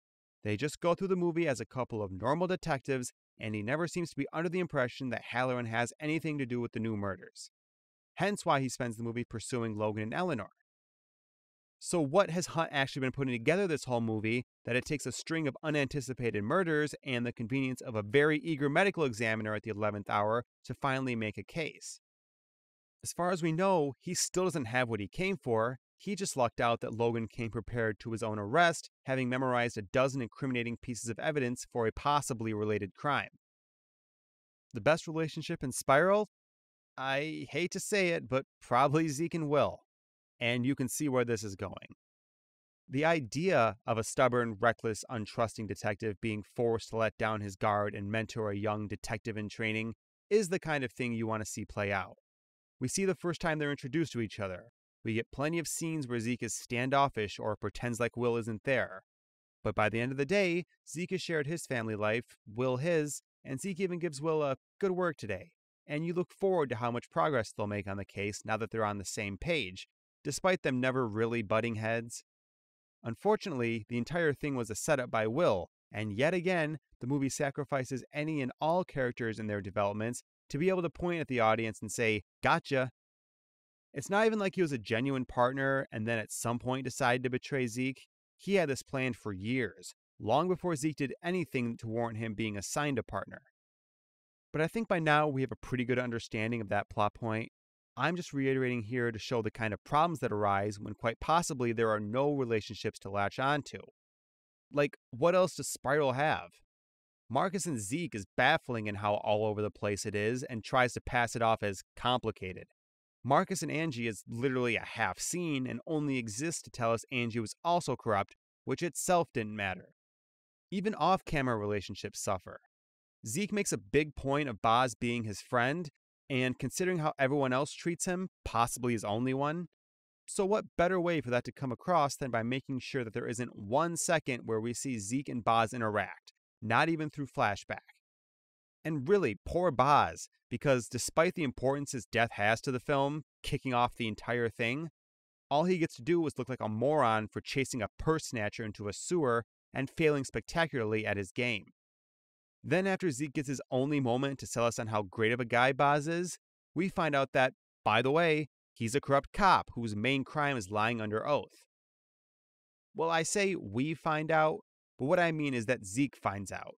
And what I mean by that is that Zeke has it told to him, just like every other piece of information he gets. We already knew what Boz's crime was because we saw his trap, which makes this scene feel redundant. Sure, story wise, this is news to Zeke, and presumably he feels betrayed by Boz's actions, realizing that his friend might be just as corrupt as everyone else. I just don't get Will's thought process and why the game and clue giving and mystery is laid out the way it is. For example, why he chose now to tell Zeke. So Will manages to capture and kill Boz, which is all well and good, unless Boz survives, of course, but he designs the trap so that Boz gets a TV with a tape, which is obviously going to be destroyed, meaning that no one will know what happened, meaning eventually Will is going to have to leave a clue that there's a new jigsaw, and he's going to have to tell Zeke what Boz was tested for, since no one seems to care otherwise. But he doesn't just tell him, that's too easy. He has to leave a badge and a tongue at a location that hints at the crime. But to do that, he has to make another video that hints at that location. And that clue is literally handed to Zeke with his name on it. Like, why not just give Zeke the tongue and badge from the get go? And while this is all going on, the group hasn't quite figured out its Boz, he didn't go home for the night and he didn't show up for work, and the killer leaves Zeke a message saying one officer was killed, but no one can make the connection. Eventually, they get to the courthouse, which leaves Boz's badge number, and they immediately confirm this with the dental records. And it's like, what is this treasure hunt accomplishing? Why is Boz's identity being kept from the police? And what's the point in the courthouse symbolism if Will has to spell it out to Zeke anyway? As the final cherry on top, Boz was targeted to draw Zeke into the case, but before Zeke knows it's Boz, he gets the tape that says, Hello, Detective Banks, already giving Zeke more than enough incentive to be involved. To summarize, Will held a game with Boz because of Boz's wrongdoings.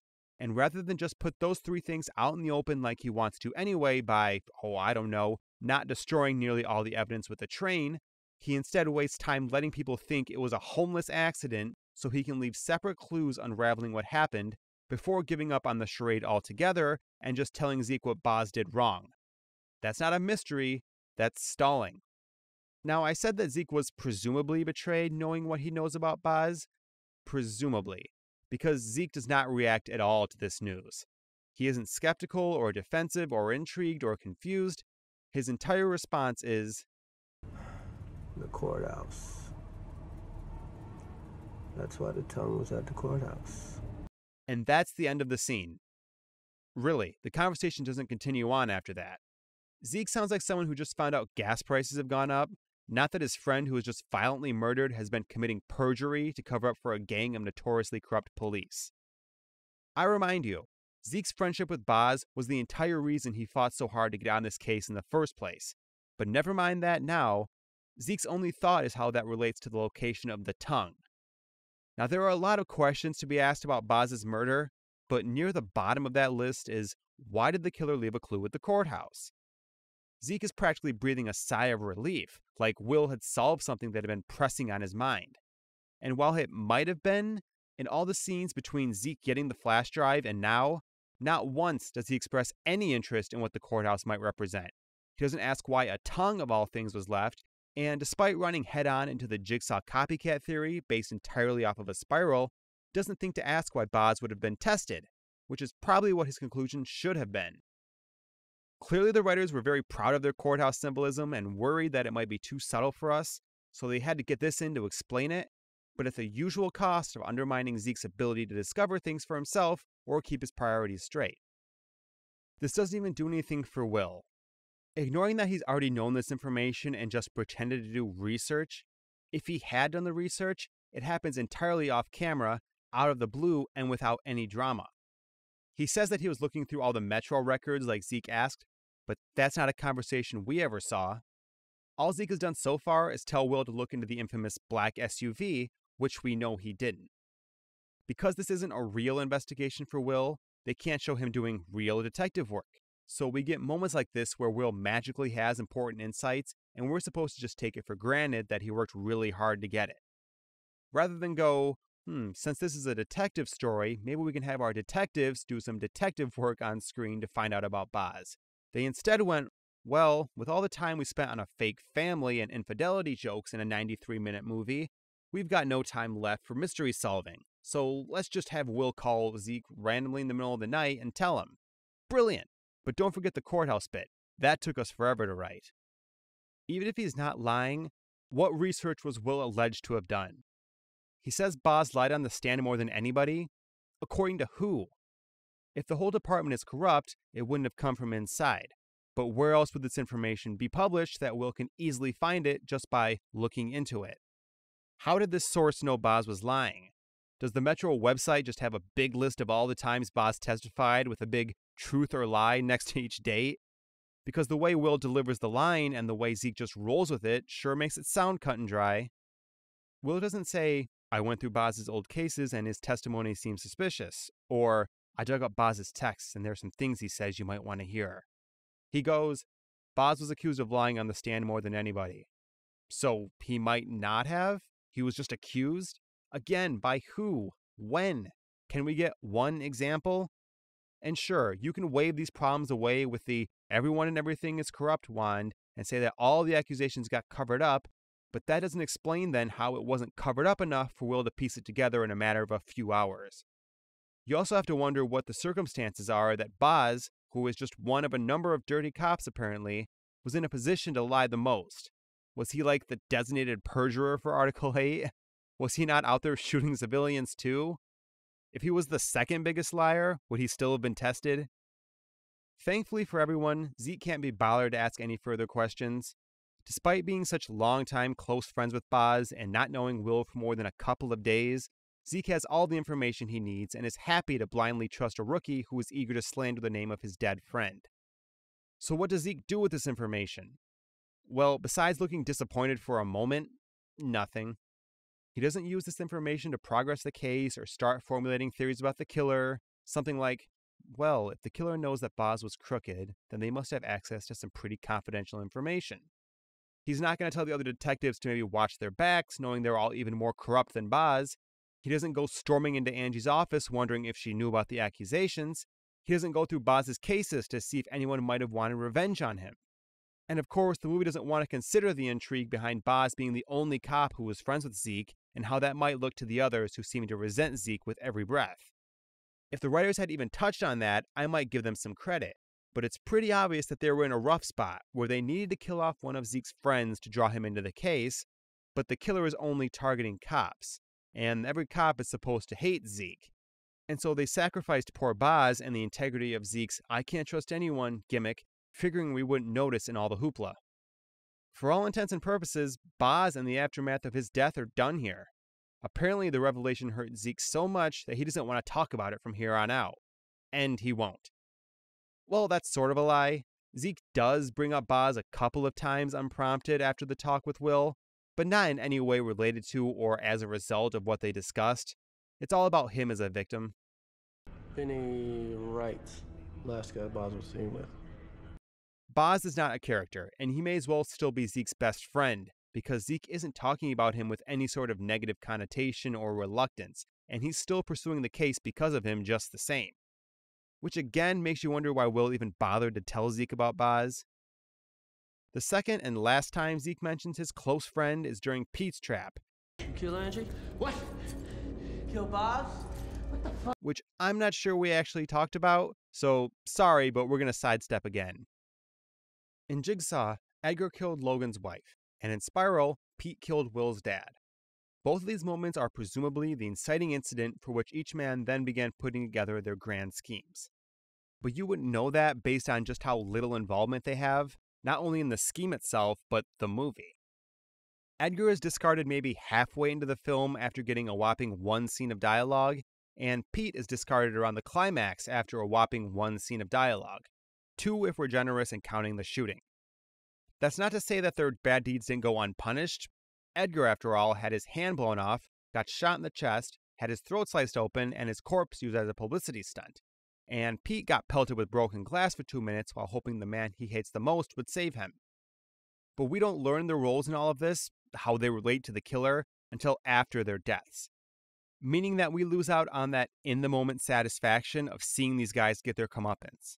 And by the time we do get around to learning why they're so important, they're each just one of a dozen important things overshadowed by a bigger game. Instead of going after the murderers of their loved ones, they shift the blame to guys whose poor judgment led to the killings, but otherwise had no direct involvement or influence in them. Even with their absolute corruption and willful ignorance, Halloran didn't expect nor want Edgar to immediately run off and kill a woman. And in the same regard, Marcus may have said shoot first, ask questions later, but he didn't tell Pete to start shooting guys point blank in their apartments. But because writing a movie around a serial killer who gets revenge on the people who killed their loved ones just isn't complicated enough, Logan's plan centers around Halloran, and Will's plan centers around Zeke and Marcus. And killing Edgar and Pete just feels like a might as well or a formality, having gone through so much effort otherwise. We're not given much reason to care about Edgar and Pete's deaths. For one, Edgar isn't even written enough to be considered a one note character. His death is entirely off screen, and he and Logan don't have one second of screen time together. Pete's game and death is focused entirely around his relationship with Zeke, and in the scene where Pete and Will are in the same room, Will has a single unassuming line and otherwise is just blank faced and bored in the background, while Zeke does all the work like this isn't supposed to be the first time Will has come face to face with his dad's killer. Marcus, despite being the whole reason Will is doing this and the endgame, also has no interaction with Will, and as far as we know, doesn't know who Will is, because when would that have come up? They managed to get Pete and Will in a scene together, but couldn't manage five seconds where Will had a reason to talk to Marcus, like, oh, I don't know, a dinner? Since they showed us Marcus as someone who is short tempered and doesn't take crap, and Will as someone who doesn't really stand up for himself and can be a bit sarcastic, they probably wouldn't get along. So giving them something to debate about would not only have set up their end conflict, but told us a lot about their characters. Can Will stand up for himself? Is Marcus still short tempered? When they actually do have a scene together, Marcus is hanging there lifeless, mostly unable to talk, and when he does, it's to Zeke, where he figuratively and literally has no control over anything that happens to him.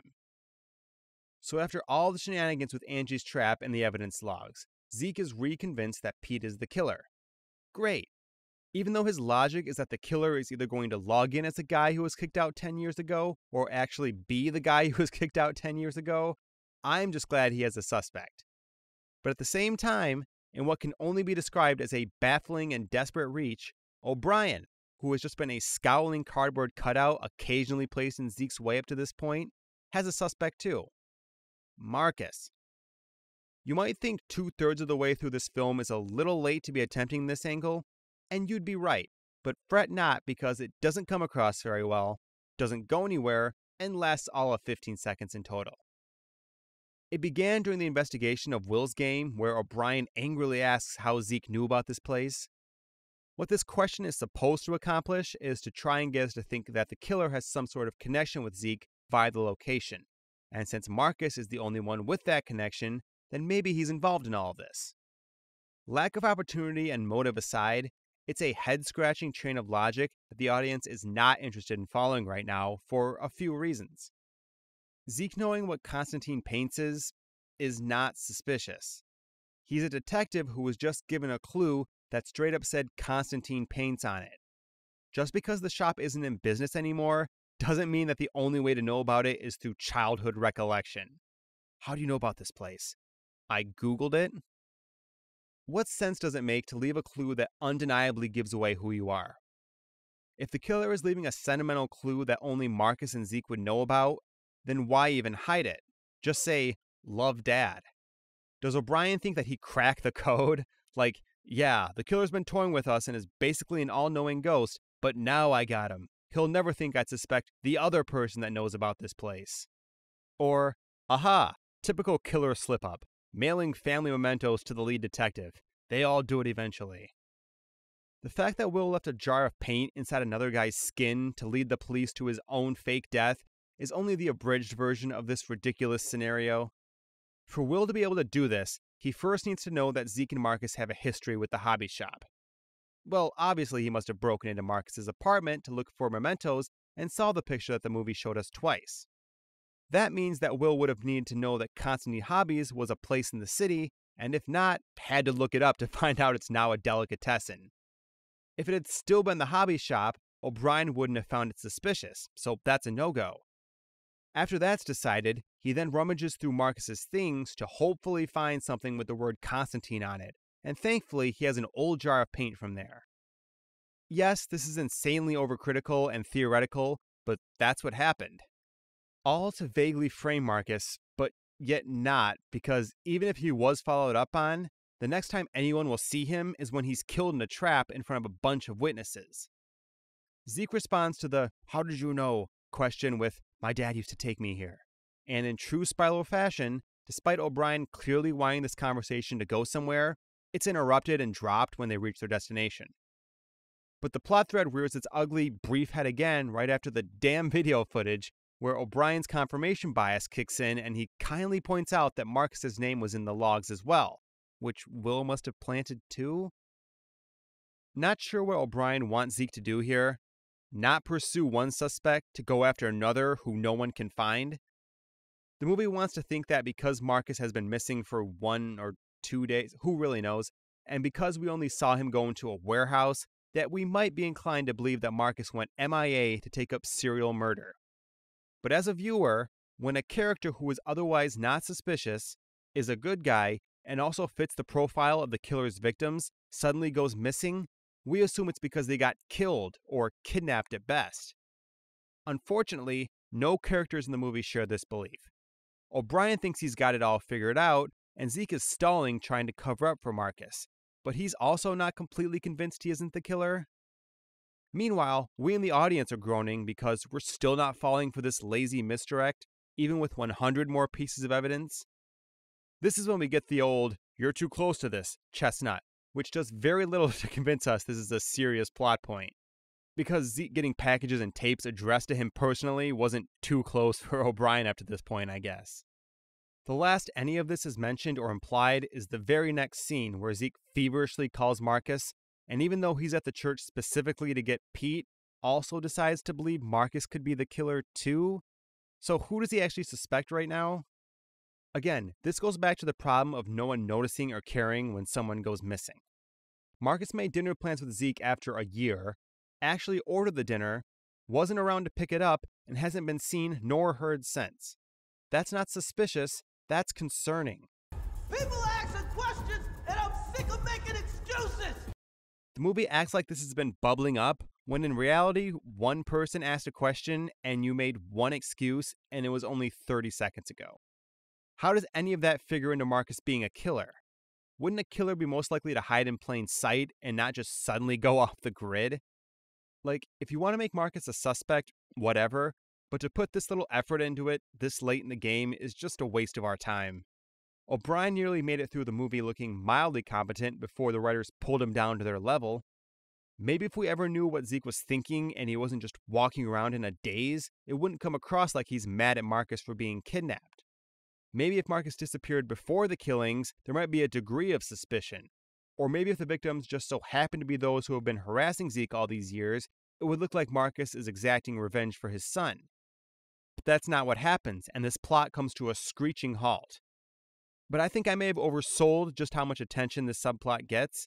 You'd be forgiven for not realizing it even happened. I certainly didn't the first time around, and whether that's to its benefit or not, I don't know. Immediately after the phone call, Zeke is blindsided and captured by the killer and wakes up chained to a pipe. Get it? Because it's Saw, and everyone loves Saw 1 in the bathroom game. And he's got a saw, and he's gonna have to cut off a limb just like Dr. Gordon. You remember him, don't you?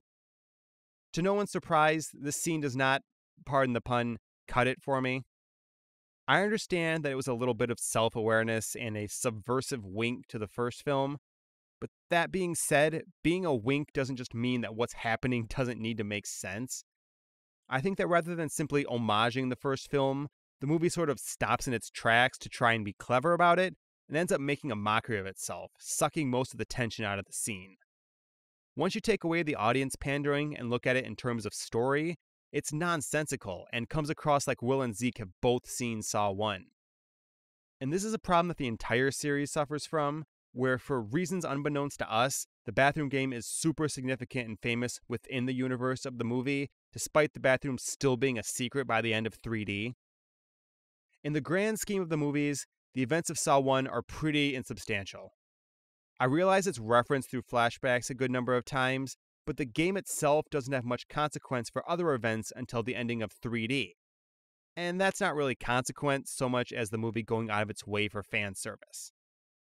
If the bathroom game never happened, very little about the events of the rest of the series would change. And that's not a problem if the movie is willing to admit that.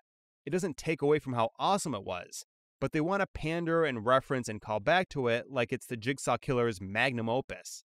It's not. And speaking of Jigsaw, it's just as guilty, if not more so, for pandering thanks to Eleanor's museum and, most notably, her having what is presumed to be the actual saw that Gordon used. Even ignoring that we don't know what the general public knows about the bathroom game, why would Eleanor care so much about the saw as to give it its own little special secret shrine? Maybe if it was the only item she had, but she has a ton of items from other games too. The bathroom wasn't Jigsaw's first game, or last game, or largest game, or most high profile game. And John actually says the rack was his personal favorite. Yet twice now, the filmmakers reference it as if to suggest that the characters within the movies are aware of how popular the bathroom game was and know that it was used in the climax of the first film in the series. Zeke's little handcuff dilemma ends up being just a minor inconvenience and one I still don't quite understand why Will bothered to set up. Zeke is only captured here to choose whether to save Pete or not, and even moving into Marcus's test, nothing about either is intended to test Zeke physically or punish him with death. With that being said, what was the point then in handcuffing him in the first place? Or offering him the saw? Or placing the bobby pin just a few feet away from him? What if Zeke did cut off his hand? What if Zeke just sat there, never saw the bobby pin, and couldn't bring himself to start cutting his arm? And I'm willing to suspend my disbelief quite a bit, but really, a saw couldn't cut through that dinky little chain, but we're supposed to believe that after five seconds of trying, that Zeke immediately jumps to, maybe I should cut my hand off. Because you know, apparently Jigsaw's calling card is severing body parts, even though very, very few games were ever quite that cut and dry. Hell, it took Gordon an entire movie and the immediate threat of his family being murdered to psychotically push him into cutting his leg off. What's the difference from a narrative standpoint between Zeke being chained up and if he wasn't? I don't mind a good reference. Hell, I prefer this over the desperate lore shoehorning they keep trying. But if you can't pull it off logically within the story of the movie at hand, then it's not a good reference. It's like the movie spends a whole 30 seconds with this to make us think he's going to start hacking away, but he's obviously not because there's no tension to it. He didn't get a tape or instructions or a timer. He's just suddenly chained up and making a half hearted effort at an escape. Just basic movie common sense tells us that our main character isn't going to calmly sever his hand with zero buildup. And good on the movie for not following through on that, but at the same time, shame on them for even pretending like it was the case. So after getting out of this predicament, Zeke approaches Pete, who is chained up, basically unconscious, with his head covered up. He has a giant gash in his forehead, a tape around his waist, and is severely confused. In short, Pete is not the killer. So naturally, Zeke's instinct here is to see if Pete is okay and figure out what he knows and how to get him down. Oh, wait, that's not what he does at all. He instead takes this opportunity to interrogate Pete and still accuse him of being the killer, apparently not dissuaded at all by the severity of the situation he finds himself in, and just picks right back up like he's at the church. You hacked the computer. You erased the surveillance footage. You kill Angie? Kill Boz? You kill Boz? I know I've gotten on Zeke's case about being a terrible detective, but he finally gets a big I want answers confrontation to flex some muscle, and he picks quite possibly the most inappropriate questions at the most inappropriate time. I'm going to need someone to explain Zeke's train of thought here. Does he think that Pete did the half assed handcuffing, then walked a few feet to properly chain himself up just to let Zeke get his questions in? Or does Zeke think that there's an accomplice? But he asks if Pete killed Angie and Boz, so that doesn't seem to be where he's going with that. It's the kind of questioning where you're just thinking, what? and you kind of want to laugh because of how bizarre the scene comes across. And to make it worse, Pete isn't allowed to go, Hey moron, if I was the killer, I wouldn't be up here defenseless in front of you of all people, or even just say, No, I'm still not the killer, Zeke. You tried this before. And if I was the killer, do you really think I'd go through all that effort just to leave my name in the computer records? Instead, they just aimlessly trade accusations until Zeke plays the tape. And believe it or not, I like Pete's trap. I think that when Zeke goes, oh shit, after the machine turns on, is one of the best, most tension filled moments in the entire movie. And it's such a Zeke way to react to the situation. We don't know exactly what this trap is going to do, but we trust that Zeke has some idea. And so when the machine starts whirring up, you know what something's about to go down. And it does. I appreciate that the trap is just a seemingly endless onslaught, and Zeke has to navigate through it like a boss fight, almost like a game. It doesn't require anyone to cut off a body part before time runs out. No one is being tricked or having to do something nearly impossible. It looks cool, it sounds cool, it makes Zeke look like a quick thinker and resourceful. For what it's worth, it's probably my favorite scene in the movie. But that's in isolation, and unfortunately, it's brought down by the narrative function it's supposed to serve and how the movie treats the scene afterwards. See, you have to keep in mind that this is Zeke's test, not Pete's. The idea behind it is that Zeke is supposed to be conflicted about whether to save Pete or not, because if Pete never shot Charlie, Zeke would never have snitched and he wouldn't be labeled as one for the rest of his life. But that's not really the story that the movie has been telling us. Pete has been out of jail for years, and Zeke doesn't bring his name up until Will asks him about old enemies. When Zeke confronts him, it's not about Zeke holding a grudge against Pete, it's about Pete holding one against Zeke. But for all intents and purposes, they seem to be on okay terms coming out of the conversation. Pete even says, I was mad for a long time, but now I take responsibility. I should have never pulled the trigger. He admits to being in rehab and sobering up, and Zeke is perfectly fine to walk away not thinking Pete is the killer. And so are we. There's nothing inherently suspicious about Pete's behavior to lead us to believe that he's not being sincere. While his crime is unforgivable and he's a little slimy, when you make him a repentant former alcoholic who stands up for others, is clearly struggling to get by on top of having served nine years in prison, he becomes a pretty sympathetic character with debatably more admirable qualities than most of the characters in this movie. So if Zeke isn't mad at Pete, and Pete is well on his way to being reformed, then what's to be gained from his test?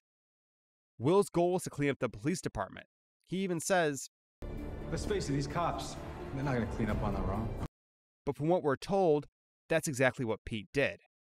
Yes, going to prison certainly played a factor in that, but then that's just evidence that maybe Will should be focusing his time on putting these cops away properly, since that's demonstrably the more effective approach. Besides, Pete hasn't been a cop in nearly a decade. He's not an active threat to the department, so lumping him in with everyone else just continues to make it difficult to understand what exactly the goal here is. For all of Will's pretensions about fixing a broken system, he starts off okay by killing Boz, Fitch, and Angie, who are at least still in the department, but then he stages his own death, which doesn't fit the MO at all, and then kills Pete and Marcus, who aren't in the department anymore, and as far as we know, aren't contributing to the current corruption problem. At the end of the conversation, Pete gives a little zinger about loyalty, and while it comes off as if he's just being snarky, if you sit back and think about it, throughout this whole ordeal, Pete felt just as betrayed by Zeke's action as Zeke did about Pete's. The thing about the department is that they have an unspoken loyalty to each other. To a fault, no doubt, but that's not the point. And then Zeke goes and breaks everyone's trust, including his own dad's. And I'm not saying that what Zeke did was wrong or that the blue code is right, but Pete was working under an order that was supposed to be good for the cops and the city. He was willing to kill a man to protect a fellow officer, and then Zeke underhandedly snitches, presumably ignoring the chain of command since Marcus didn't find out until afterwards. Pete shooting Charlie wasn't to spite Zeke. He didn't expect both of their careers to be ruined because of it. For all we know, he really likes Zeke. Loyalty means a lot to Pete. It may be severely misguided, but it still means a lot. And I realize that this is giving Pete way more depth than he's supposed to have. We're supposed to just think, oh, Pete is so scummy and corrupt. He deserves everything he gets, and it's his fault Zeke's life sucks. And so when Zeke tries to save him, we can go, oh, look how righteous and great Zeke is, saving even the lowest of the low. Maybe I'm wrong, but much like Halloran, I don't get the impression that we're supposed to like Pete at any point, especially because he's the red herring. Moving back to his trap, let's not overlook how vital Zeke is to Will's entire plan, and more specifically, the big reveal and final test with Marcus. Knowing that, why the hell is Will putting Zeke in a position to cut off his arm and then get lacerated, possibly lethally, by tons of broken glass? Even if the trap is survivable, it's by no means a guarantee. After all, it killed Pete, and even protecting himself, Zeke was lucky this piece of glass didn't hit a major artery. Sure, Zeke could have avoided it completely by just letting Pete die, and I guess that's what Will was hoping, wanting, needing. But if that's the case, then why even risk it? This may be Zeke's test, but this isn't live or die, make your choice. It's just make your choice. But it's really choose whatever makes Zeke live and Pete die, because everything falls apart if neither happens. And I remind you, it was Will who planted the idea of Pete in the first place with his Do you have any enemies line. If Will hadn't said anything, then Zeke would have eventually suspected Pete anyway when he went through the security logs. If we never get Pete's side of the story, then when we get to the bottle trap, based on everything else we've seen, we might believe Zeke hates this guy, and maybe enough to look the other way while he's killed. And while getting pelted with a glass, Pete tries to say he's cleaned up and regrets it, and Zeke doesn't believe him. So I'm not sure why Will set up this initial meeting. At best, it's redundant, and at worst, Zeke and Pete might resolve whatever disdain they still have for each other. By the time the trap comes along, we know Zeke and we know Pete, and aren't falling for whatever the narrative here is supposed to be. Besides maybe the threat of certain death, it's hard to imagine a scenario in which Zeke would just stand around and let someone violently and slowly die. This isn't like Jeff in 3, where he'd been obsessed with murderous revenge. Zeke is standoffish with Pete, but he's not enraged with contempt. The moral dilemma that the writers want us to believe is happening just isn't there. Even if Zeke is motivated to maybe not save Pete, it wouldn't be because he actually wants him dead, but because he's likely to get himself killed trying to save him. Without the threat of injury, it's a stupidly easy decision to save Pete. But by having that threat, you've undermined the idea that Zeke would choose not to save him for all the reasons Will would have wanted him to. And after all that, after the endless reminders of Zeke being a rat and the constant repeating of Pete shooting Charlie, after culminating with Pete's trap and death, Zeke goes, Pete, Pete, and is out of there. Never mind he tried to save Pete. Never mind he was kidnapped and nearly cut to death. I guess he just knows that the killer is waiting for him at the top of the building and doesn't want to dwell on what just happened. Compare this with Jeff from 3. I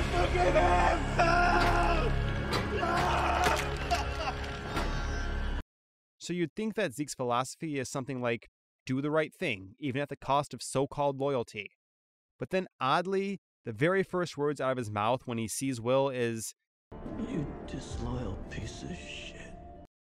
Firstly, this is kind of a clumsy line that again screws up Zeke's investigative priorities. This is the time when you would expect Zeke to be very confused and start asking questions, especially considering Will is supposed to be dead. But he doesn't act confused. He just confidently says, You disloyal piece of shit. Which suggests that Zeke is able to deduce and accept that Will is the killer after a few seconds. Instead of doing the logical thing like asking why or how, he tries to take a moral stand? Like that, of all things, is going to get under Will's skin? Saying Will is disloyal makes it sound like he just joined a rival gang, not that he had been the mastermind the whole time. If Zeke is truly convinced that Will is the spiral killer, then I think loyalty is the least of both of their concerns. More to the point, though, why is Zeke, of all people, calling him out on it? Most of Zeke's conflicts are centered around not trusting anyone. It's practically the plot of the movie. Pete even mocked him with it. If there's anything we're supposed to learn, it's that loyalty is a double edged sword and that the word means nothing to Zeke at this stage of his life. I sympathize that he let his guard down to trust Will in the first place, but that doesn't seem to be the issue he's addressing because you don't typically say one person is loyal to another. The movie hinges on the idea that Zeke is the only good cop left and that he's a victim to a very unjust police code because he sticks to his values. But he doesn't exactly stick to them. After the first confrontation with Pete, Zeke says, There's a code. And you better learn how to follow it, or you're gonna spend the rest of your life watching your back. Which doesn't exactly suggest that he believes what he did was the right thing. In fact, it seemed to suggest that if Zeke could do it all over again, he wouldn't have ratted on Pete. I get that he's just trying to give Will some advice and save him from trouble down the road, but even if Zeke believes that doing the right thing is a lost cause, telling Will to follow the code shouldn't be something that comes out of his mouth. I don't want to do a lot of script rewriting, but something to the extent of I learned that there's a code, and no matter how good your intentions are, if you break it, you better be prepared to watch your back. At least gives the sense that Zeke believes in what he did and has to deal with the consequences, not that he would have changed things to avoid them.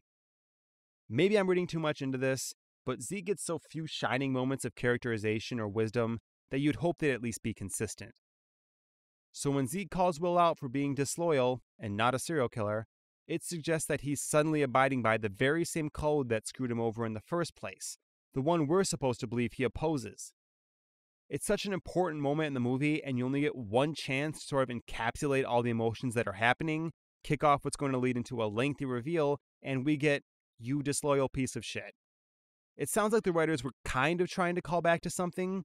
The language here feels purposeful, but I'm hard pressed as to what that would be. Zeke is the last person who should be caring about who is loyal and who isn't, and is probably in no position to judge. It's just a strange way to phrase whatever point he's trying to make. Call Will a liar, a cop killer, a psychopath, a backstabber. But disloyal? To who? The department that Zeke barely considers himself a part of? It's not even a very good segue into the villain speech. Certainly not as effective as just, why? Because Will has to first defend Zeke's loyalty accusation, and he does this by saying he's been loyal to Zeke. It's just the first day we met. Which is equally perplexing. It's impossible to keep track of who is being sincere, what each man means by loyalty, because it seems to be different than Pete's definition, if we're supposed to be trusting what Will is saying, if Will even believes what he's saying, and all bottlenecked by what's presumably a good versus evil showdown. They're telling us a lot of information that isn't grounded by any objective truth, just a mildly implied, somewhat relevant one. Zeke saying Will is disloyal and Will saying he has been might have been a telling exchange in any other movie, but in a movie with no character arcs and aimless motivations, you're just left wondering if they even care about what they're saying. If the movie wants to act like Will is a revenge driven, petty, lying, self indulgent hypocrite who will make up any reason to kill people, then fine. John was a hypocrite himself loads of times, perhaps most of the time. But that doesn't mean that it makes for a good story or an entertaining experience, and it craps all over any investment we have. If Will can just turn his MO on and off inconsistently and without reason, you may as well just not have one at all.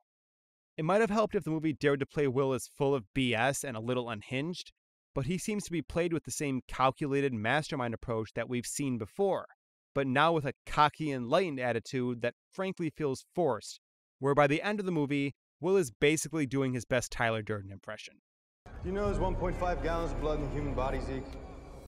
But at least playing it with a degree of psychoticism might help to explain just how Will's scheme became so ludicrous. Not that it automatically fixes the gauntlet of nonsensical scenes, forgotten plot threads, non existent character development, or a lack of a resolution. The movies have a lot happening at their conclusions, and it's difficult to see just what they thought they did or where they think they're going. The way Jigsaw suggests the killings will continue, and by extension the sequels, is Now I speak for the lives ruined by people like you. Murderers, rapists, their victims appeared on my table because of you. I speak for the dead. And as we've discussed, Logan is way too, pardon the pun, laser focused on Halloran for there to be any intrigue in what his next move might be. Even this line alone, he's still laying the blame on Halloran when he should be setting up what's next or speaking more generally about his philosophy. But Halloran seems to be his entire motivation, not some coincidence brought about by Christine's death. So just maybe Logan doesn't plan on continuing. The way he says, Now I speak for the lives ruined by people like you. sounds as if something is beginning, but people have been saying a lot of nonsense in these movies that doesn't go anywhere. I'm under the assumption, though, that this is a setup and that Logan is going to somehow find more corrupt detectives with loose morals who have obvious connections to murders. Which sounds admirable, but it's like, how many of those could there possibly be that Logan can even prove? Never mind that they need to live within a reasonable driving distance. If he can continually find and prove them, maybe he should consider a career in law enforcement. It seems to be what he prefers doing anyway. Not to mention, what's he going to do with the victims? He killed and framed Halloran as punishment for his wrongdoings, and we're being way too generous if we think that Halloran pushing Logan's button was a real test and not just the illusion of one. Is he going to finally start doing actual games, or does everyone get the laser collar? The movie has not done a great job of selling us on Logan as a competent killer worth following over the course of several movies. We only see one of his own games in action, the laser collar, which in itself was a glorified execution. The entirety of the B plot barn game is revealed to be John's doing, and we only get aftermath scenes of Logan's version of the game, which he didn't design or build. It's undermined by the movie framing it as if it's John's, and only at the end of the movie are we shown it in action through nauseatingly quick flashbacks. All Logan seems to have going for him is the uncanny ability to transport bodies across town and predict the future. But there's still one cliffhanger that is so painfully pandering, tacked on, and aimless that you want to pretend like you didn't see it. And you might not, because it's a five second shot in the middle of Logan's diatribe. I'm terrified to think of where the writers thought they were going when they wrote in the scene where a car approaches Eleanor and heavily imply that she recognizes the person in the vehicle. The way it's set up, she may as well have pointed and said, You're back. I strongly doubt they had the next film planned, and I don't think they actually knew what they were setting up, but as we've learned, it's crucial that everything connects, even at the expense of coherence. Presumably, they wrote this with the intention of picking it up come the next movie, and they would shoehorn in whoever the studio could get on board then. They were so concerned about not having any more for John to do, he doesn't, by the way, and maybe having to write something entirely of their own ideas that they had to sneak in one more back door to the original series. Because this is a soap opera, and we just love when characters keep returning from the dead to half heartedly steal the limelight from new characters and stories. On paper, I'm sure the writers were just giggling at the possibilities. The fans will be hypothesizing for years. Never mind that we have no intrigue from our own story, we'll just take some from another movie. And with the who was in the car mystery not having been answered, at least not on screen, I'm almost willing to bet, and this is just my Saw Doomsday theory, that come Saw 10, they're going to say that Spiral happened before Jigsaw and it's Zeke in the car, but prove me wrong, I beg you. Before Spiral was a thing, though, I'm guessing they wanted either Hoffman or Gordon, so in that regard, thank goodness for Spiral throwing a wrench in that. And Spiral, well, of course, Will is at large having escaped down the elevator. Marcus is dead and Zeke is still alive, knowing very well who the killer is and hot on his trail. Presumably, Will is going to continue killing, I mean, testing, corrupt cops, despite not getting Zeke's cooperation. But that keeps bringing up the issue of why. Again, Will was aimed in on Marcus, or is it Zeke? I still can't tell you exactly who, after 15 years of plotting. And that chapter has to be closed, right? Like, avenging his dad was the reason for all of this, and he must have accomplished that. Sure, Zeke is alive still, but he was never supposed to be killed. So I guess Will expects to be on the run. After all, he faked his death, has absolutely nothing on Zeke anymore, and has killed most of the people who might stand in Zeke's way. So we're supposed to believe or care or understand why he's moving on to the next city, which is all he really can do, and presumably send Zeke on the same wild goose chase he was on in the movie. At least Logan put in the effort to have an alibi, kill someone in a mostly remote location, and successfully frame that person. Barring a major oversight, he's in the clear, even if he went about it terribly. But Will entered his plan begging to be hunted down, leaving a cop alive after confessing his entire life story to, barely escaping a building that SWAT is busting into, and is going to have to do all this without the luxuries of everyday living that comes with not being on the FBI's watch list. Why did he tell Zeke his identity again? Unfortunately, where I think the writers are going with this is that everyone thinks Will is dead except Zeke. And since no one saw Will during the big SWAT shootout, no one is going to believe Zeke when he tells them who the spiral killer is. And if we're really lucky, they might even accuse Zeke of being the killer, which they already toyed around with for half a second. Who the fuck did this? Somebody who has it out for the Metro PD? Or maybe just for Fitch. Trying to say something, Dre? You know what I'm saying. Yeah, this guy. Now, I dare say that literally no one left the movie remembering this guy's name. I spent months and months working on this and just now realized they said it in the first place. Drury? I'm going to be generous and figure this guy had a bigger role and ended up being mostly left on the cutting room floor because, you know, the movie had such a bloated runtime and was gorgeously paced otherwise. Not that I have anything beyond a hunch, because as we've discussed, this is far from the only case of the missing plot thread in this movie. And while you're probably thinking, hey, that's an editing thing, you said you wouldn't blame the writers for that, I don't know that's what happened. So this Drury just sort of teeters in and out of scenes, amounting to little more than an extra who was allowed to have some lines, but yet seems to be in the periphery of every scene involving an investigation. Like O'Brien, his main role appears to be only to glare at Zeke and express annoyance. His introduction, if you want to call it that, goes like this I got shit to do. I'm out. What's his deal? He's a crooked piece of shit. Which, firstly, doesn't answer the question, and secondly, kind of lends credence to the cut character theory, because even in a movie about killing crooked cops, how many do you really need? Surely you wouldn't set up a character to be one and not at least confront the idea of him being killed. If he had more to do, it seems like it was only to be yet another trap victim, which would probably only drag out the investigation longer. I can see why he would be cut, I just don't see why he was left in as much as he was. Even stranger is that this setup stems from nothing. Crooked cop or not, Will asks, What's his deal? Like he spit on them, when in reality, Drury said he was leaving. At the end of the day, after everyone else had also left.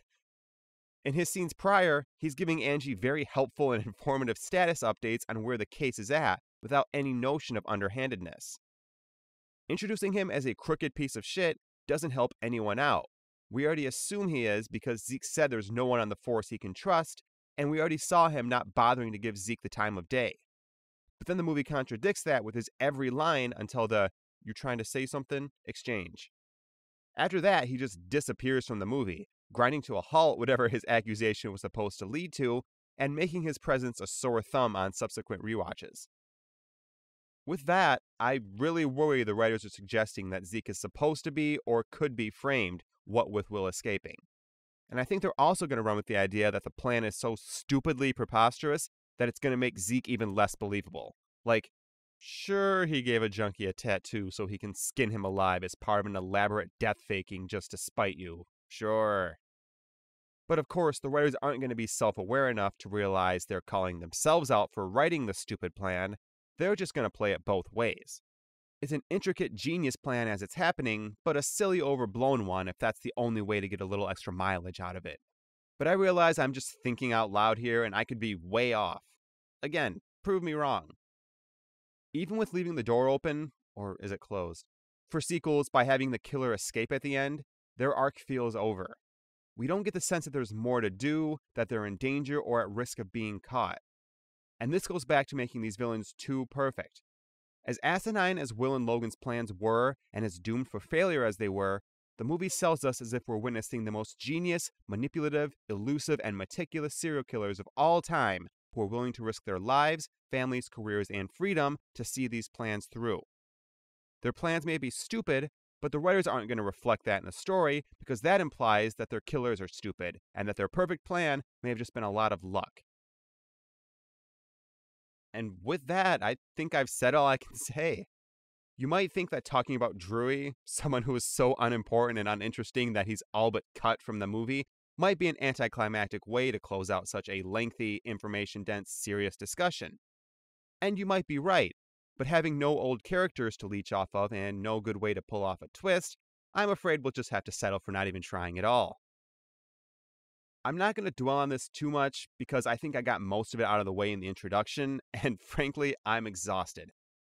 I just figured that if I'm going to rag on a movie for not putting in any effort, the least I can do is put in all the effort I can. And I still don't feel I did it justice.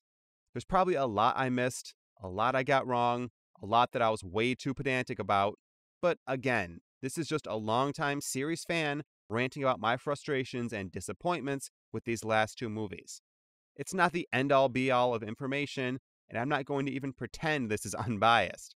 If you agree with me, great. it's nice to know I'm not alone. If you disagreed with me, great. Tell me how I'm wrong, but stick with hard evidence. If there's one thing I learned over the course of this, it's that Spiral might very well be below Jigsaw in my rankings. And if it isn't, it's not by as wide of a margin as I initially thought. The fact that I don't know what movie is worse and that I might have 3D above both of them probably says enough. I still love the series as a whole, even if my approval rating for it is effectively sitting at 66%.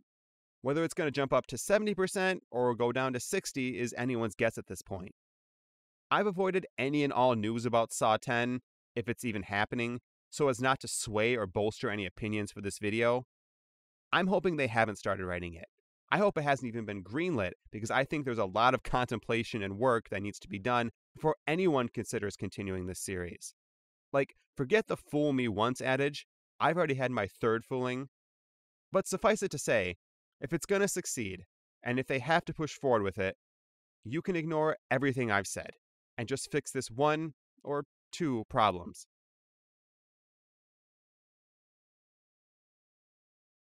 Rant over.